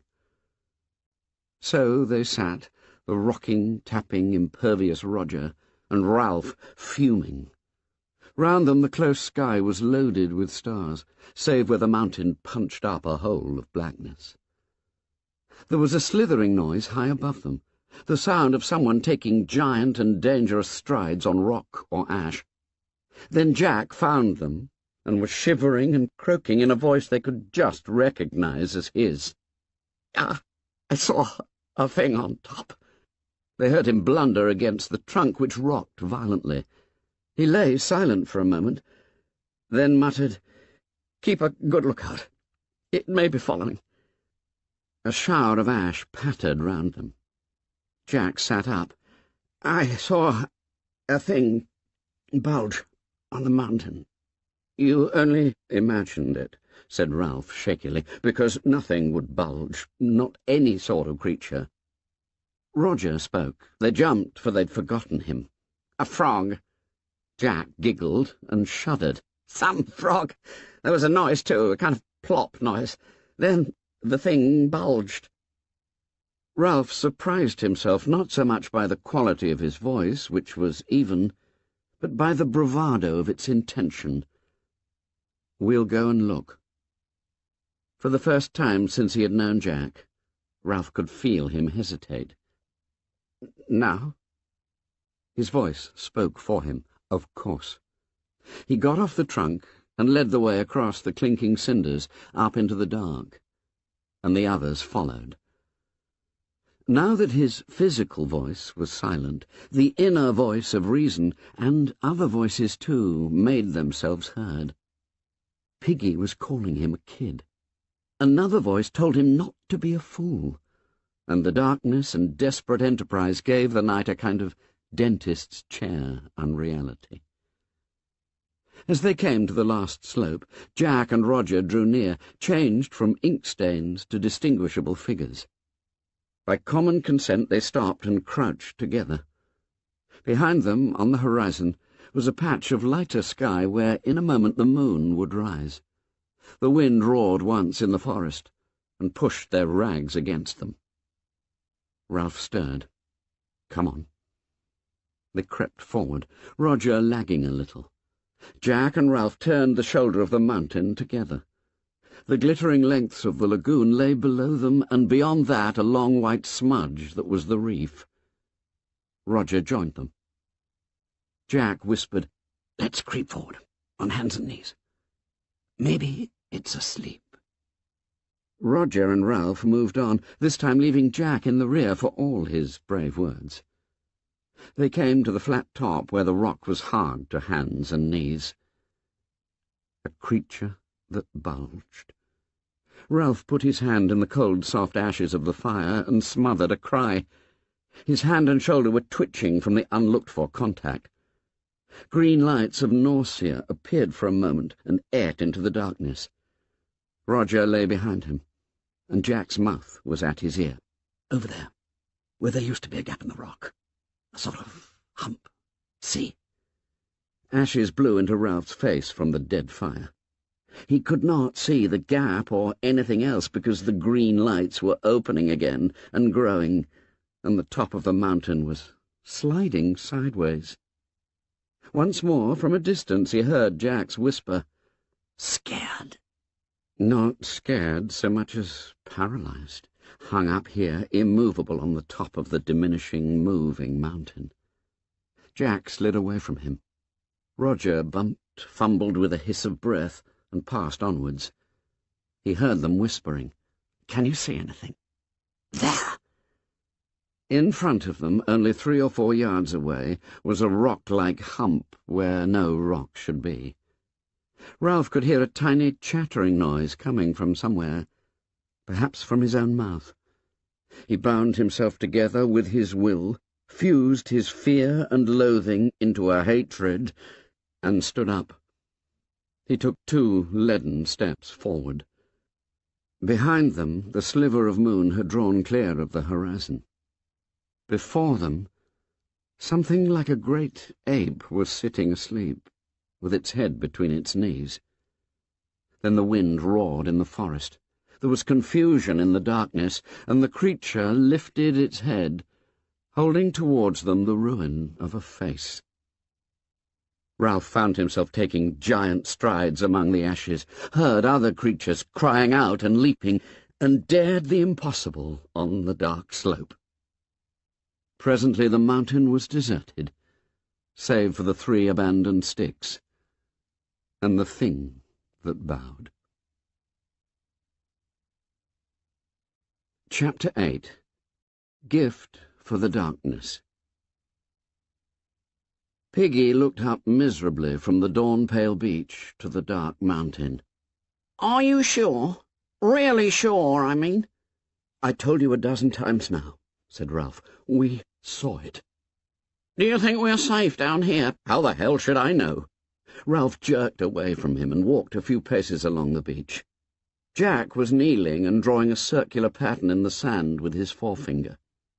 Piggy's voice came to them, hushed, are you sure? Really? Go up and see, said Jack contemptuously, and good riddance. No fear. The beast had teeth, said Ralph, and big black eyes.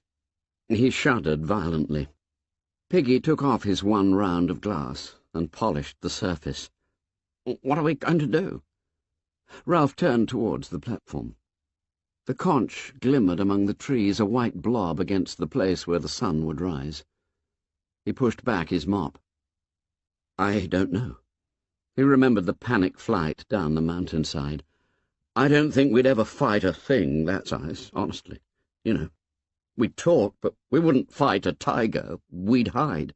Even Jack'd hide. Jack still looked at the sand. What about my hunters? Simon came stealing out of the shadows by the shelters. Ralph ignored Jack's question. He pointed to the touch of yellow above the sea. As long as there's light, we're brave enough. But then... And now that thing squats by the fire as though it didn't want us to be rescued. He was twisting his hands now, unconsciously. His voice rose. So we can't have a signal fire. We're beaten. A point of gold appeared above the sea, and at once all the sky lightened. What about my hunters? Boys armed with sticks. Jack got to his feet. His face was red as he marched away. Piggy put on his one glass and looked at Ralph. Now you've done it, you've been rude about his hunters. Oh, shut up. The sound of the inexpertly blown conch interrupted them. As though he was serenading the rising sun, Jack went on blowing till the shelters were astir, and the hunters crept to the platform, and the littluns whimpered as now they so frequently did. Ralph rose obediently, and Piggy, and they went to the platform. Talk, said Ralph bitterly. Talk, talk, talk. He took the conch from Jack. This meeting, Jack interrupted him. I called it. If you hadn't called it, I should have. You just blew the conch. Well, isn't that? Oh, take it. Go on, talk. Ralph thrust the conch into Jack's arms and sat down on the trunk. I've called an assembly, said Jack, because of a lot of things. First, you know now, we've seen the beast. We crawled up. We were only a few feet away. The beast sat up and looked at us. I don't know what it does. We don't even know what it is. The beast comes out of the sea, out of the dark. Trees— Quiet! shouted Jack. You listen. The beast is sitting up there, whatever it is. Perhaps it's waiting. Hunting. Yes, hunting, hunting, said Jack. He remembered his age-old tremors in the forest. Yes, the beast is a hunter. Only shut up. The next thing is that we couldn't kill it. And the next thing is that Ralph said my hunters are no good. I never said that. I've got the conch. Ralph thinks you're cowards running away from the boar and the beast. And that's not all. There was a kind of sigh on the platform, as if everyone knew what was coming. Jack's voice went on, tremulous yet determined, pushing against the uncooperative silence. He's like Piggy. He says things like Piggy. He isn't a proper chief. Jack clutched the conch to him. He's a coward himself. For a moment he paused, and then went on. On top, when Roger and me went on, he stayed back. I went too. After. The two boys glared at each other through screens of hair. I went on too, said Ralph. Then I ran away. So did you. Call me a coward, then. Jack turned to the hunters. He's not a hunter.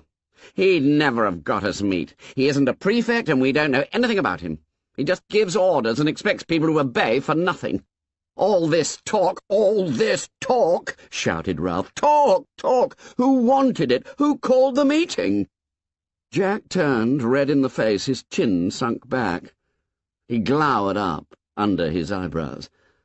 All right, then, he said, in tones of deep meaning and menace. All right.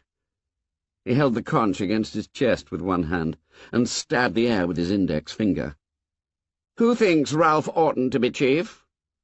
He looked expectantly at the boys ranged round, who had frozen. Under the palms there was deadly silence. Hands up, said Jack strongly. Whoever wants Ralph not to be chief. The silence continued, breathless and heavy and full of shame. Slowly the red drained from Jack's cheeks, then came back with a painful rush. He licked his lips and turned his head at an angle so that his gaze avoided the embarrassment of linking with another's eye. How many think... His voice tailed off. The hands that held the conch shook. He cleared his throat and spoke loudly. All right, then. He laid the conch with great care in the grass at his feet. The humiliating tears were running from the corner of each eye. I'm not going to play any longer. Not with you. Most of the boys were looking down now, at the grass or their feet. Jack cleared his throat again. I'm not going to be part of Ralph's lot. He looked along the right-hand logs, numbering the hunters that had been a choir. I'm going off by myself. He can catch his own pigs. Anyone who wants to hunt when I do can come too. He blundered out of the triangle towards the drop to the white sand. Jack! Jack turned and looked back at Ralph. For a moment he paused, and then cried out, high-pitched, enraged. No! He leapt down from the platform and ran along the beach, paying no heed to the steady fall of his tears, and until he dived into the forest, Ralph watched him. Piggy was indignant. I've been talking, Ralph, and you just stood there like... Softly, looking at Piggy and not seeing him, Ralph spoke to himself. He'll come back. When the sun goes down, he'll come. He looked at the conch in Piggy's hand. What? Well, there.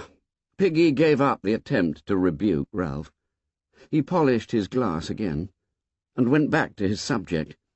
We can do without Jack Merridew. There's others besides him on this island. But now we really got a beast, though I can't hardly believe it, we'll need to stay close to the platform. There'll be less need of him and his hunting. So now we can really decide on what's what. There's no help, Piggy. Nothing to be done. For a while they sat in depressed silence. Then Simon stood up and took the conch from Piggy, who was so astonished that he remained on his feet. Ralph looked up at Simon.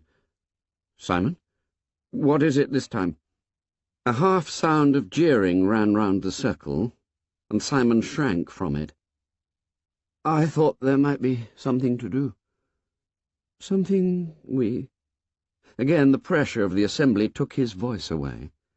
He sought for help and sympathy, and chose Piggy. He turned half towards him, clutching the conch to his brown chest.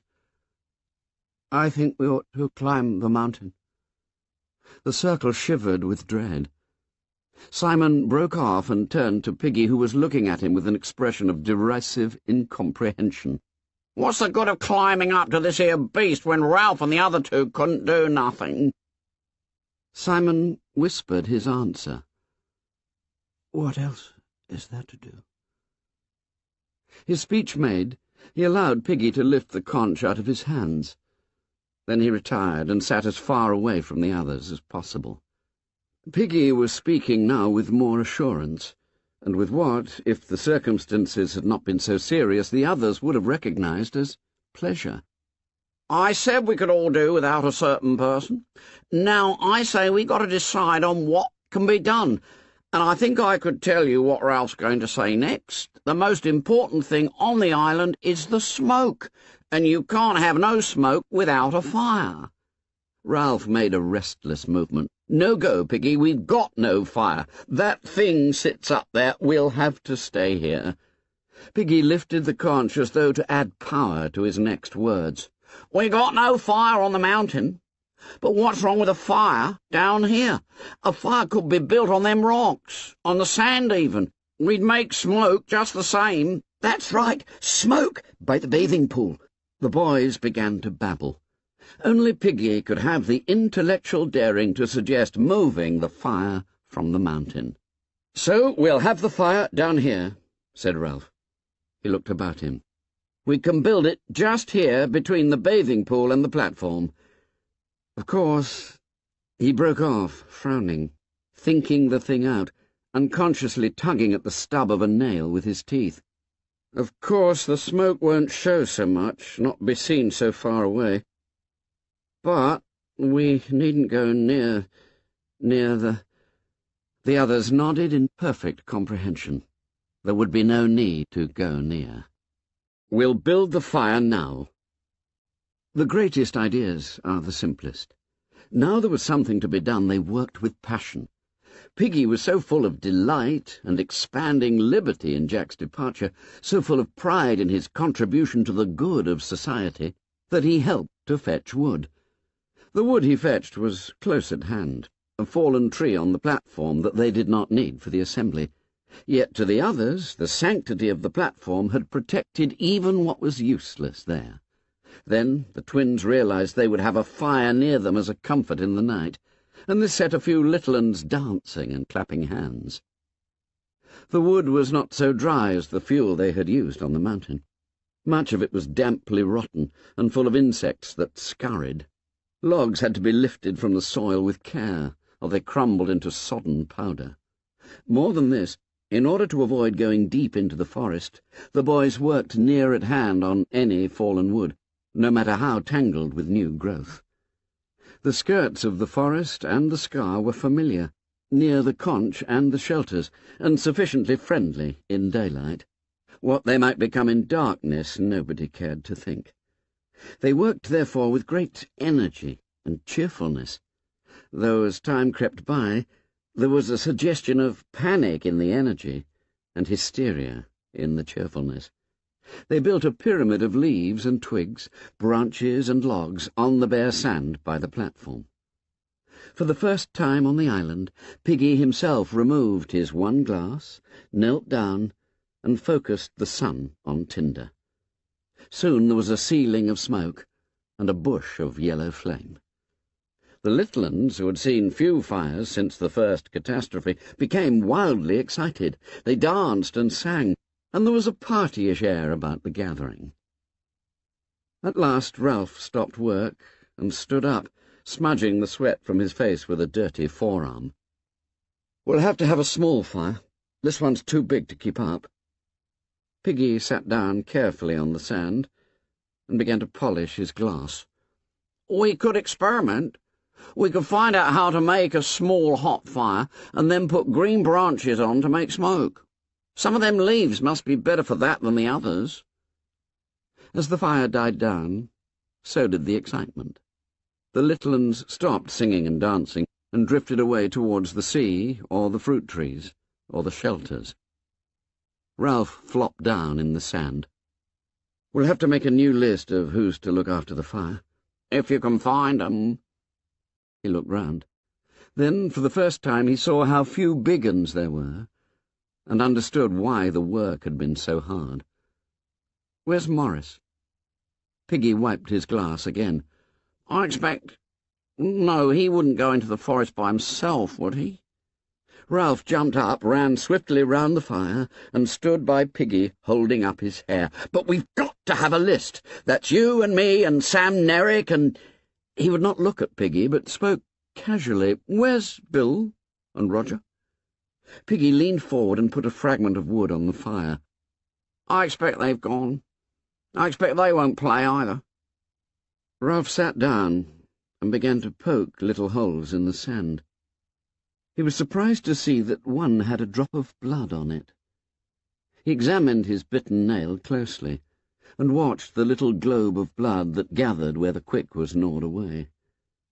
Piggy went on speaking. I seen 'em stealing off when we was gathering wood.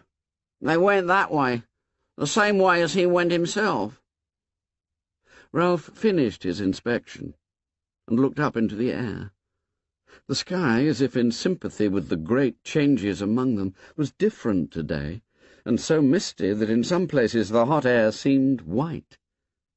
The disk of the sun was dull silver, as though it was nearer and not so hot, yet the air stifled. They always been making trouble, haven't they? The voice came near his shoulder and sounded anxious. We can do without 'em. We'll be happier now, won't we? Ralph sat. The twins came, dragging a great log and grinning in their triumph. They dumped the log among the embers, so that sparks flew. We can do all right on our own, can't we? For a long time, while the log dried, caught fire, and turned red-hot, Ralph sat in the sand and said nothing. He did not see Piggy go to the twins and whisper with them, nor how the three boys went into the forest. Here you are. He came to himself with a jolt. Piggy and the other two were by him. They were laden with fruit. I thought perhaps, said Piggy, we ought to have a feast, kind of. The three boys sat down. They had a great mass of fruit with them, and all of it properly ripe. They grinned at Ralph as he took some and began to eat. Thanks, he said. Then, with an accent of pleased surprise, Thanks. Do all right on our own, said Piggy. It's them that haven't no common sense that make trouble on this island. We'll make a little hot fire. Ralph remembered what had been worrying him. Where's Simon? I don't know. You don't think he's climbing the mountain? Piggy broke into noisy laughter and took more fruit. He might be. He gulped his mouthful. He's cracked. Simon had passed through the area of fruit trees, but today the little ones had been too busy with the fire on the beach, and they had not pursued him there. He went on among the creepers until he reached the great mat that was woven by the open space, and crawled inside. Beyond the screen of leaves, the sunlight pelted down, and the butterflies danced in the middle, their unending dance. He knelt down, and the arrow of the sun fell on him. The other time the air had seemed to vibrate with heat, but now it threatened. Soon the sweat was running from his long, coarse hair. He shifted restlessly, but there was no avoiding the sun. Presently he was thirsty, and then very thirsty. He continued to sit. Far off along the beach, Jack was standing before a small group of boys. He was looking brilliantly happy. Hunting, he said. He sized them up. Each of them wore the remains of a black cap, and ages ago they had stood in two demure rows, and their voices had been the song of angels. We'll hunt. I'm going to be chief. They nodded, and the crisis passed easily. And then, about the beast. They moved, looked at the forest. I say this. We aren't going to bother about the beast. He nodded at them. We're going to forget the beast. That's right. Yes, forget the beast. If Jack was astonished by their fervour, he did not show it. And another thing, we shan't dream so much down here. This is near the end of the island. They agreed passionately out of the depths of their tormented private lives. Now listen. We might go later to the Castle Rock, but now I'm going to get more of the biguns away from the conch and all that. We'll kill a pig and give a feast. He paused and went on more slowly. And about the beast. When we kill, we'll leave some of the kill for it. Then it won't bother us, maybe. He stood up abruptly. We'll go into the forest now and hunt. He turned and trotted away, and after a moment they followed him obediently.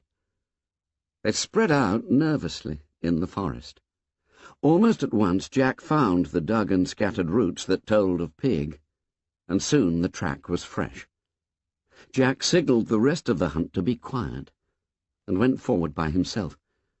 He was happy, and wore the damp darkness of the forest like his old clothes.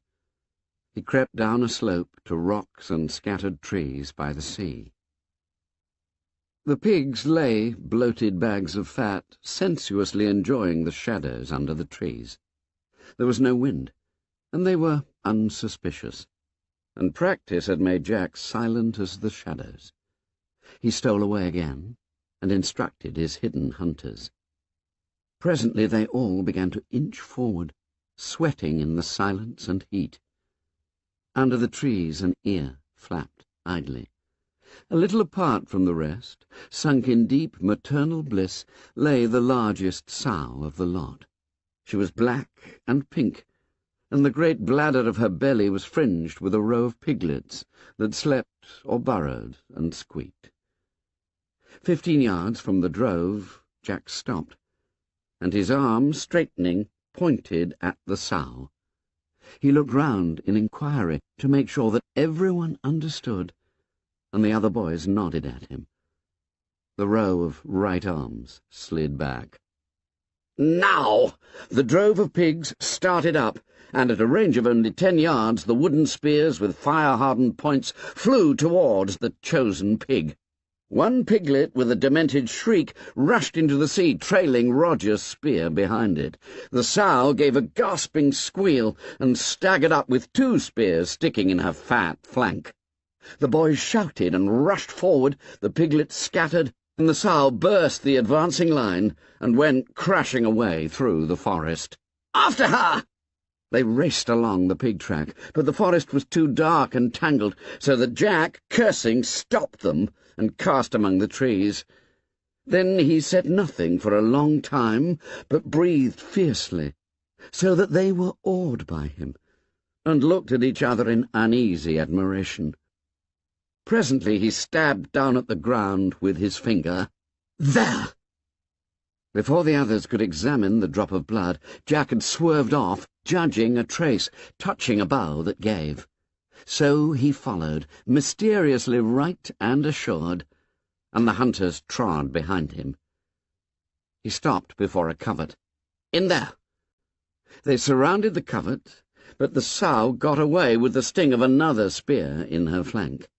The trailing butts hindered her, and the sharp cross-cut points were a torment. She blundered into a tree, forcing a spear still deeper, and after that any of the hunters could follow her easily by the drops of vivid blood. The afternoon wore on, hazy and dreadful with damp heat. The sow staggered her way ahead of them, bleeding and mad, and the hunters followed, wedded to her in lust, excited by the long chase and the dropped blood. They could see her now, nearly got up with her, but she spurted with her last strength and held ahead of them again. They were just behind her when she staggered into an open space where bright flowers grew and butterflies danced round each other, and the air was hot and still. Here, struck down by the heat, the sow fell, and the hunters hurled themselves at her. This dreadful eruption from an unknown world made her frantic. She squealed and bucked, and the air was full of sweat and noise and blood and terror. Roger ran round the heap, prodding with his spear whenever pig flesh appeared. Jack was on top of the sow, stabbing downward with his knife. Roger found a lodgment for his point and began to push till he was leaning with his whole weight. The spear moved forward inch by inch, and the terrified squealing became a high-pitched scream. Then Jack found the throat, and the hot blood spouted over his hands. The sow collapsed under them, and they were heavy and fulfilled upon her. The butterflies still danced, preoccupied in the centre of the clearing. At last the immediacy of the kill subsided. The boys drew back, and Jack stood up, holding out his hands. Look! He giggled and flicked them, while the boys laughed at his reeking palms. Then Jack grabbed Maurice and rubbed the stuff over his cheeks. Roger began to withdraw his spear, and the boys noticed it for the first time. Robert stabilized the thing in a phrase which was received uproariously. Right up her ass! Did you hear? Did you hear what he said? Right up her ass!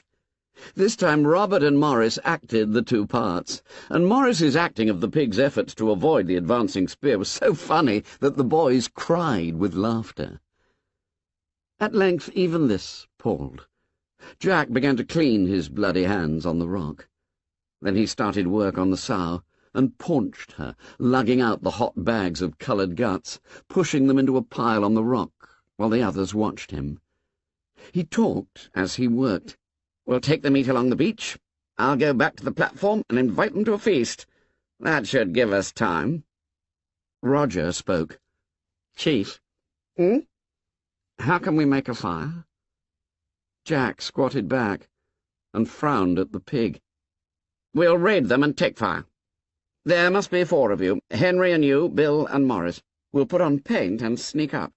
Roger can snatch a branch while I say what I want. The rest of you can get this back to where we were. We'll build the fire there.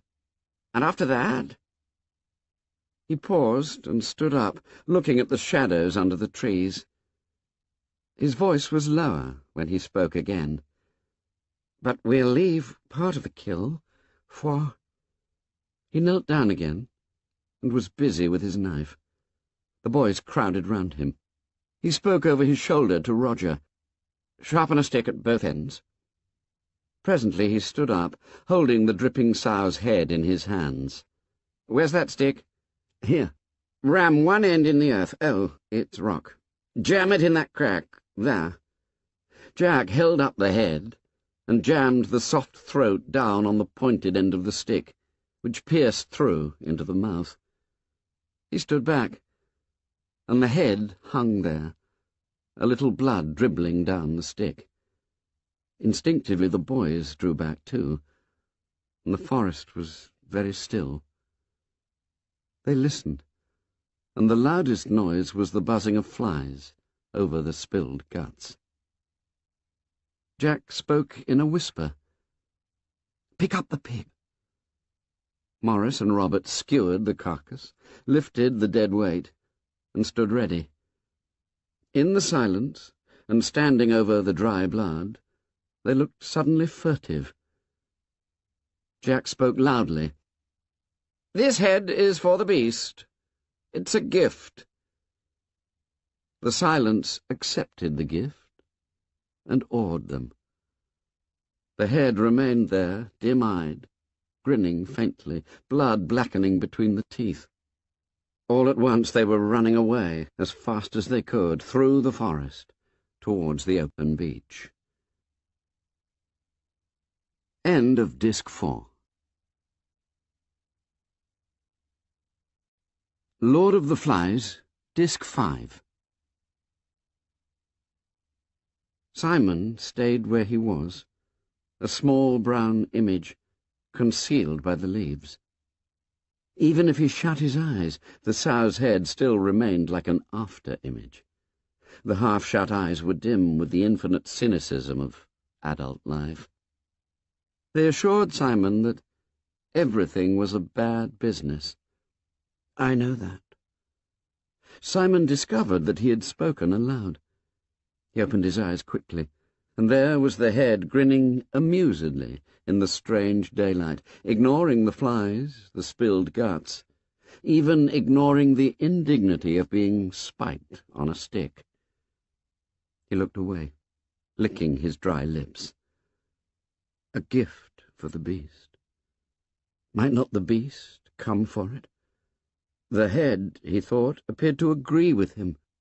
Run away, said the head silently. Go back to the others. It was a joke, really. Why should you bother? You were just wrong, that's all. A little headache, something you ate, perhaps. Go back, child, said the head, silently. Simon looked up, feeling the weight of his wet hair, and gazed at the sky. Up there, for once, were clouds, great bulging towers that sprouted away over the island, grey and cream and copper-coloured. The clouds were sitting on the land.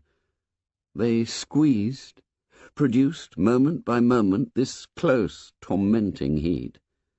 Even the butterflies deserted the open space where the obscene thing grinned and dripped.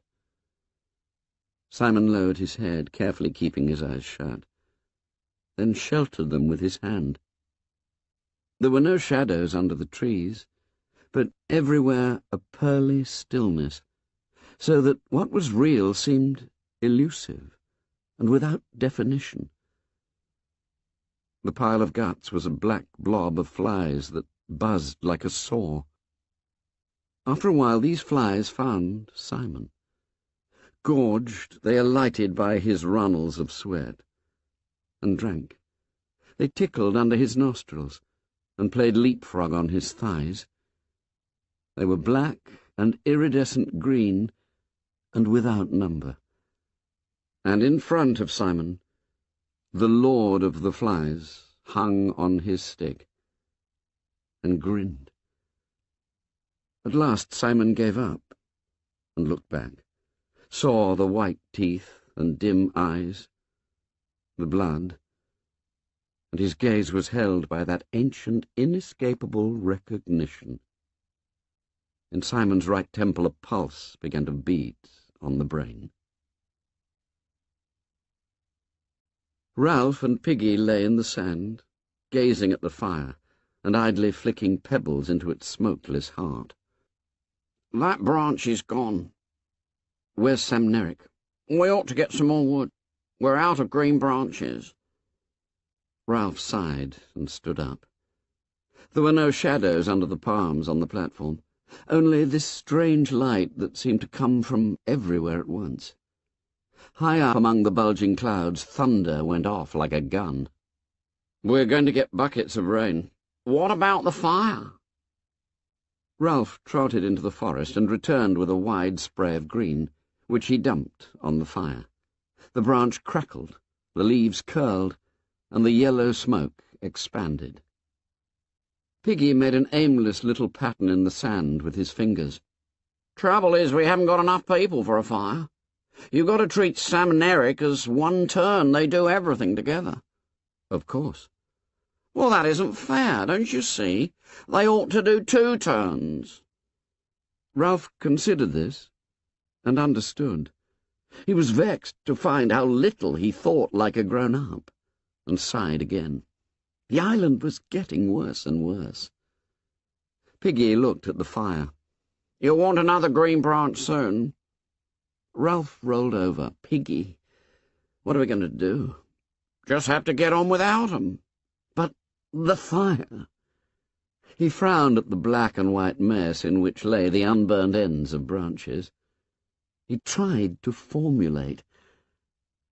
I'm scared. He saw Piggy look up and blundered on. Not of the beast. I mean, I'm scared of that too, but nobody understands about the fire. If someone threw you a rope when you were drowning, if a doctor said, take this because if you don't take it you'll die, you would, wouldn't you? I mean, course I would. Can't they see? Can't they understand? Without the smoke signal, we'll die here. Look at that. A wave of heated air trembled above the ashes, but without a trace of smoke. We can't keep one fire going, and they don't care. And what's more, he looked intensely into Piggy's streaming face. What's more, I don't sometimes. Supposing I got like the others, not caring, what had become of us? Piggy took off his glasses, deeply troubled. I don't know, Ralph. We just got to go on, that's all. That's what grown-ups would do. Ralph, having begun the business of unburdening himself, continued. Piggy, what's wrong? Piggy looked at him in astonishment. Do you mean the... No, not it. I mean, what makes things break up like they do? Piggy rubbed his glasses slowly and thought. When he understood how far Ralph had gone towards accepting him, he flushed pinkly with pride. I don't know, Ralph. I expect it's him. Jack? Jack. A taboo was evolving round that word, too. Ralph nodded solemnly.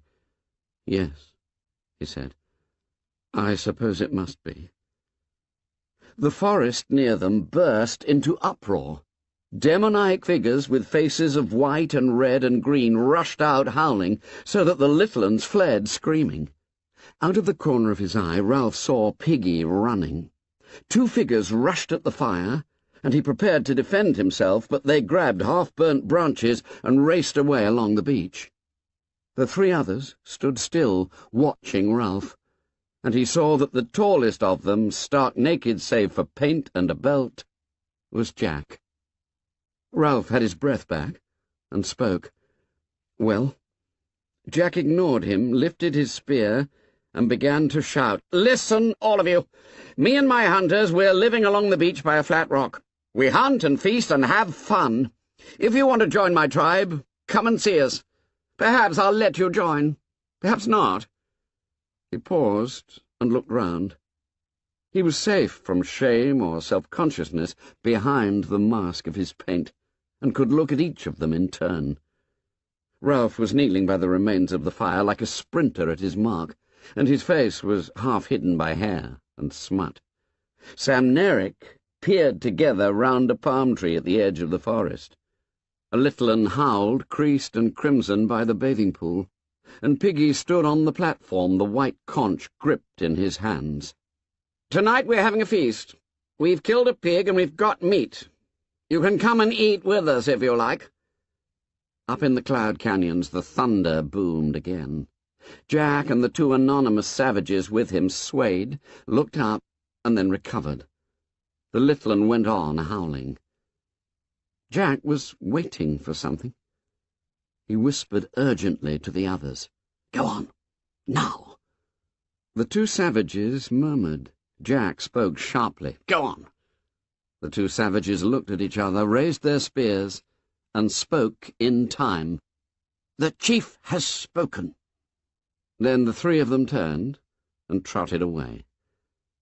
Presently Ralph rose to his feet, looking at the place where the savages had vanished. Samneric came, talking in an awed whisper. I thought it was, and I was scared. Piggy stood above them on the platform, still holding the conch. That was Jack and Maurice and Robert, said Ralph. Aren't they having fun? I thought I was going to have asthma. Sucks to your asthma. When I saw Jack, I was sure he'd go for the conch. Can't think why. The group of boys looked at the white shell with affectionate respect. Piggy placed it in Ralph's hands, and the littluns, seeing the familiar symbol, started to come back. Not here. He turned towards the platform, feeling the need for ritual.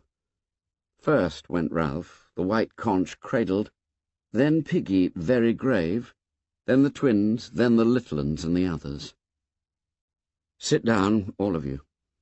They raided us for fire. They're having fun, but the... Ralph was puzzled by the shudder that flickered in his brain. There was something he wanted to say. Then the shutter had come down. But the... They were regarding him gravely not yet troubled by any doubts about his sufficiency. Ralph pushed the idiot hair out of his eyes and looked at Piggy. But the... Oh, the fire, of course. The fire. He started to laugh, then stopped, and became fluent instead. The fire's the most important thing. Without the fire, we can't be rescued. I'd like to put on war paint and be a savage, but we must keep the fire burning. The fire's the most important thing on the island because... Because... He paused again, and the silence became full of doubt and wonder. Piggy whispered urgently, Rescue! Oh, yes. Without the fire we can't be rescued. So we must stay by the fire and make smoke. When he stopped, no one said anything. After the many brilliant speeches that had been made on this very spot, Ralph's remarks seemed lame, even to the littluns. At last Bill held out his hands for the conch. Now we can't have the fire up there. Because we can't have the fire up there, we need more people to keep it going. Let's go to this feast and tell them the fire's hard on the rest of us. And then hunting and all that, being savages, I mean, must be jolly good fun. Samneric took the conch. That must be fun, like Bill says. And as he's invited us to a feast, meat, crackling. Oh, I could do with some meat. Ralph held up his hand. Why shouldn't we get our own meat? The twins looked at each other. Bill answered, we don't want to go in the jungle. Ralph grimaced. He, you know, goes. He's a hunter. They're all hunters. That's different. No one spoke for a moment. Then Piggy muttered to the sand, Meat. The littluns sat solemnly thinking of meat and dribbling. Overhead the cannon boomed again and the dry palm fronds clattered in a sudden gust of hot wind. You are a silly little boy, said the Lord of the Flies. Just an ignorant, silly little boy. Simon moved his swollen tongue, but said nothing. Don't you agree? said the Lord of the Flies. Aren't you just a silly little boy? Simon answered him in the same silent voice. Well then, said the Lord of the Flies, you'd better run off and play with the others. They think you're batty. You don't want Ralph to think you're batty, do you? You like Ralph a lot, don't you? And Piggy? And Jack?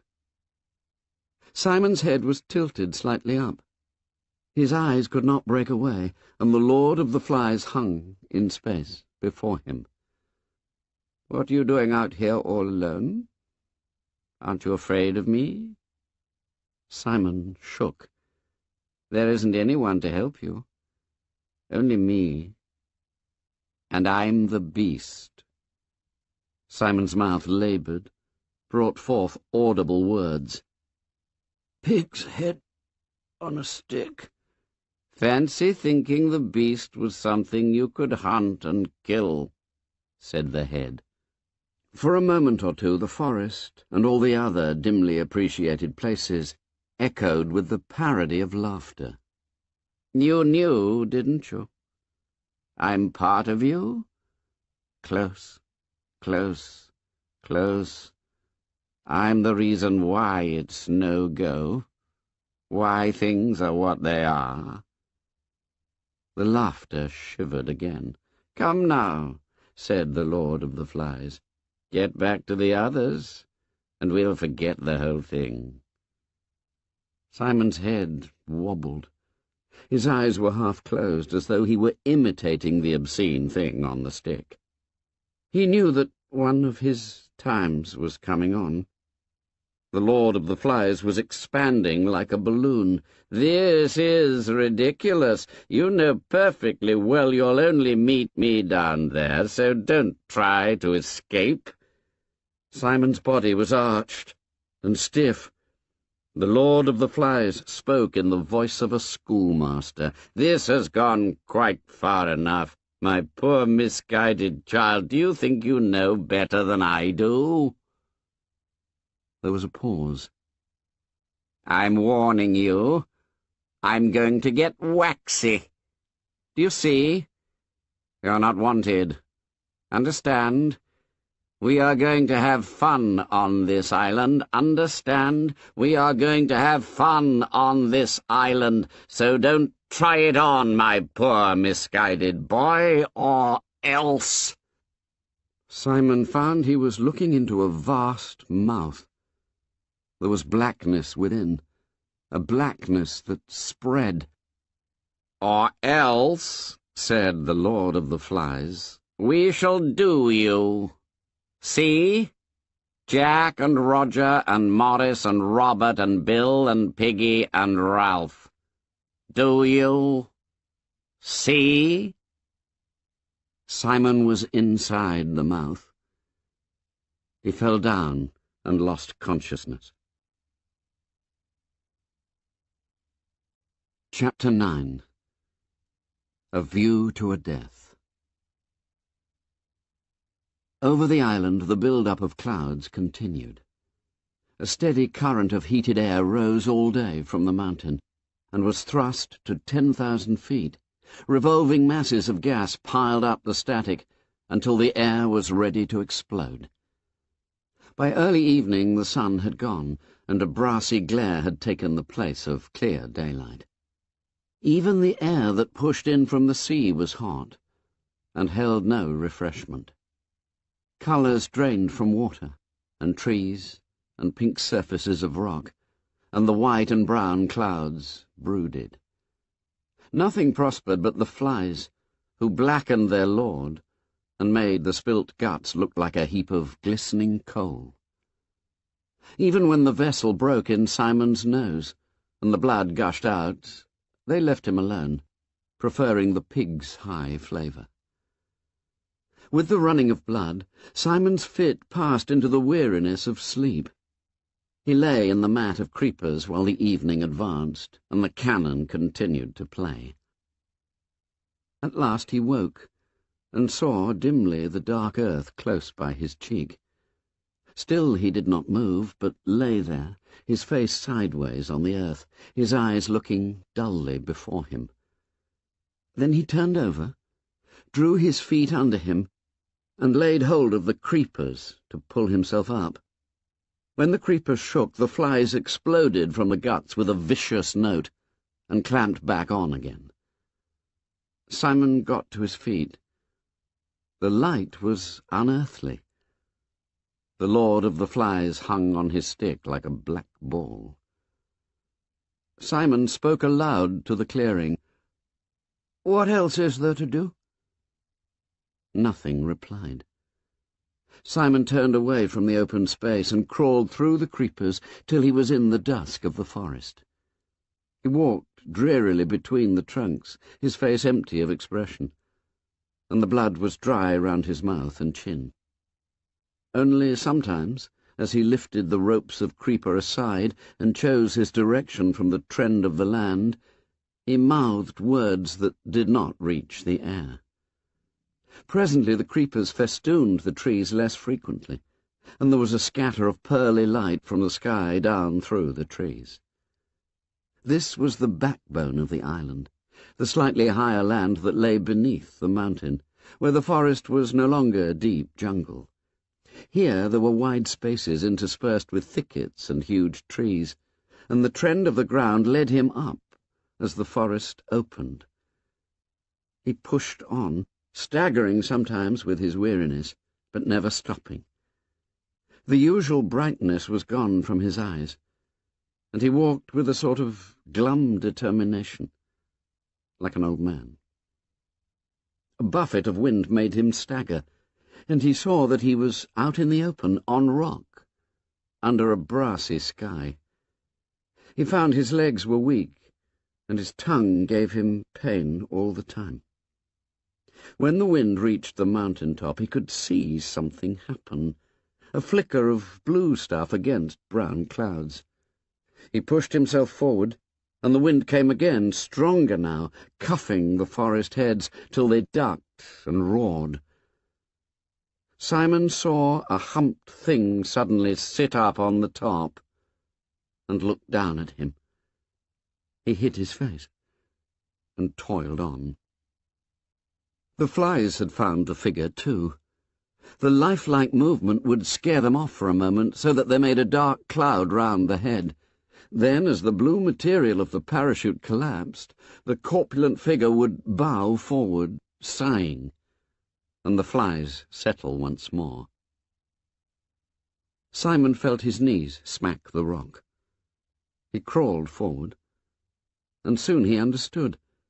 The tangle of lines showed him the mechanics of this parody. He examined the white nasal bones, the teeth, the colours of corruption. He saw how pitilessly the layers of rubber and canvas held together the poor body that should be rotting away. Then the wind blew again, and the figure lifted, bowed, and breathed foully at him. Simon knelt on all fours and was sick till his stomach was empty. Then he took the lines in his hands. He freed them from the rocks, and the figure from the wind's indignity. At last he turned away and looked down at the beaches. The fire by the platform appeared to be out, or at least making no smoke. Further along the beach, beyond the little river, and near a great slab of rock, a thin trickle of smoke was climbing into the sky. Simon, forgetful of the flies, shaded his eyes with both hands and peered at the smoke.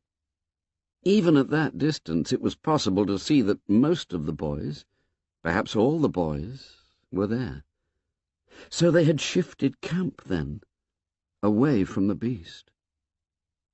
As Simon thought this, he turned to the poor broken thing that sat stinking by his side. The beast was harmless and horrible, and the news must reach the others as soon as possible. He started down the mountain, and his legs gave beneath him.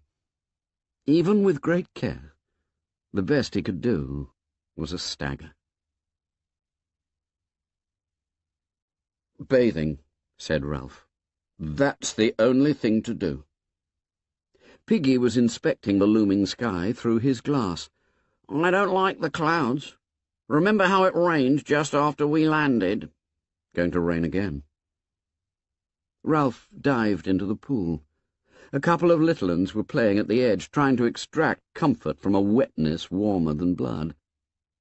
Piggy took off his glasses, stepped primly into the water, and then put them on again. Ralph came to the surface and squirted a jet of water at him. Mind my specs, said Piggy. If I get water on the glass, I got to get out and clean 'em. Ralph squirted again and missed. He laughed at Piggy, expecting him to retire meekly, as usual, and in pained silence. Instead, Piggy beat the water with his hands. "Stop it!" he shouted. "D'yer hear?" Furiously, he drove the water into Ralph's face. "All right, all right," said Ralph. "Keep your hair on." Piggy stopped beating the water. "I got a pain in my head. I wish the air was cooler. I wish the rain would come.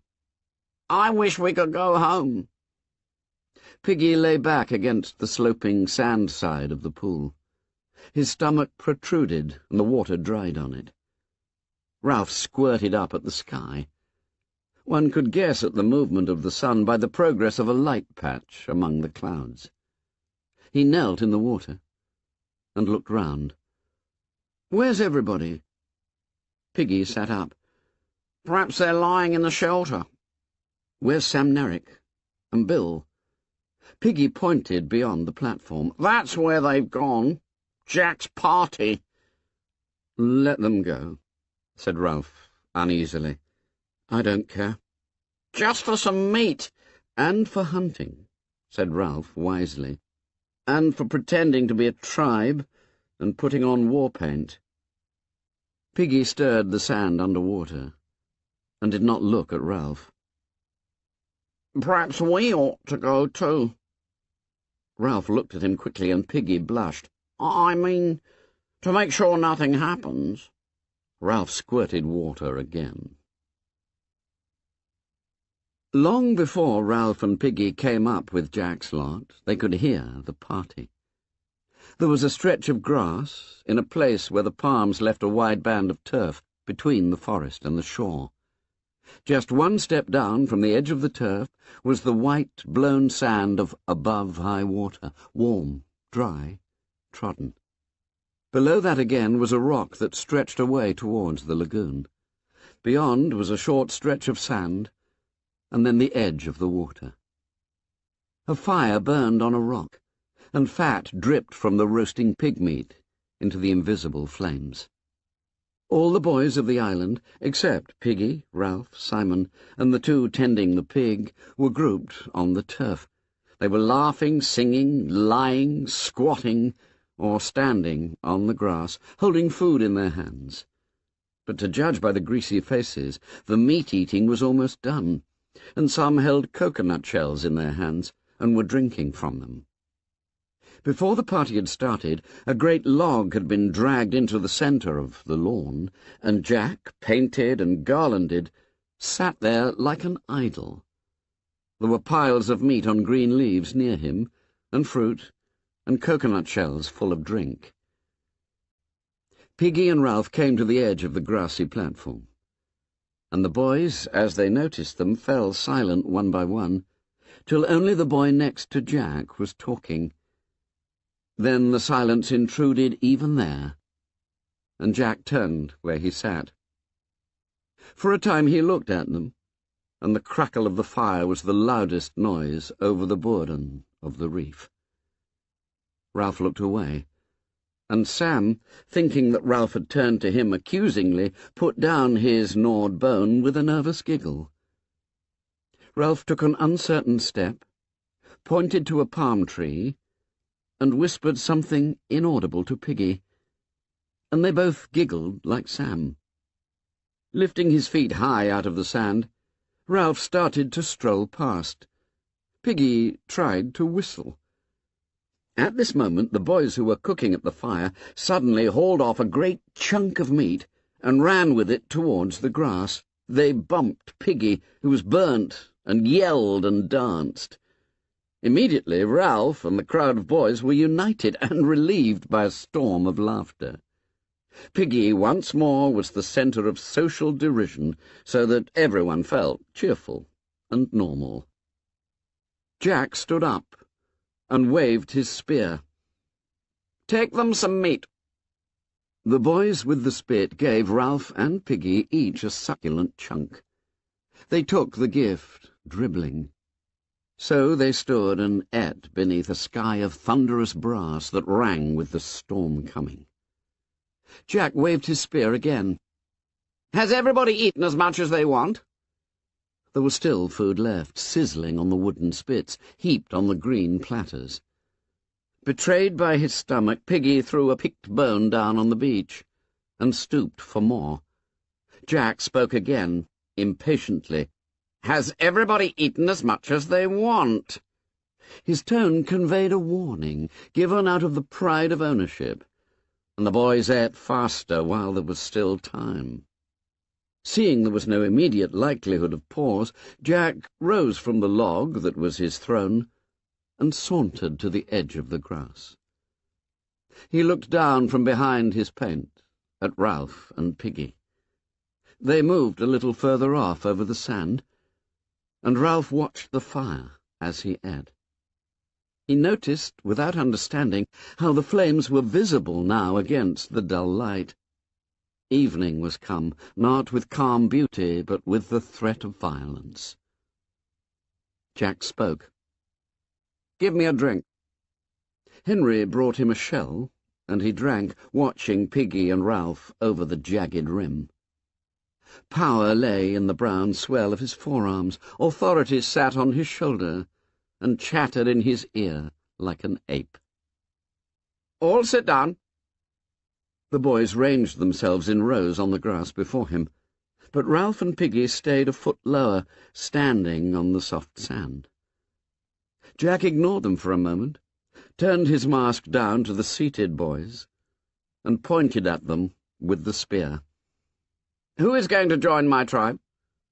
Ralph made a sudden movement that became a stumble. Some of the boys turned towards him. I gave you food, said Jack, and my hunters will protect you from the beast. Who will join my tribe? I'm chief, said Ralph, because you chose me and we were going to keep the fire going. Now you run after food. You ran yourself, shouted Jack. Look at that bone in your hands. Ralph went crimson. I said you were hunters. That was your job. Jack ignored him again. Who'll join my tribe and have fun? I'm chief, said Ralph tremulously. And what about the fire? And I've got the conch. You haven't got it with you, said Jack, sneering. You left it behind. See? Clever. And the conch doesn't count at this end of the island. All at once the thunder struck. Instead of the dull boom, there was a point of impact in the explosion. The conch counts here too, said Ralph, and all over the island. What are you going to do about it, then? Ralph examined the ranks of boys. There was no help in them, and he looked away, confused and sweating. Piggy whispered, The fire! Rescue! Who'll join my tribe? I will. Me. I will. I'll blow the conch, said Ralph breathlessly, and call an assembly. We shan't hear it. Piggy touched Ralph's wrist. Come away. There's going to be trouble. And we've had our meat. There was a blink of bright light beyond the forest, and the thunder exploded again so that a little one started to whine. Big drops of rain fell among them, making individual sounds when they struck. Going to be a storm, said Ralph, and you'll have rain like when we dropped here. Who's clever now? Where are your shelters? What are you going to do about that? The hunters were looking uneasily at the sky, flinching from the stroke of the drops. A wave of restlessness set the boys swaying and moving aimlessly. The flickering light became brighter, and the blows of the thunder were only just bearable. The littluns began to run about, screaming. Jack leapt onto the sand. Do our dance! Come on, dance! He ran, stumbling through the thick sand, to the open space of rock beyond the fire. Between the flashes of lightning the air was dark and terrible, and the boys followed him clamorously. Roger became the pig, grunting and charging at Jack, who sidestepped. The hunters took their spears, the cooks took spits, and the rest clubs of firewood. While Roger mimed the terror of the pig, the littluns ran and jumped on the outside of the circle. Piggy and Ralph, under the threat of the sky, found themselves eager to take a place in this demented but partly secure society. They were glad to touch the brown backs of the fence that hemmed in the terror and made it governable. Kill the beast! Cut his throat! Spill his blood! The movement became regular, while the chant lost its first superficial excitement and began to beat like a steady pulse. Roger ceased to be a pig and became a hunter, so that the centre of the ring yawned emptily. Some of the littluns started a ring on their own, and the complementary circles went round and round, as though repetition would achieve safety of itself. There was the throb and stamp of a single organism. The dark sky was shattered by a blue-white scar. An instant later, the noise was on them like the blow of a gigantic whip. The chant rose a tone in agony. Kill the beast! Cut his throat! Spill his blood! Now, out of the terror, rose another desire, thick, urgent, blind. Kill the beast! Cut his throat! Spill his blood! Again the blue-white scar jagged above them, and the sulphurous explosion beat down. The littluns screamed and blundered about, fleeing from the edge of the forest, and one of them broke the ring of biguns in his terror. Him! Him! The circle became a horseshoe. A thing was crawling out of the forest. It came darkly, uncertainly. The shrill screaming that rose before the beast was like a pain. The beast stumbled into the horseshoe. Kill the beast! Cut his throat! Spill his blood! The blue-white scar was constant, the noise unendurable. Simon was crying out something about a dead man on a hill. Kill the beast! Cut his throat! Spill his blood! Do him in! The sticks fell, and the mouth of the new circle crunched and screamed. The beast was on its knees in the centre, its arms folded over its face. It was crying out against the abominable noise, something about a body on the hill. The beast struggled forward, broke the ring, and fell over the steep edge of the rock to the sand by the water. At once the crowd surged after it, poured down the rock, leapt onto the beast, screamed, struck, bit, tore. There were no words and no movements, but the tearing of teeth and claws. Then the clouds opened and let down the rain like a waterfall. The water bounded from the mountain top, tore leaves and branches from the trees, poured like a cold shower over the struggling heap on the sand. Presently the heap broke up, and figures staggered away. Only the beast lay still, a few yards from the sea. Even in the rain they could see how small a beast it was, and already its blood was staining the sand. Now a great wind blew the rain sideways, cascading the water from the forest trees. On the mountain top, the parachute filled and moved.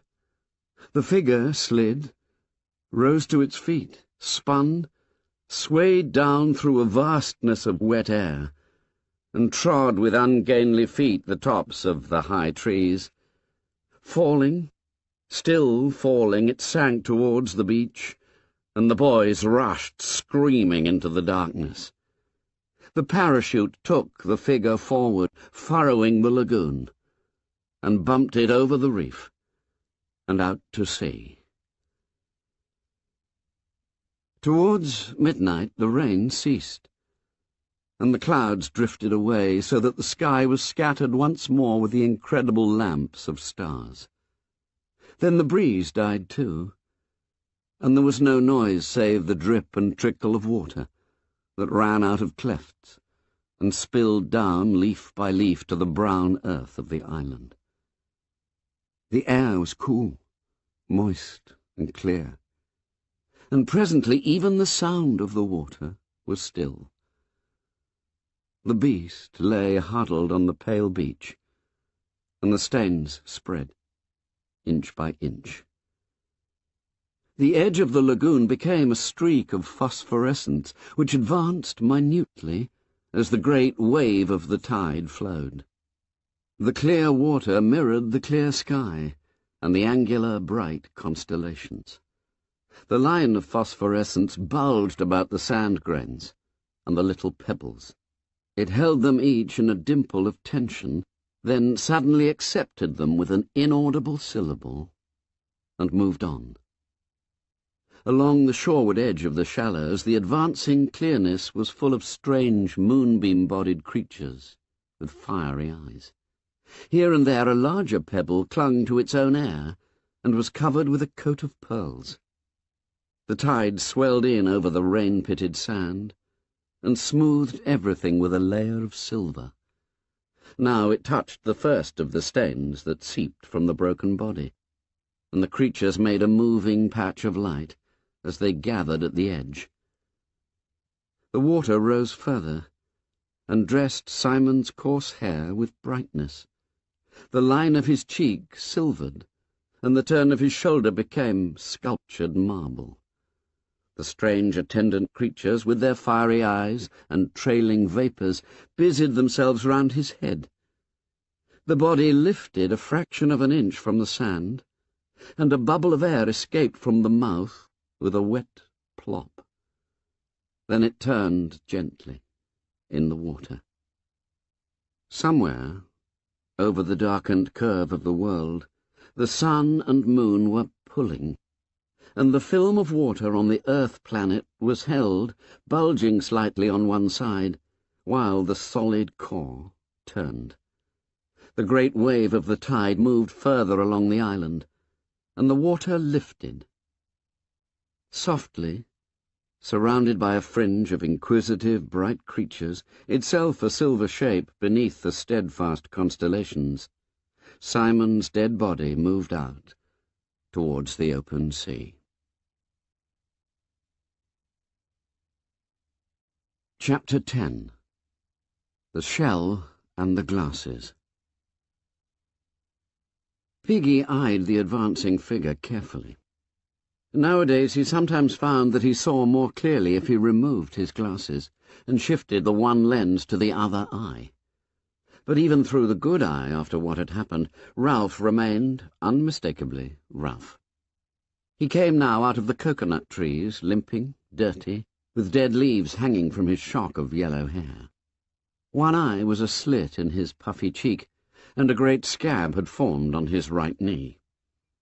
He paused for a moment and peered at the figure on the platform. Piggy, are you the only one left? There's some littluns. They don't count. No biguns. Oh, Samneric. They're collecting wood. Nobody else? Not that I know of. Ralph climbed onto the platform carefully. The coarse grass was still worn away where the assembly used to sit. The fragile white conch still gleamed by the polished seat. Ralph sat down in the grass facing the chief's seat and the conch. Piggy knelt at his left, and for a long minute there was silence. At last Ralph cleared his throat and whispered something. Piggy whispered back. What did you say? Ralph spoke up. Simon. Piggy said nothing, but nodded solemnly. They continued to sit, gazing with impaired sight at the chief's seat and the glittering lagoon. The green light and the glossy patches of sunshine played over their befouled bodies. At length Ralph got up and went to the conch. He took the shell caressingly with both hands and knelt, leaning against the trunk. Piggy. Hmm? What are we going to do? Piggy nodded at the conch. You could call an assembly. Ralph laughed sharply as he said the word, and Piggy frowned. You're still chief. Ralph laughed again. No, you are. Over us. I got the conch. Ralph, stop laughing like that. Look, there ain't no need, Ralph. What's the others going to think? At last Ralph stopped. He was shivering. Piggy. Hmm? That was Simon. You said that before. Piggy. Hmm? That was murder. You stop it, said Piggy shrilly. What good are you doing talking like that? He jumped to his feet and stood over Ralph. It was dark. There was that, that bloody dance. There was lightning and thunder and rain. We were scared. I wasn't scared, said Ralph slowly. I was... I don't know what I was. We were scared, said Piggy excitedly. Anything might have happened. It wasn't what you said. He was gesticulating, searching for a formula. Oh, Piggy. Ralph's voice, low and stricken, stopped Piggy's gestures. He bent down and waited. Ralph, cradling the conch, rocked himself to and fro. Don't you understand, Piggy? The things we did. He may still be... No. Perhaps he was only pretending. Piggy's voice tailed off at the sight of Ralph's face. You were outside? Outside the circle. You never really came in. Didn't you see what we... what they did? There was loathing, and at the same time a kind of feverish excitement in his voice. Didn't you see, Piggy? Not all that well. I only got one eye now. You ought to know that, Ralph. Ralph continued to rock to and fro. It was an accident, said Piggy suddenly. That's what it was. An accident. His voice shrilled again. Coming in the dark. He had no business crawling like that out of the dark. He was batty. He asked for it. He gesticulated widely again. It was an accident. You didn't see what they did. Look, Ralph, we got to forget this. We can't do no good thinking about it, see? I'm frightened. Of us. I want to go home. Oh, God, I want to go home. It was an accident, said Piggy stubbornly. And that's that. He touched Ralph's bare shoulder, and Ralph shuddered at the human contact. And look, Ralph. Piggy glanced round quickly, then leaned close. Don't let on we was in that dance. Not to Samneric. But we were. All of us. Piggy shook his head. Not us till last. They never noticed in the dark. Anyway, you said I was only on the outside. So was I, muttered Ralph. I was on the outside, too. Piggy nodded eagerly. That's right, we was on the outside. We never done nothing. We never seen nothing. Piggy paused, then went on. We'll live on our own, the four of us. Four of us? We aren't enough to keep the fire burning. We'll try. See? I lit it. Samneric came dragging a great log out of the forest. They dumped it by the fire and turned to the pool. Ralph jumped to his feet. Hi, you two. The twins checked for a moment, then walked on. They're going to bathe, Ralph. Better get it over. The twins were very surprised to see Ralph. They flushed and looked past him into the air. Hello. Fancy meeting you, Ralph. We just been in the forest to get wood for the fire. We got lost last night. Ralph examined his toes. You got lost after the... Piggy cleaned his lens. After the feast, said Sam in a stifled voice. Eric nodded. Yes, after the feast. We left early, said Piggy quickly, because we were tired. So did we, very early. We were very tired.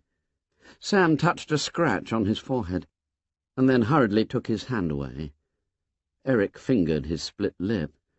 Yes, we were very tired, repeated Sam, so we left early. Was it a good The air was heavy with unspoken knowledge. Sam twisted, and the obscene word shot out of him. Dance? Memory of the dance that none of them had attended shook all four boys convulsively. We left early. When Roger came to the neck of land that joined the Castle Rock to the mainland, he was not surprised to be challenged. He had reckoned during the terrible night on finding at least some of the tribe holding out against the horrors of the island in the safest place. The voice rang out sharply from on high, where the diminishing crags were balanced one on another. Halt! Who goes there? Roger. Advance, friend. Roger advanced. You can see who I was. The chief said we've got to challenge everyone. Roger peered up. You couldn't stop me coming if I wanted. Couldn't I? Climb up and see. Roger clambered up the ladder-like cliff. Look at this. A log had been jammed under the topmost rock, and another lever under that. Robert leaned slightly on the lever, and the rock groaned. A full effort would send the rock thundering down to the neck of land. Roger admired. He's a proper chief, isn't he? Robert nodded. He's going to take us hunting. He jerked his head in the direction of the distant shelters, where a thread of white smoke climbed up the sky. Roger, sitting on the very edge of the cliff, looked somberly back at the island as he worked with his fingers at a loose tooth. His gaze settled on the top of the distant mountain, and Robert changed the unspoken subject. He's going to beat Wilfred. What for? Robert shook his head doubtfully. I don't know. He didn't say. He got angry and made us tie Wilfred up. He's been... He giggled excitedly. He's been tied for hours, waiting. But didn't the chief say why? I never heard him. Sitting on the tremendous rocks in the torrid sun, Roger received this news as an illumination. He ceased to work at his tooth and sat still, assimilating the possibilities of irresponsible authority. Then, without another word, he climbed down the back of the rocks towards the cave and the rest of the tribe. The chief was sitting there, naked to the waist, his face blocked out in white and red. The tribe lay in a semicircle before him. The newly beaten and untied Wilfred was sniffing noisily in the background. Roger squatted with the rest. "Tomorrow," went on the chief, "we shall hunt again." He pointed at this savage and that with his spear. "Some of you will stay here to improve the cave and defend the gate. I shall take a few hunters with me and bring back meat. The defenders of the gate will see that the others don't sneak in." A savage raised his hand, and the chief turned a bleak, painted face towards him. "Why should they try to sneak in, chief?" The chief was vague but earnest. "They will. They'll try to spoil things we do. So the watchers at the gate must be careful. And then—" The chief paused. They saw a triangle of startling pink dart out, pass along his lips, and vanish again. And then the beast might try to come in. You remember how he crawled? The semicircle shuddered and muttered in agreement. He came disguised. He may come again, even though we gave him the head of our kill to eat. So watch and be careful. Stanley lifted his forearm off the rock and held up an interrogative finger. Well, but didn't we... didn't we... He squirmed and looked down. No. In the silence that followed, each savage flinched away from his individual memory. No. How could we kill it?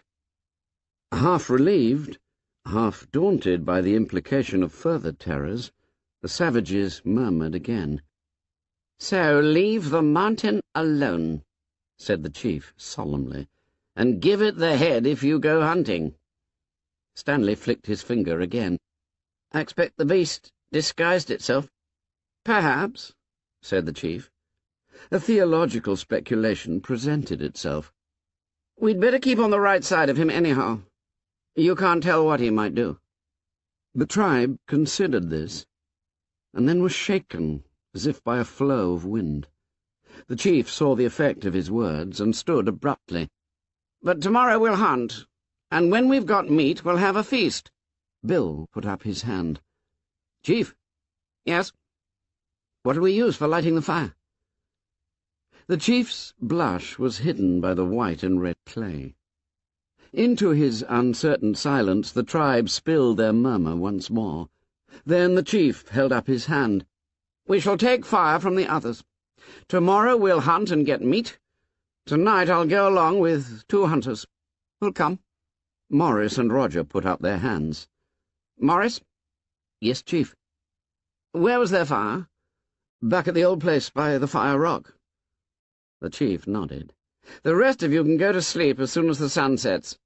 But us three, Maurice, Roger, and me, we've got work to do. We'll leave just before sunset. Maurice put up his hand. But what happens if we meet... The chief waved his objection aside. We'll keep along by the sand. Then if he comes, we'll do our... our dance again. Only the three of us. Again the murmur swelled and died away. Piggy handed Ralph his glasses and waited to receive back his sight. The wood was damp, and this was the third time they had lighted it. Ralph stood back, speaking to himself. We don't want another night without fire. He looked round guiltily at the three boys standing by. This was the first time he had admitted the double function of the fire. Certainly one was to send up a beckoning column of smoke, but the other was to be a hearth now, and a comfort until they slept. Eric breathed on the wood till it glowed and sent out a little flame. A billow of white and yellow smoke reeked up. Piggy took back his glasses and looked at the smoke with pleasure. If only we could make a radio, or a plane, or a boat. Ralph dredged in his fading knowledge of the world. We might get taken prisoner by the Reds. Eric pushed back his hair. They'd be better than... He would not name people, and Sam finished the sentence for him by nodding along the beach. Ralph remembered the ungainly figure on a parachute. He said something about a dead man. He flushed painfully at this admission that he had been present at the dance. He made urging motions at the smoke with his body. Don't stop. Go on up. Smoke's getting thinner. We need more wood already, even when it's wet. My asthma! The response was mechanical. Sucks to your asthma. If I pull logs about, I get my asthma bad. I wish I didn't, Ralph, but there it is. The three boys went into the forest and fetched armfuls of rotten wood. Once more the smoke rose, yellow and thick. Let's get something to eat. Together they went to the fruit trees, carrying their spears, saying little, cramming in haste. When they came out of the forest again, the sun was setting, and only embers glowed in the fire, and there was no smoke. I can't carry any more wood, said Eric. I'm tired. Ralph cleared his throat. We kept the fire going up there. Up there it was small, but this has got to be a big one. Ralph carried a fragment to the fire and watched the smoke that drifted into the dusk. We've got to keep it going. Eric flung himself down. I'm too tired. And what's the good? Eric, cried Ralph in a shocked voice, don't talk like that. Sam knelt by Eric. Well? What is the good? Ralph tried indignantly to remember. There was something good about a fire, something overwhelmingly good. Ralph's told you often enough, said Piggy moodily. How else are we going to be rescued? Of course. If we don't make smoke... He squatted before them in the crowding dusk. Don't you understand? What's the good of wishing for radios and boats? He held out his hand and twisted the fingers into a fist. There's only one thing we can do to get out of this mess. Anyone can play at hunting, anyone can get us meat. He looked from face to face. Then, at the moment of greatest passion and conviction, that curtain flapped in his head, and he forgot what he had been driving at. He knelt there, his fist clenched, gazing solemnly from one to the other. Then the curtain whisked back. Oh, yes. So we've got to make smoke, and more smoke. But we can't keep it going. Look at that. The fire was dying on them. Two to mind the fire, said Ralph, half to himself. That's twelve hours a day. We can't get any more wood, Ralph. Not in the dark. Not at night. We can light it every morning, said Piggy. Nobody ain't going to see smoke in the dark. Sam nodded vigorously. It was different when the fire was up there. Ralph stood up, feeling curiously defenceless with the darkness pressing in. Let the fire go, then, for tonight. He led the way to the first shelter, which still stood, though battered. The bed leaves lay within, dry and noisy to the touch. In the next shelter, a littlun was talking in his sleep. The four biguns crept into the shelter and burrowed under the leaves. The twins lay together, and Ralph and Piggy at the other end. For a while there was the continual creak and rustle of leaves as they tried for comfort. Piggy. Yeah? All right. Suppose so. At length, save for an occasional rustle, the shelter was silent. An oblong of blackness, relieved with brilliant spangles, hung before them, and there was the hollow sound of surf on the reef. Ralph settled himself for his nightly game of supposing. Supposing they could be transported home by jet, then before morning they would land at that big airfield in Wiltshire. They would go by car. No, for things to be perfect, they would go by train, all the way down to Devon, and take that cottage again. Then at the foot of the garden the wild ponies would come and look over the wall. Ralph turned restlessly in the leaves. Dartmoor was wild, and so were the ponies but the attraction of wildness had gone. His mind skated to a consideration of a tamed town where savagery could not set foot. What could be safer than the bus centre, with its lamps and wheels? All at once Ralph was dancing round a lamp standard. There was a bus crawling out of the bus station. A strange bus. Ralph! Ralph! What is it? Don't make a noise like that. Sorry. From the darkness at the further end of the shelter came a dreadful moaning, and they shattered the leaves in their fear. Sam and Eric, locked in an embrace, were fighting each other. Sam! Sam! Hey, Eric! Presently all was quiet again. Piggy spoke softly to Ralph. We've gotta get out of this. What do you mean? Get rescued. For the first time that day, and despite the crowding blackness, Ralph sniggered. I mean it, whispered Piggy. If we don't get home soon, we'll be balmy. Round the bend. Bomb happy. Crackers. Ralph pushed the damp tendrils of hair out of his eyes. You write a letter to your auntie. Piggy considered this solemnly. I don't know where she is now, and I haven't got an envelope and a stamp, and there isn't a pillar box or a postman. The success of his tiny joke overcame Ralph.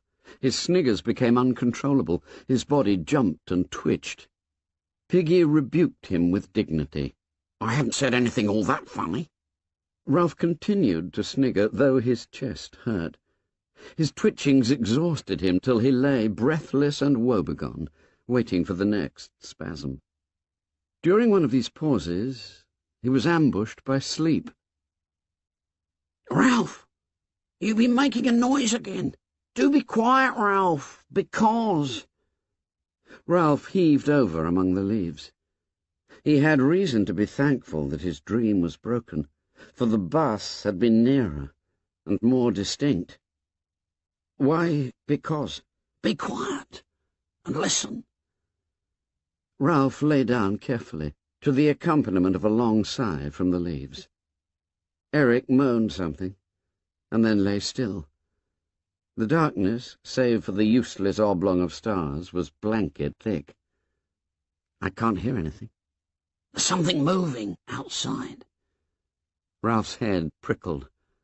The sound of his blood drowned all else, and then subsided. I still can't hear anything. Listen. Listen for a long time.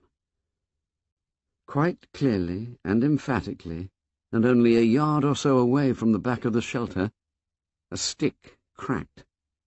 The blood roared again in Ralph's ears. Confused images chased each other through his mind. A composite of these things was prowling round the shelters. He could feel Piggy's head against his shoulder, and the convulsive grip of a hand. Ralph! Ralph! Shut up and listen. Desperately, Ralph prayed that the beast would prefer Littluns. A voice whispered horribly outside. Piggy! Piggy! It's come, gasped Piggy. It's real. He clung to Ralph and reached to get his breath. Piggy! Come out the side. I want you, Piggy. Ralph's mouth was against Piggy's ear. Don't say anything. Piggy! Where are you, Piggy? Something brushed against the back of the shelter. Piggy kept still for a moment. Then he had his asthma. He arched his back and crashed among the leaves with his legs. Ralph rolled away from him. Then there was a vicious snarling in the mouth of the shelter, and the plunge and thump of living things. Someone tripped over Ralph, and Piggy's corner became a complication of snarls and crashes and flying limbs. Ralph hit out. Then he and what seemed like a dozen others were rolling over and over, hitting, biting, scratching. He was torn and jolted, found fingers in his mouth and bit them. A fist withdrew and came back like a piston, so that the whole shelter exploded into light. Ralph twisted sideways on top of a writhing body and felt hot breath on his cheek.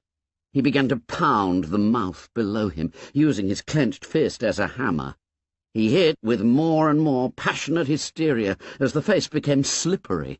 A knee jerked up between his legs, and he fell sideways, busying himself with his pain, and the fight rolled over him. Then the shelter collapsed with smothering finality, and the anonymous shapes fought their way out and through. Dark figures drew themselves out of the wreckage and flitted away, till the screams of the little ones and Piggy's gasps were once more audible. Ralph called out in a quavering voice, "All you little ones, go to sleep. We've had a fight with the others. Now go to sleep." Samneric came close and peered at Ralph. "Are you two all right?" "I think so. I got busted." "So did I. How's Piggy?" They hauled Piggy clear of the wreckage and leaned him against a tree. The night was cool and purged of immediate terror. Piggy's breathing was a little easier. Did you get hurt, Piggy? Not much. That was Jack and his hunters, said Ralph bitterly. Why can't they leave us alone? We gave them something to think about, said Sam. Honesty compelled him to go on. At least you did. I got mixed up with myself in a corner. I gave one of 'em what for, said Ralph. I smashed him up all right. He won't want to come and fight us again in a hurry. So did I, said Eric. When I woke up, one was kicking me in the face. I got an awful bloody face, I think, Ralph. But I did him in the end. What did you do? I got my knee up, said Eric, with a simple pride. And I hit him with it in the pills. You should have heard him holler. He won't come back in a hurry either. So we didn't do too badly. Ralph moved suddenly in the dark. But then he heard Eric working at his mouth. What's the matter? Just a tooth loose. Piggy drew up his legs. You all right, Piggy? I thought they wanted the conch.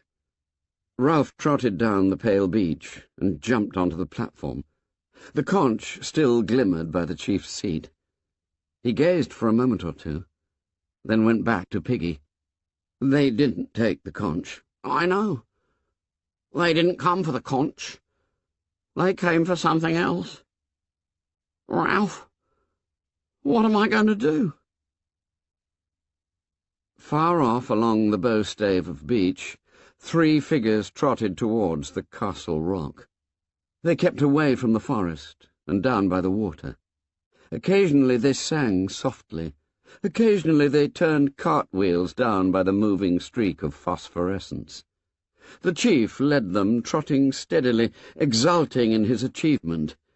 He was a chief now, in truth, and he made stabbing motions with his spear. From his left hand dangled Piggy's broken glasses. End of Disc 5 Lord of the Flies, Disc 6 Chapter 11 Castle Rock In the short chill of dawn, the four boys gathered round the black smudge where the fire had been, while Ralph knelt and blew. Grey, feathery ashes scurried hither and thither at his breath but no spark shone among them.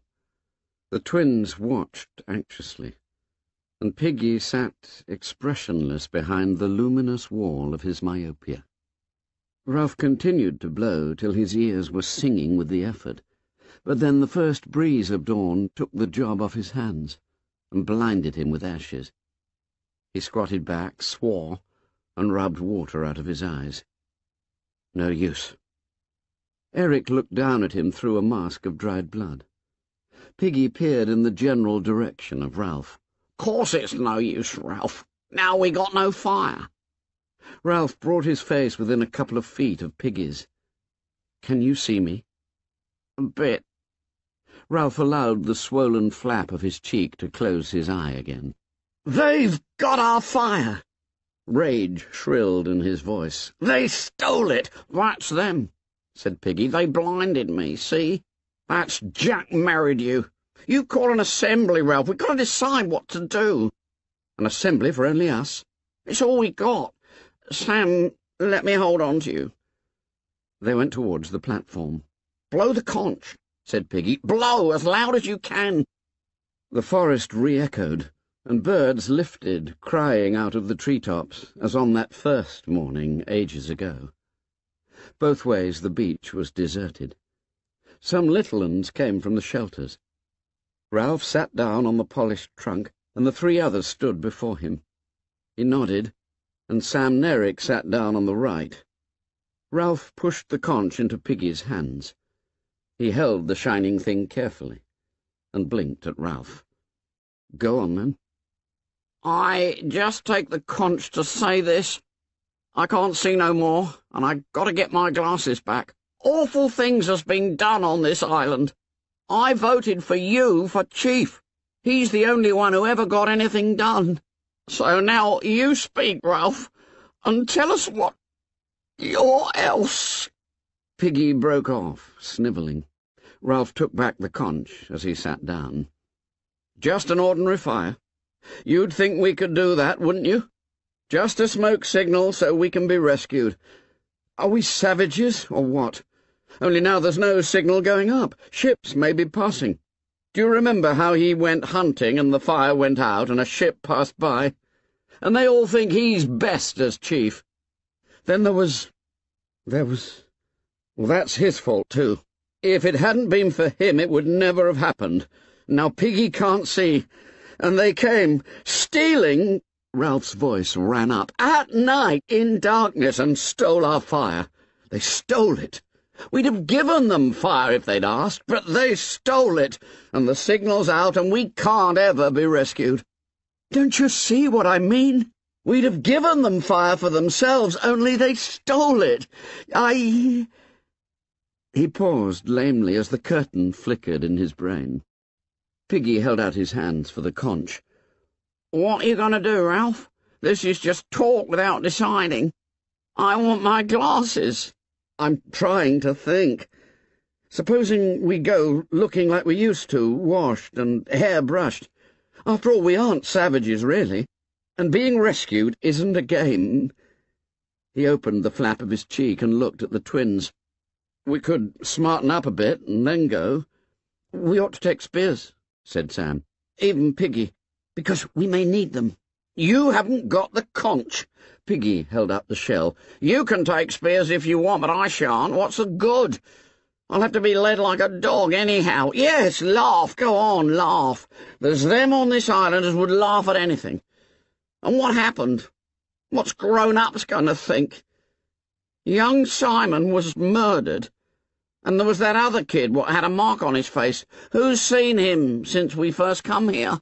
Piggy, stop a minute. I got the conch. I'm going to that Jack Merridew and tell him I am. You'll get hurt. What can he do more than he has? I'll tell him what's what. You let me carry the conch, Ralph. I'll show him the one thing he hasn't got. Piggy paused for a moment and peered round at the dim figures. The shape of the old assembly, trodden in the grass, listened to him. I'm going to him with this conch in my hands. I'm going to hold it out. Look, I'm going to say, you're stronger than I am, and you haven't got asthma. You can see, I'm going to say, and with both eyes. But I don't ask for my glasses back, not as a favour. I don't ask you to be a sport, I'll say, not because you're strong, but because what's right's right. Give me my glasses, I'm going to say. You got to! Piggy ended, flushed and trembling. He pushed the conch quickly into Ralph's hands, as though in a hurry to be rid of it, and wiped the tears from his eyes. The green light was gentle about them, and the conch lay at Ralph's feet, fragile and white. A single drop of water that had escaped Piggy's fingers now flashed on the delicate curve, like a star. At last Ralph sat up straight and drew back his hair. All right. I mean, you can try if you like. We'll go with you. He'll be painted, said Sam timidly. You know how he'll be. He won't think much of us. If he gets waxy, we've had it. Ralph scowled at Sam. Dimly he remembered something that Simon had said to him once, by the rocks. Don't be silly he said, and then he added quickly, Let's go. He held out the conch to Piggy, who flushed, this time with pride. You must carry it. When we're ready, I'll carry it. Piggy sought in his mind for words to convey his passionate willingness to carry the conch against all odds. I don't mind. I'll be glad, Ralph. Only I'll have to be led. Ralph put the conch back on the shining log. We better eat, and then get ready. They made their way to the devastated fruit trees. Piggy was helped to his food, and found some by touch. While they ate, Ralph thought of the afternoon. We'll be like we were. We'll wash. Sam gulped down a mouthful and protested. But we bathe every day. Ralph looked at the filthy objects before him and sighed. We ought to comb our hair, only it's too long. I've got both socks left in the shelter, said Eric, so we could pull them over our heads like caps, sort of. We could find some stuff, said Piggy, and tie your hair back. Like a girl. No, of course not. Then we must go as we are, said Ralph, and they won't be any better. Eric made a detaining gesture. But they'll be painted. You know how it is. The others nodded. They understood only too well the liberation into savagery that the concealing paint brought. Well, we won't be painted, said Ralph, because we aren't savages. Samneric looked at each other. All the same, Ralph shouted, No paint! He tried to remember. Smoke, he said. We want smoke. He turned on the twins fiercely. I said, smoke! We've got to have smoke! There was silence, except for the multitudinous murmur of the bees. At last Piggy spoke, kindly. Course we have, 'cause the smoke's a signal, and we can't be rescued if we don't have smoke. I knew that, shouted Ralph. He pulled his arm away from Piggy. Are you suggesting I'm just saying what you always say? said Piggy hastily. I thought for a moment I hadn't said Ralph loudly. I knew all the time. I hadn't forgotten. Piggy nodded propitiatingly. You're chief, Ralph. You remember everything. I hadn't forgotten. Course not. The twins were examining Ralph curiously, as though they were seeing him for the first time.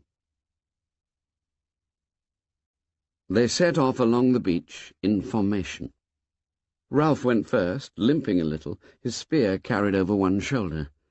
He saw things partially through the tremble of the heat haze over the flashing sands, and his own long hair and injuries.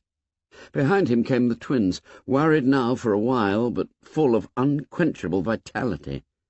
They said little, but trailed the butts of their wooden spears. For Piggy had found that, looking down, shielding his tired sight from the sun, he could just see these moving along the sand. He walked between the trailing butts, therefore, the conch held carefully between his two hands. The boys made a compact little group that moved over the beach, four plate-like shadows dancing and mingling beneath them. There was no sign left of the storm, and the beach was swept clean like a blade that has been scoured.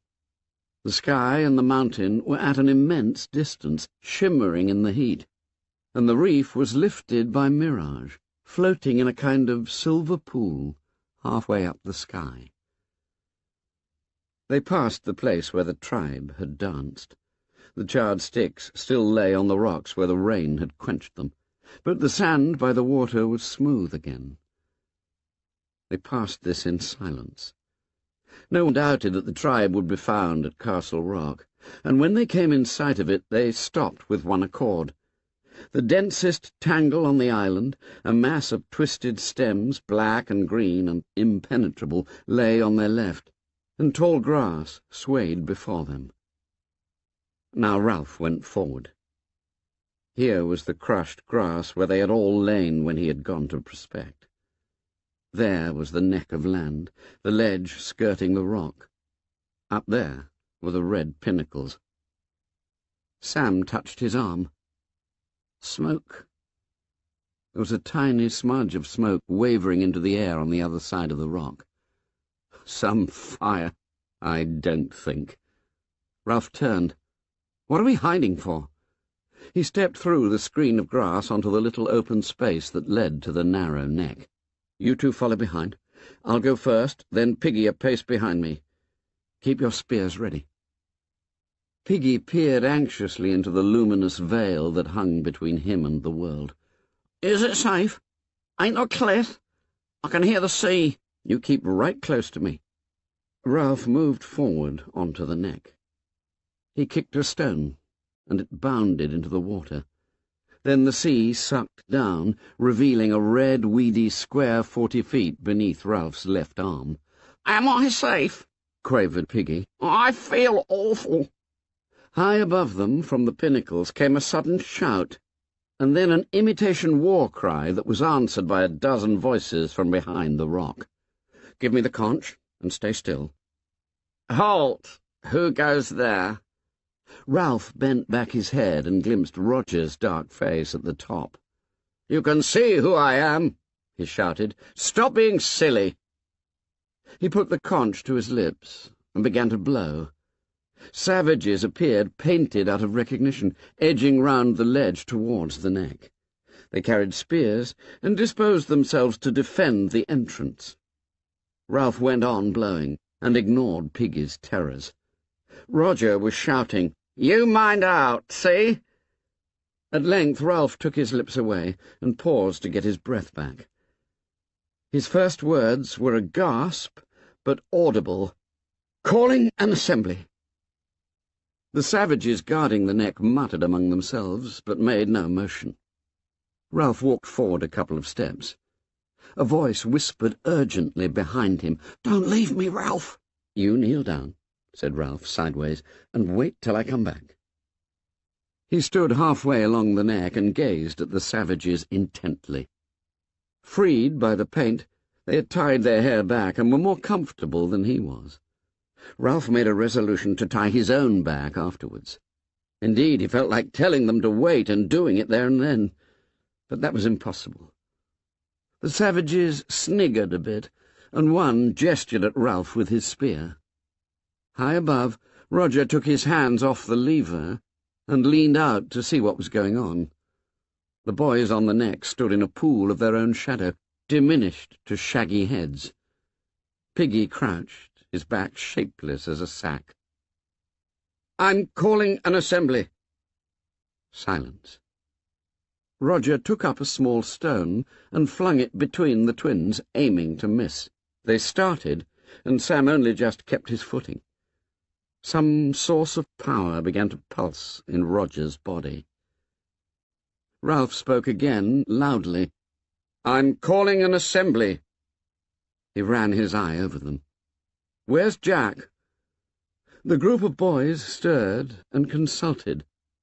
A painted face spoke with the voice of Robert. He's hunting, and he said we weren't to let you in. I've come to see you about the fire, said Ralph, and about Piggy's specs. The group in front of him shifted, and laughter shivered outwards from among them, light, excited laughter that went echoing among the tall rocks. A voice spoke from behind Ralph. What do you want? The twins made a bolt past Ralph and got between him and the entry. He turned quickly.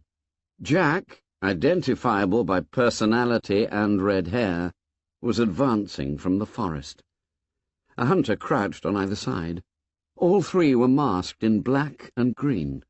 Behind them on the grass, the headless and paunched body of a sow lay where they had dropped it. Piggy wailed, Ralph, don't leave me. With ludicrous care he embraced the rock, pressing himself to it above the sucking sea. The sniggering of the savages became a loud, derisive jeer. Jack shouted above the noise. You go away, Ralph. You keep to your end. This is my end and my tribe. You leave me alone. The jeering died away. You pinched Piggy's specs, said Ralph breathlessly. You've got to give them back. Got to? Who says?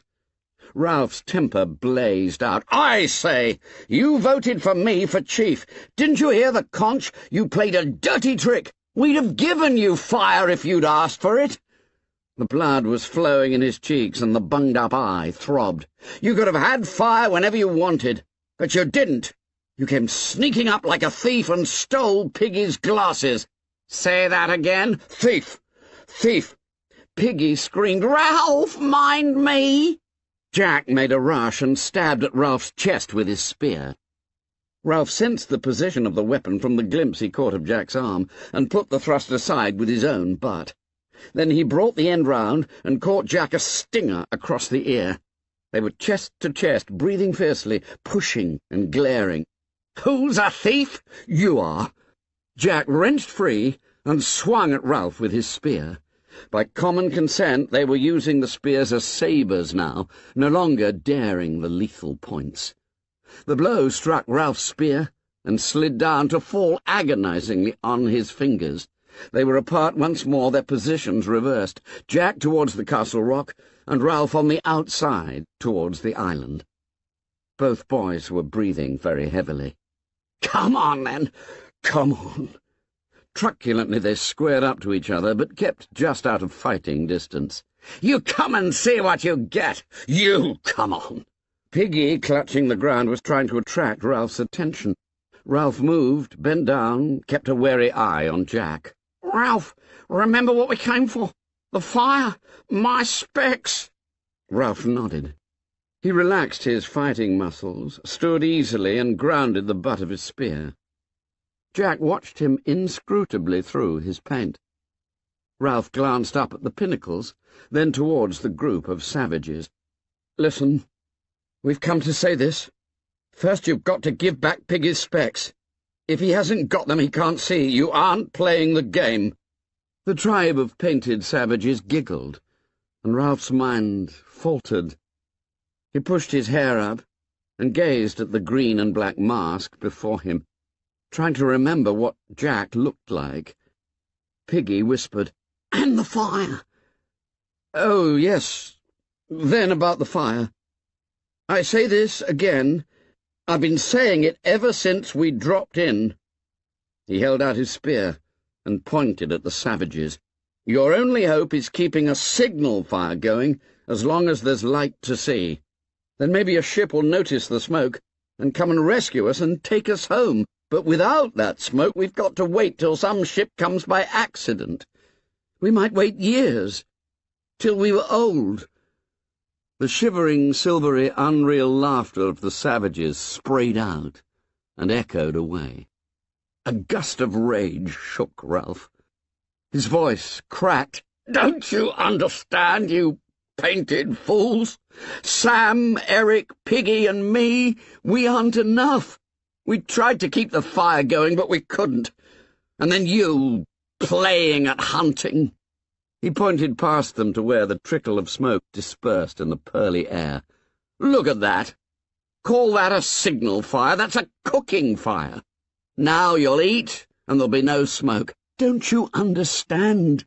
There may be a ship out there. He paused, defeated by the silence and the painted anonymity of the group guarding the entry. The chief opened a pink mouth and addressed Samneric who were between him and his tribe.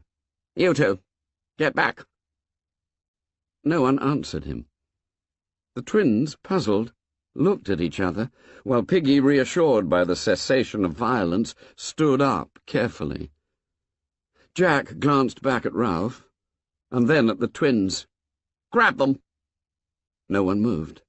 Jack shouted angrily, I said grab them! The painted group moved round Samneric nervously and unhandily. Once more the silvery laughter scattered.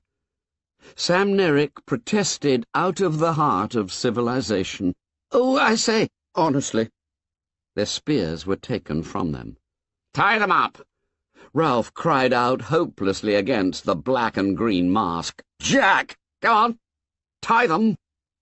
Now the painted group felt the otherness of Samneric, felt the power in their own hands.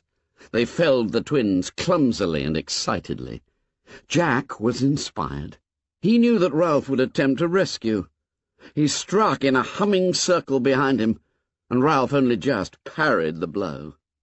Beyond them the tribe and the twins were a loud and writhing heap. Piggy crouched again. Then the twins lay astonished, and the tribe stood round them. Jack turned to Ralph and spoke between his teeth. See? They do what I want. There was silence again. The twins lay inexpertly tied up, and the tribe watched Ralph to see what he would do. He numbered them through his fringe, glimpsed the ineffectual smoke, his temper broke. He screamed at Jack. You're a beast and a swine and a bloody, bloody thief! He charged. Jack, knowing this was the crisis, charged too. They met with a jolt and bounced apart. Jack swung with his fist at Ralph and caught him on the ear. Ralph hit Jack in the stomach and made him grunt. Then they were facing each other again, panting and furious, but unnerved by each other's ferocity. They became aware of the noise that was the background to this fight, the steady, shrill cheering of the tribe behind them. Piggy's voice penetrated to Ralph. Let me speak! He was standing in the dust of the fight, and as the tribe saw his intention, the shrill cheer changed to a steady booing. Piggy held up the conch, and the booing sagged a little, then came up again to strength. I got the conch! he shouted. I tell you, I got the conch! Surprisingly, there was silence now. The tribe were curious to hear what amusing thing he might have to say. Silence and pause. But in the silence, a curious air noise close by Ralph's head. He gave it half his attention. And there it was again, a faint zup. Someone was throwing stones. Roger was dropping them, his one hand still on the lever. Below him, Ralph was a shock of hair, and Piggy a bag of fat. I got this to say. You're acting like a crowd of kids. The booing rose and died again as Piggy lifted the white magic shell. Which is better, to be a pack of painted niggers like you are, or to be sensible like Ralph is? A great clamour rose among the savages. Piggy shouted again, Which is better, to have rules and agree, or to hunt and kill? Again the clamour, and again zup. Ralph shouted against the noise. Which is better, law and rescue, or hunting and breaking things up? Now Jack was yelling too, and Ralph could no longer make himself heard. Jack had backed right against the tribe, and they were a solid mass of menace that bristled with spears. The intention of a charge was forming among them.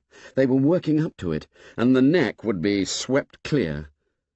Ralph stood facing them a little to one side, his spear ready.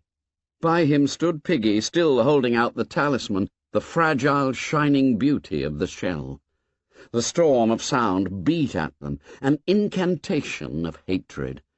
High overhead, Roger, with a sense of delirious abandonment, leaned all his weight on the lever. Ralph heard the great rock long before he saw it. He was aware of a jolt in the earth that came to him through the soles of his feet, and the breaking sound of stones at the top of the cliff. Then the monstrous red thing bounded across the neck, and he flung himself flat while the tribe shrieked. The rock struck Piggy a glancing blow from chin to knee. The conch exploded into a thousand white fragments and ceased to exist. Piggy, saying nothing, with no time for even a grunt, travelled through the air sideways from the rock, turning over as he went. The rock bounded twice and was lost in the forest. Piggy fell forty feet and landed on his back across that square red rock in the sea. His head opened, and stuff came out and turned red. Piggy's arms and legs twitched a bit, like a pig's after it has been killed. Then the sea breathed again in a long, slow sigh. The water boiled white and pink over the rock. And when it went, sucking back again, the body of Piggy was gone. This time the silence was complete. Ralph's lips formed a word, but no sound came. Suddenly Jack bounded out from the tribe and began screaming wildly. See? See? That's what you'll get! I meant that! There isn't a tribe for you anymore! The conch is gone! He ran forward, stooping. I'm chief! Viciously, with full intention, he hurled his spear at Ralph. The point tore the skin and flesh over Ralph's ribs, then sheared off and fell in the water. Ralph stumbled, feeling not pain but panic, and the tribe, screaming now like the chief, began to advance. Another spear, a bent one that would not fly straight, went past his face, and one fell from on high where Roger was. The twins lay hidden behind the tribe, and the anonymous devil's faces swarmed across the neck. Ralph turned and ran. A great noise, as of seagulls, rose behind him.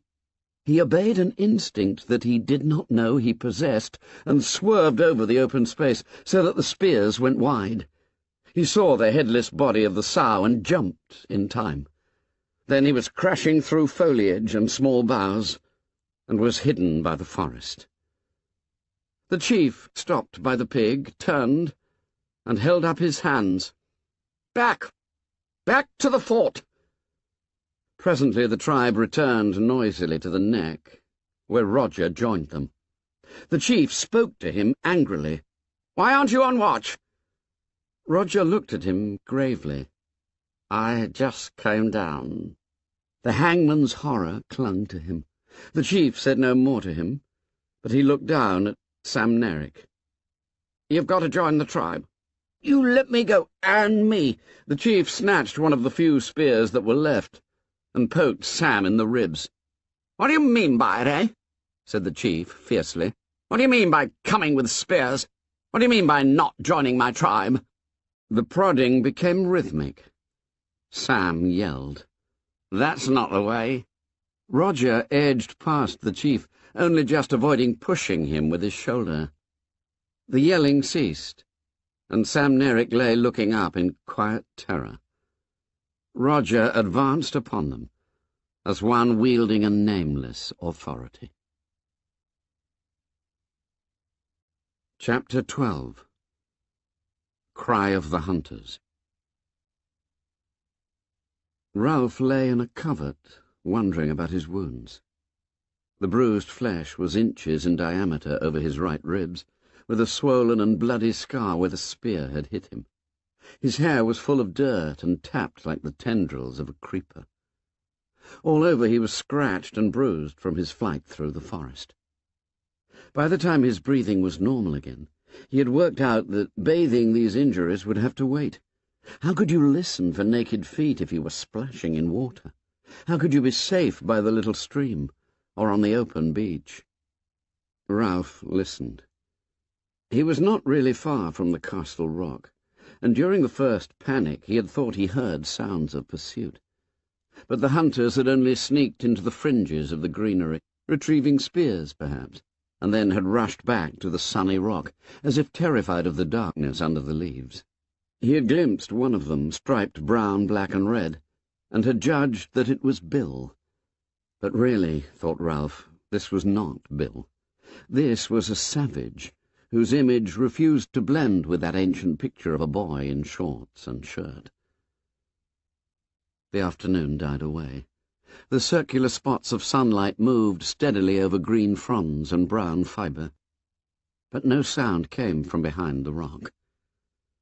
At last Ralph wormed out of the ferns and sneaked forward to the edge of that impenetrable thicket that fronted the neck of land. He peered with elaborate caution between branches at the edge, and could see Robert sitting on guard at the top of the cliff. He held a spear in his left hand, and was tossing up a pebble and catching it again with the right. Behind him a column of smoke rose thickly, so that Ralph's nostrils flared, and his mouth dribbled.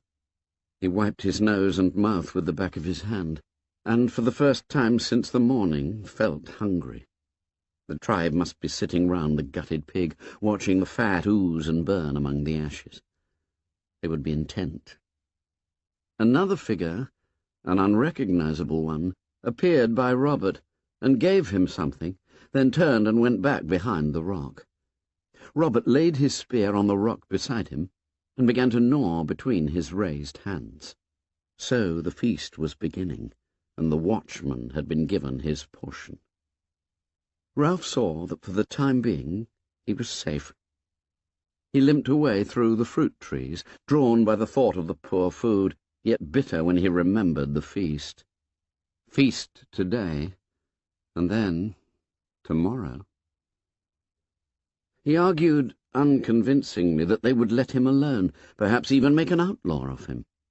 But then the fatal, unreasoning knowledge came to him again. The breaking of the conch and the deaths of Piggy and Simon lay over the island like a vapour. These painted savages would go further and further. Then there was that indefinable connection between himself and Jack, who therefore would never let him alone. Never. He paused, sun-flecked, holding up a bough, prepared to duck under it. A spasm of terror set him shaking, and he cried aloud, No, they're not as bad as that. It was an accident. He ducked under the bough, ran clumsily, then stopped and listened. He came to the smashed acres of fruit and ate greedily. He saw two littluns, and, not having any idea of his own appearance, wondered why they screamed and ran. When he had eaten, he went towards the beach. The sunlight was slanting now into the palms by the wrecked shelter. There was the platform and the pool. The best thing to do was to ignore this leaden feeling about the heart, and rely on their common sense their daylight sanity. Now that the tribe had eaten, the thing to do was to try again. And anyway, he couldn't stay here all night in an empty shelter by the deserted platform. His flesh crept, and he shivered in the evening sun. No fire, no smoke, no rescue. He turned and limped away through the forest, towards Jack's end of the island. The slanting sticks of sunlight were lost among the branches. At length he came to a clearing in the forest, where rock prevented vegetation from growing. Now it was a pool of shadows, and Ralph nearly flung himself behind a tree when he saw something standing in the centre. But then he saw that the white face was bone, and that the pig's skull grinned at him from the top of a stick. He walked slowly into the middle of the clearing, and looked steadily at the skull that gleamed as white as ever the conch had done, and seemed to jeer at him cynically. An inquisitive ant was busy in one of the eye sockets, but otherwise the thing was lifeless. Or was it? Little prickles of sensation ran up and down his back. He stood, the skull about on a level with his face, and held up his hair with two hands. The teeth grinned. The empty sockets seemed to hold his gaze masterfully, and without effort. What was it? The skull regarded Ralph like one who knows all the answers and won't tell. A sick fear and rage swept him. Fiercely he hit out at the filthy thing in front of him that bobbed like a toy and came back, still grinning, into his face, so that he lashed and cried out in loathing. Then he was licking his bruised knuckles and looking at the bare stick while the skull lay in two pieces, its grin now six feet across. He wrenched the quivering stick from the crack and held it as a spear between him and the white pieces. Then he backed away, keeping his face to the skull that lay grinning at the sky. When the green glow had gone from the horizon, and night was fully accomplished, Ralph came again to the thicket in front of Castle Rock. Peeping through, he could see that the height was still occupied and whoever it was up there had a spear at the ready. He knelt among the shadows, and felt his isolation bitterly. They were savages, it was true, but they were human, and the ambushing fears of the deep night were coming on. Ralph moaned faintly. Tired though he was, he could not relax and fall into a well of sleep for fear of the tribe. Might it not be possible to walk boldly into the fort and say, I've got pax, laugh lightly, and sleep among the others? Pretend they were still boys, schoolboys who had said, Sir, yes, sir, and worn caps? Daylight might have answered, yes, but darkness and the horrors of death said no. Lying there in the darkness, he knew he was an outcast. "'Cause I had some sense,' He rubbed his cheek along his forearm, smelling the acrid scent of salt and sweat and the staleness of dirt. Over to the left, the waves of ocean were breathing, sucking down, then boiling back over the rock. There were sounds coming from behind the castle rock. Listening carefully, detaching his mind from the swing of the sea, Ralph could make out a familiar rhythm. Kill the beast, cut his throat, spill his blood. The tribe was dancing. Somewhere on the other side of this rocky wall there would be a dark circle, a glowing fire, and meat. They would be savouring food and the comfort of safety. A noise nearer at hand made him quiver. Savages were clambering up the castle rock, right up to the top, and he could hear voices. He sneaked forward a few yards and saw the shape at the top of the rock change and enlarge. There were only two boys on the island who moved or talked like that. Ralph put his head down on his forearms and accepted this new fact like a wound. Samneric were part of the tribe now. They were guarding the castle rock against him. There was no chance of rescuing them and building up an outlaw tribe at the other end of the island. Samneric were savages like the rest. Piggy was dead and the conch smashed to powder. At length the guard climbed down. The two that remained seemed nothing more than a dark extension of the rock. A star appeared behind them, and was momentarily eclipsed by some movement. Ralph edged forward, feeling his way over the uneven surface as though he were blind. There were miles of vague water at his right, and the restless ocean lay under his left hand, as awful as the shaft of a pit. Every minute the water breathed round the death rock and flowered into a field of whiteness. Ralph crawled until he found the ledge of the entry in his grasp. The lookouts were immediately above him, and he could see the end of a spear projecting over the rock. He called, very gently, Samneric. There was no reply. To carry, he must speak louder, and this would rouse those striped and inimical creatures from their feasting by the fire. He set his teeth and started to climb, finding the holds by touch. The stick that had supported a skull hampered him, but he would not be parted from his only weapon. He was nearly level with the twins before he spoke again. Samneric. He heard a cry and a flurry from the rock. The twins had grabbed each other and were gibbering. It's me, Ralph.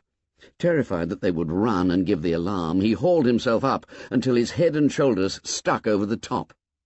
Far below his armpit he saw the luminous flowering round the rock. It's only me, Ralph. At length they bent forward and peered in his face.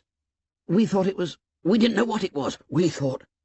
Memory of their new and shameful loyalty came to them. Eric was silent, but Sam tried to do his duty. You've got to go, Ralph. You go away now. He wagged his spear and essayed fierceness. You shove off, see? Eric nodded agreement and jabbed his spear in the air. Ralph leaned on his arms and did not go. I came to see you two. His voice was thick. His throat was hurting him now, though it had received no wound. I came to see you two. Words could not express the dull pain of these things. He fell silent, while the vivid stars were spilt and danced all ways. Sam shifted uneasily. Honest, Ralph, you'd better go. Ralph looked up again. You two aren't painted. How can you... If it were light... If it were light, shame would burn them at admitting these things. But the night was dark.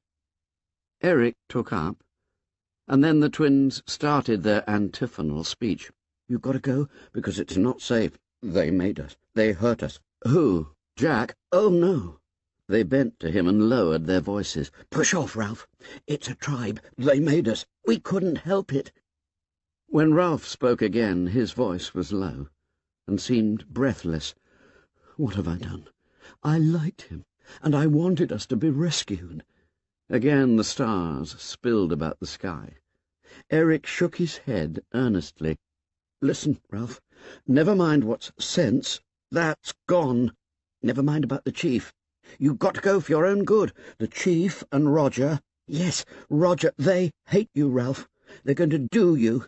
They're going to hunt you tomorrow. But why? I don't know. And Ralph, Jack, the chief, says it'll be dangerous, and we've got to be careful and throw our spears like at a pig. We're going to spread out in a line across the island. We're going forward from this end until we find you. We've got to give signals like this. Eric raised his mouth and achieved a faint ululation by beating on his open mouth. Then he glanced behind him nervously. Like that, only louder, of course. But I've done nothing, whispered Ralph urgently. I only wanted to keep up a fire. He paused for a moment, thinking miserably of the morrow. A matter of overwhelming importance occurred to him. What are you... He could not bring himself to be specific at first, but then fear and loneliness goaded him. When they find me, what are they going to do? The twins were silent. Beneath him the death rock flowered again. What are they? Oh, God, I'm hungry. The towering rock seemed to sway under him. Well, what? The twins answered his question indirectly. You've got to go now, Ralph. For your own good. Keep away. As far as you can. Won't you come with me? Three of us, we'd stand a chance. After a moment's silence, Sam spoke in a strangled voice. You don't know Roger. He's a terror. And the chief. They're both terrors. Only Roger... Both boys froze. Someone was climbing towards them from the tribe. He's coming to see if we're keeping watch. Quick, Ralph! As he prepared to let himself down the cliff, Ralph snatched at the last possible advantage to be wrung out of this meeting. I'll lie up close, in that thicket down there, he whispered, so keep them away from it. They'll never think to look so close. The footsteps were still some distance away. Sam, I'm going to be all right, aren't I? The twins were silent again. Here, said Sam suddenly. Take this. Ralph felt a chunk of meat pushed against him and grabbed it. But what are you going to do when you catch me? Silence above. He sounded silly to himself. He lowered himself down the rock. What are you going to do? From the top of the towering rock came the incomprehensible reply. Roger sharpened a stick at both ends. Roger sharpened a stick at both ends. Ralph tried to attach a meaning to this, but could not. He used all the bad words he could think of in a fit of temper that passed into yawning. How long could you go without sleep? He yearned for a bed and sheets, but the only whiteness here was the slow spilt milk, luminous round the rock forty feet below, where Piggy had fallen. Piggy was everywhere, was on his neck was become terrible in darkness and death. If Piggy were to come back now out of the water with his empty head... Ralph whimpered and yawned like a little one. The stick in his hand became a crutch on which he reeled. Then he tensed again. There were voices raised on the top of the castle rock. Samneric were arguing with someone. But the ferns and the grass were near. That was the place to be in, hidden, and next to the thicket that would serve for tomorrow's hideout. Here, and his hands touched grass, was a place to be in for the night, not far from the tribe, so that if the horrors of the supernatural emerged, one could at least mix with humans for the time being, even if it meant... What did it mean? A stick sharpened at both ends. What was there in that? They had thrown spears and missed, all but one. Perhaps they would miss next time, too.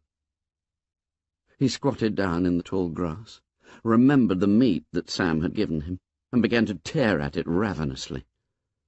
While he was eating, he heard fresh noises, cries of pain from Samneric, cries of panic, angry voices. What did it mean? Someone besides himself was in trouble, for at least one of the twins was catching it. Then the voices passed away down the rock, and he ceased to think of them. He felt with his hands, and found cool, delicate fronds backed against the thicket. Here, then, was the night's lair. At first light he would creep into the thicket, squeeze between the twisted stems, ensconce himself so deep that only a crawler like himself could come through, and that crawler would be jabbed. There he would sit, and the search would pass by, and the cordon waver on, ululating along the island, and he would be free. He pulled himself between the ferns, tunnelling in. He laid the stick beside him, and huddled himself down in the blackness. One must remember to wake at first light in order to diddle the savages. And he did not know how quickly sleep came and hurled him down a dark interior slope. He was awake before his eyes were open, listening to a noise that was near. He opened an eye, found the mould an inch or so from his face, and his fingers gripped into it, light filtering between the fronds of fern. He had just time to realize that the age-long nightmares of falling and death were past, and that the morning was come, when he heard the sound again. It was an ululation over by the seashore.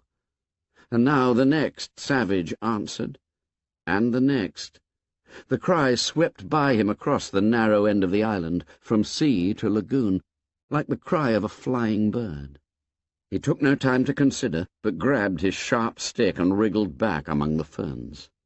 Within seconds he was worming his way into the thicket, but not before he had glimpsed the legs of a savage coming towards him. The ferns were thumped and beaten, and he heard legs moving in the long grass.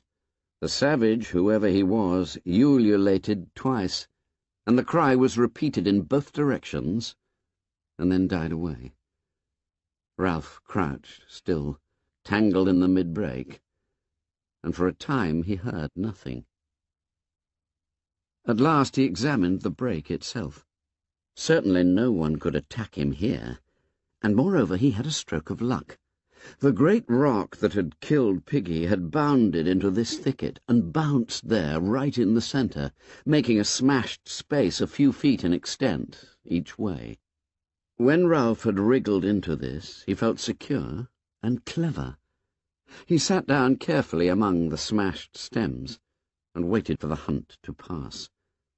Looking up between the leaves, he caught a glimpse of something red. That must be the top of Castle Rock, distant and unmenacing. He composed himself triumphantly to hear the sounds of the hunt dying away. Yet no one made a sound, and as the minutes passed in the green shade, his feeling of triumph faded.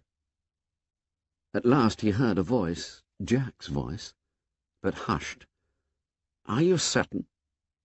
The savage addressed said nothing. Perhaps he made a gesture. Roger spoke. If you're fooling us. Immediately after this there came a gasp and a squeal of pain. Ralph crouched instinctively. One of the twins was there, outside the thicket, with Jack and Roger. You're sure he meant in there? The twin moaned faintly, and then squealed again. He meant he'd hide in there? Yes, yes, oh! Silvery laughter scattered among the trees. So they knew. Ralph picked up his stick and prepared for battle. But what could they do? It would take them a week to break a path through the thicket and anyone who wormed his way in would be helpless. He felt the point of his spear with his thumb, and grinned without amusement.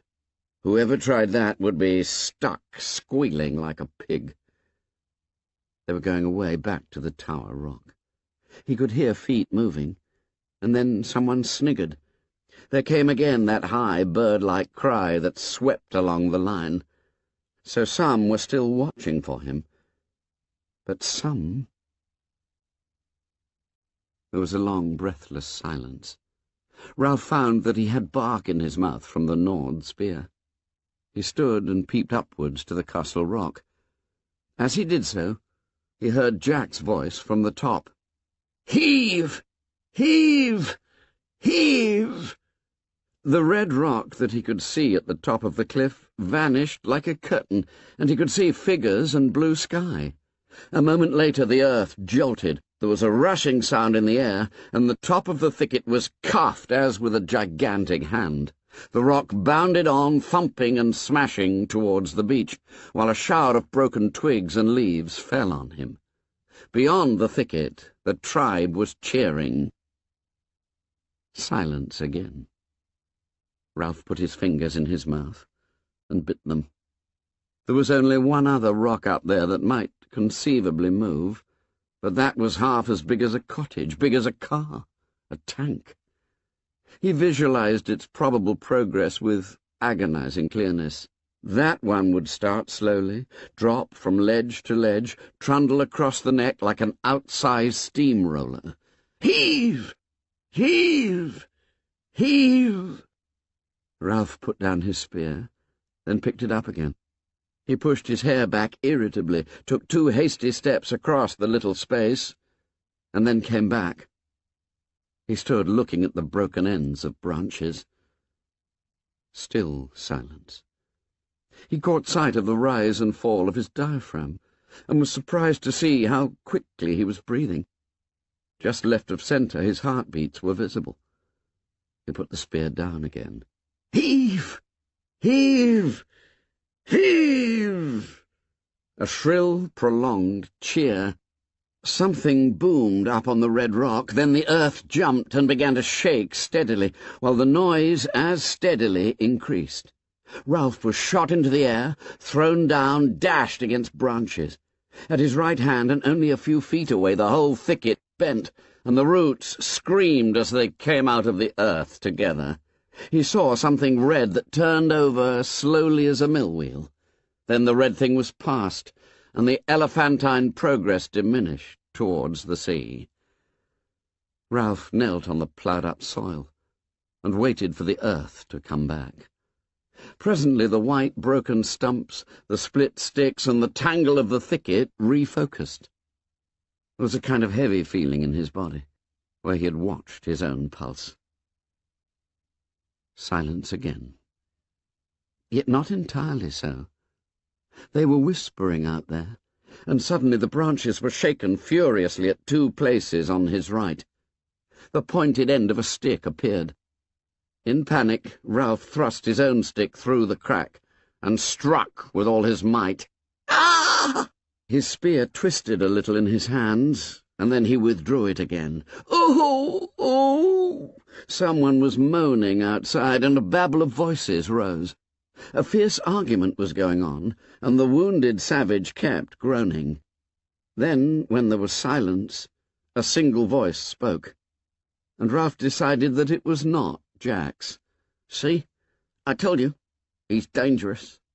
The wounded savage moaned again. What else? What next? Ralph fastened his hands round the chewed spear, and his hair fell. Someone was muttering only a few yards away towards the castle rock. He heard a savage say, No, in a shocked voice, and then there was suppressed laughter. He squatted back on his heels and showed his teeth at the wall of branches. He raised his spear, snarled a little, and waited. Once more the invisible group sniggered. He heard a curious trickling sound, and then a louder crepitation, as if someone were unwrapping great sheets of cellophane. A stick snapped, and he stifled a cough. Smoke was seeping through the branches in white and yellow wisps. The patch of blue sky overhead turned to the colour of a storm cloud, and then the smoke billowed round him. Someone laughed excitedly, and a voice shouted, Smoke! He wormed his way through the thicket towards the forest, keeping as far as possible beneath the smoke. Presently he saw open space and the green leaves of the edge of the thicket. A smallish savage was standing between him and the rest of the forest, a savage striped red and white, and carrying a spear. He was coughing and smearing the paint about his eyes with the back of his hand as he tried to see through the increasing smoke.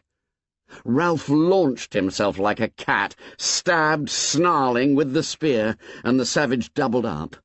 There was a shout from beyond the thicket, and then Ralph was running with the swiftness of fear through the undergrowth. He came to a pig run, followed it for perhaps a hundred yards, and then swerved off. Behind him the ululation swept across the island once more, and a single voice shouted three times. He guessed that was the signal to advance, and sped away again till his chest was like fire. Then he flung himself down under a bush and waited for a moment till his breathing steadied. He passed his tongue tentatively over his teeth and lips, and heard far off the ululation of the pursuers. There were many things he could do. He could climb a tree, but that was putting all his eggs in one basket. If he were detected, they had nothing more difficult to do than wait. If only one had time to think. Another double cry at the same distance gave him a clue to their plan. Any savage balked in the forest would utter the double shout and hold up the line till he was free again. That way they might hope to keep the cordon unbroken right across the island. Ralph thought of the boar that had broken through them with such ease. If necessary, when the chase came too close, he could charge the cordon while it was still thin, burst through, and run back. But run back where? The cordon would turn and sweep again. Sooner or later he would have to sleep or eat, and then he would awaken with hands clawing at him, and the hunt would become a running down. What was to be done then? The tree? Burst the line like a boar? Either way, the choice was terrible. A single cry quickened his heartbeat, and leaping up, he dashed away towards the ocean side and the thick jungle, till he was hung up among creepers. He stayed there for a moment with his calves quivering. If only one could have Pax, a long pause, a time to think. And there again, shrill and inevitable, was the ululation sweeping across the island. At that sound, he shied like a horse among the creepers, and ran once more till he was panting. He flung himself down by some ferns. The tree? Or the charge? He mastered his breathing for a moment, wiped his mouth, and told himself to be calm. Samneric was somewhere in that line, and hating it. Or were they? And supposing instead of them he met the chief, or Roger who carried death in his hands. Ralph pushed back his tangled hair and wiped the sweat out of his best eye. He spoke aloud. Think. What was the sensible thing to do? There was no piggy to talk sense. There was no solemn assembly for debate, nor dignity of the conch. Think! Most he was beginning to dread the curtain that might waver in his brain, blacking out the sense of danger, making a simpleton of him. A third idea would be to hide so well that the advancing line would pass without discovering him. He jerked his head off the ground and listened. There was another noise to attend to now, a deep, grumbling noise, as though the forest itself were angry with him, a sombre noise, across which the ululations were scribbled excruciatingly, as on slate. He knew he had heard it before somewhere, but had no time to remember. Break the line. A tree. Hide and let them pass. A nearer cry stood him on his feet, and immediately he was away again, running fast among the thorns and brambles. Suddenly he blundered into the open, found himself again in that open space, and there was the fathom-wide grin of the skull, no longer ridiculing a deep blue patch of sky, but jeering up into a blanket of smoke.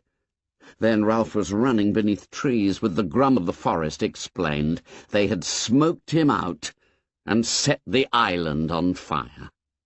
Hide was better than a tree, because you had a chance of breaking the line if you were discovered. Hide, then. He wondered if a pig would agree, and grimaced at nothing. Find the deepest thicket, the darkest hole on the island, and creep in. Now, as he ran, he peered about him. Bars and splashes of sunlight flitted over him, and sweat made glistening streaks on his dirty body. The cries were far now and faint.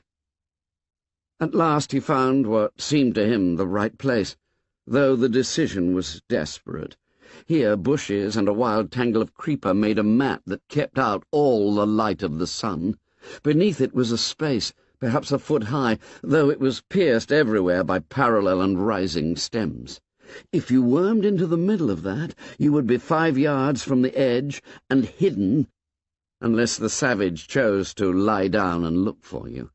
And even then you would be in darkness, and if the worst happened and he saw you, then you had a chance to burst out at him, fling the whole line out of step, and double back. Cautiously, his stick trailing behind him, Ralph wormed between the rising stems. When he reached the middle of the mat, he lay and listened. The fire was a big one, and the drum roll that he had thought was left so far behind was nearer. Couldn't a fire outrun a galloping horse? He could see the sun-splashed ground over an area of perhaps fifty yards from where he lay, and as he watched, the sunlight in every patch blinked at him. This was so like the curtain that flapped in his brain that for a moment he thought the blinking was inside him. But then the patches blinked more rapidly, dulled, and went out, so that he saw that a great heaviness of smoke lay between the island and the sun. If anyone peered under the bushes and chanced to glimpse human flesh, it might be Samneric. Who would pretend not to see and say nothing? He laid his cheek against the chocolate-coloured earth, licked his dry lips, and closed his eyes. Under the thicket the earth was vibrating very slightly, or perhaps there was a sound beneath the obvious thunder of the fire and scribbled ululations that was too low to hear. Someone cried out. Ralph jerked his cheek off the earth and looked into the dulled light. They must be near now, he thought, and his chest began to thump. Hide, break the line, climb a tree. Which was the best, after all? The trouble was you only had one chance. Now the fire was nearer. Those volleying shots were great limbs, trunks even, bursting. The fools! The fire must be almost at the fruit trees. What would they eat tomorrow? Ralph stirred restlessly in his narrow bed. One chance, nothing. What could they do? Beat him? So what? Kill him? A stick sharpened at both ends. The cries, suddenly nearer, jerked him up. He could see a striped savage moving hastily out of a green tangle and coming towards the mat where he hid. A savage who carried a spear. Ralph gripped his fingers into the earth. Be ready now, in case. Ralph fumbled to hold his spear so that it was point foremost, and now he saw that the stick was sharpened at both ends. The savage stopped fifteen yards away and uttered his cry. Perhaps he can hear my heart over the noises of the fire. Don't scream. Get ready. The savage moved forward so that you could only see him from the waist down. That was the butt of his spear. Now you could see him from the knee down. Don't scream. A herd of pigs came squealing out of the greenery behind the savage and rushed away into the forest. Birds were screaming, mice shrieking, and a little hopping thing came under the mat and cowered. Five yards away the savage stopped, standing right by the thicket, and cried out. Ralph drew his feet up and crouched. The stake was in his hands, the stake sharpened at both ends, the stake that vibrated so wildly, that grew long, short, light, heavy, light again. The ululation spread from shore to shore. The savage knelt down by the edge of the thicket and there were lights flickering in the forest behind him. You could see a knee disturb the mould, now the other. Two hands, a spear, a face. The savage peered into the obscurity beneath the thicket. You could tell that he saw light on this side and on that, but not in the middle, there. In the middle was a blob of dark, and the savage wrinkled up his face, trying to decipher the darkness. The seconds lengthened. Ralph was looking straight into the savage's eyes. Don't scream. You'll get back. Now he's seen you. He's making sure. A stick sharpened. Ralph screamed, a scream of fright and anger and desperation. His legs straightened, the screams became continuous and foaming. He shot forward, burst the thicket, was in the open, screaming, snarling, bloody. He swung the stake, and the savage tumbled over. But there were others coming towards him, crying out. He swerved as a spear flew past, and then was silent, running. All at once the lights flickering ahead of him merged together. The roar of the forest rose to thunder, and a tall bush directly in his path burst into a great fan-shaped flame. He swung to the right, running desperately fast, with the heat beating on his left side and the fire racing forward like a tide. The ululation rose behind him and spread along, a series of short, sharp cries, the sighting call. A brown figure showed up at his right and fell away. They were all running, all crying out madly. He could hear them crashing in the undergrowth, and on the left was the hot, bright thunder of the fire. He forgot his wounds, his hunger and thirst, and became fear, hopeless fear on flying feet rushing through the forest towards the open beach. Spots jumped before his eyes and turned into red circles that expanded quickly till they passed out of sight. Below him, someone's legs were getting tired, and the desperate ululation advanced like a jagged fringe of menace, and was almost overhead. He stumbled over a root and the cry that pursued him rose even higher. He saw a shelter burst into flames, and the fire flapped at his right shoulder, and there was the glitter of water. Then he was down, rolling over and over in the warm sand, crouching with arm up to ward off, trying to cry for mercy. He staggered to his feet, tensed for more terrors, and looked up at a huge peaked cap. It was a white-topped cap, and above the green shade of the peak was a crown, an anchor, gold foliage. He saw a white drill, epaulettes, a revolver, a row of gilt buttons down the front of a uniform. A naval officer stood on the sand, looking down at Ralph in wary astonishment. On the beach behind him was a cutter, her bows hauled up and held by two ratings. In the stern sheets another rating held a submachine gun. The ululation faltered and died away. The officer looked at Ralph doubtfully for a moment, then took his hand away from the butt of the revolver. Hello. Squirming a little, conscious of his filthy appearance, Ralph answered shyly. Uh, hello. The officer nodded, as if a question had been answered. Are there any adults, any grown-ups with you? Dumbly, Ralph shook his head.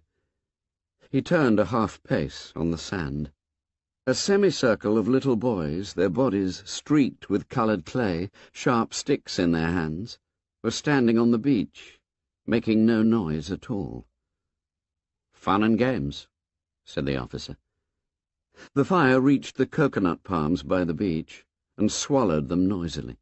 A flame, seemingly detached, swung like an acrobat and licked up the palm heads on the platform. The sky was black. The officer grinned cheerfully at Ralph. We saw your smoke. What have you been doing? Having a war or something? Ralph nodded. The officer inspected the little scarecrow in front of him. The kid needed a bath, a haircut, a nose wipe, and a good deal of ointment. Nobody killed, I hope? Any dead bodies? Only two, and they've gone. The officer leaned down and looked closely at Ralph. Two. Killed? Ralph nodded again. Behind him the whole island was shuddering with flame. The officer knew as a rule when people were telling the truth. He whistled softly. Other boys were appearing now, tiny tots, some of them, brown, with the distended bellies of small savages.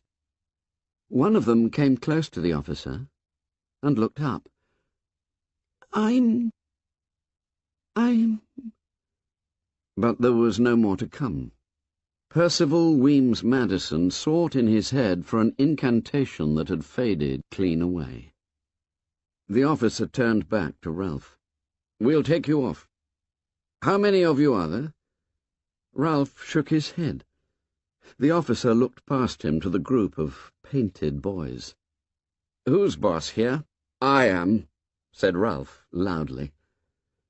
A little boy who wore the remains of an extraordinary black cap on his red hair, and who carried the remains of a pair of spectacles at his waist, started forward, then changed his mind, and stood still. We saw your smoke.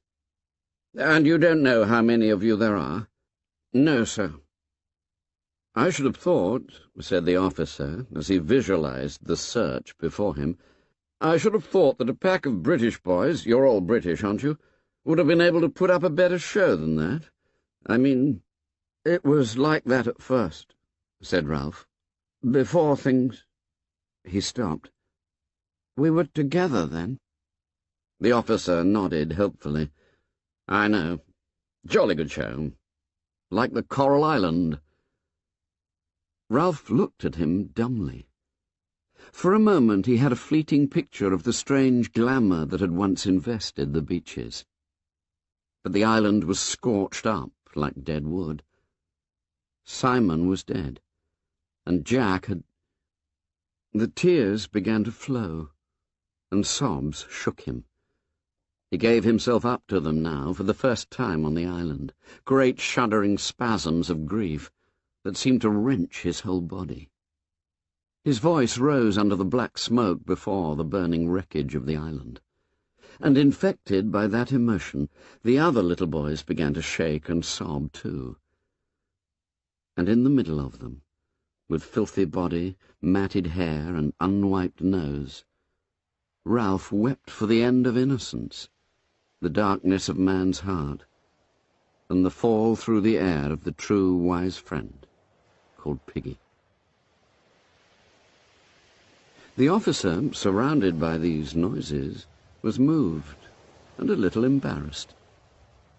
He turned away to give them time to pull themselves together, and waited, allowing his eyes to rest on the trim cruiser in the distance.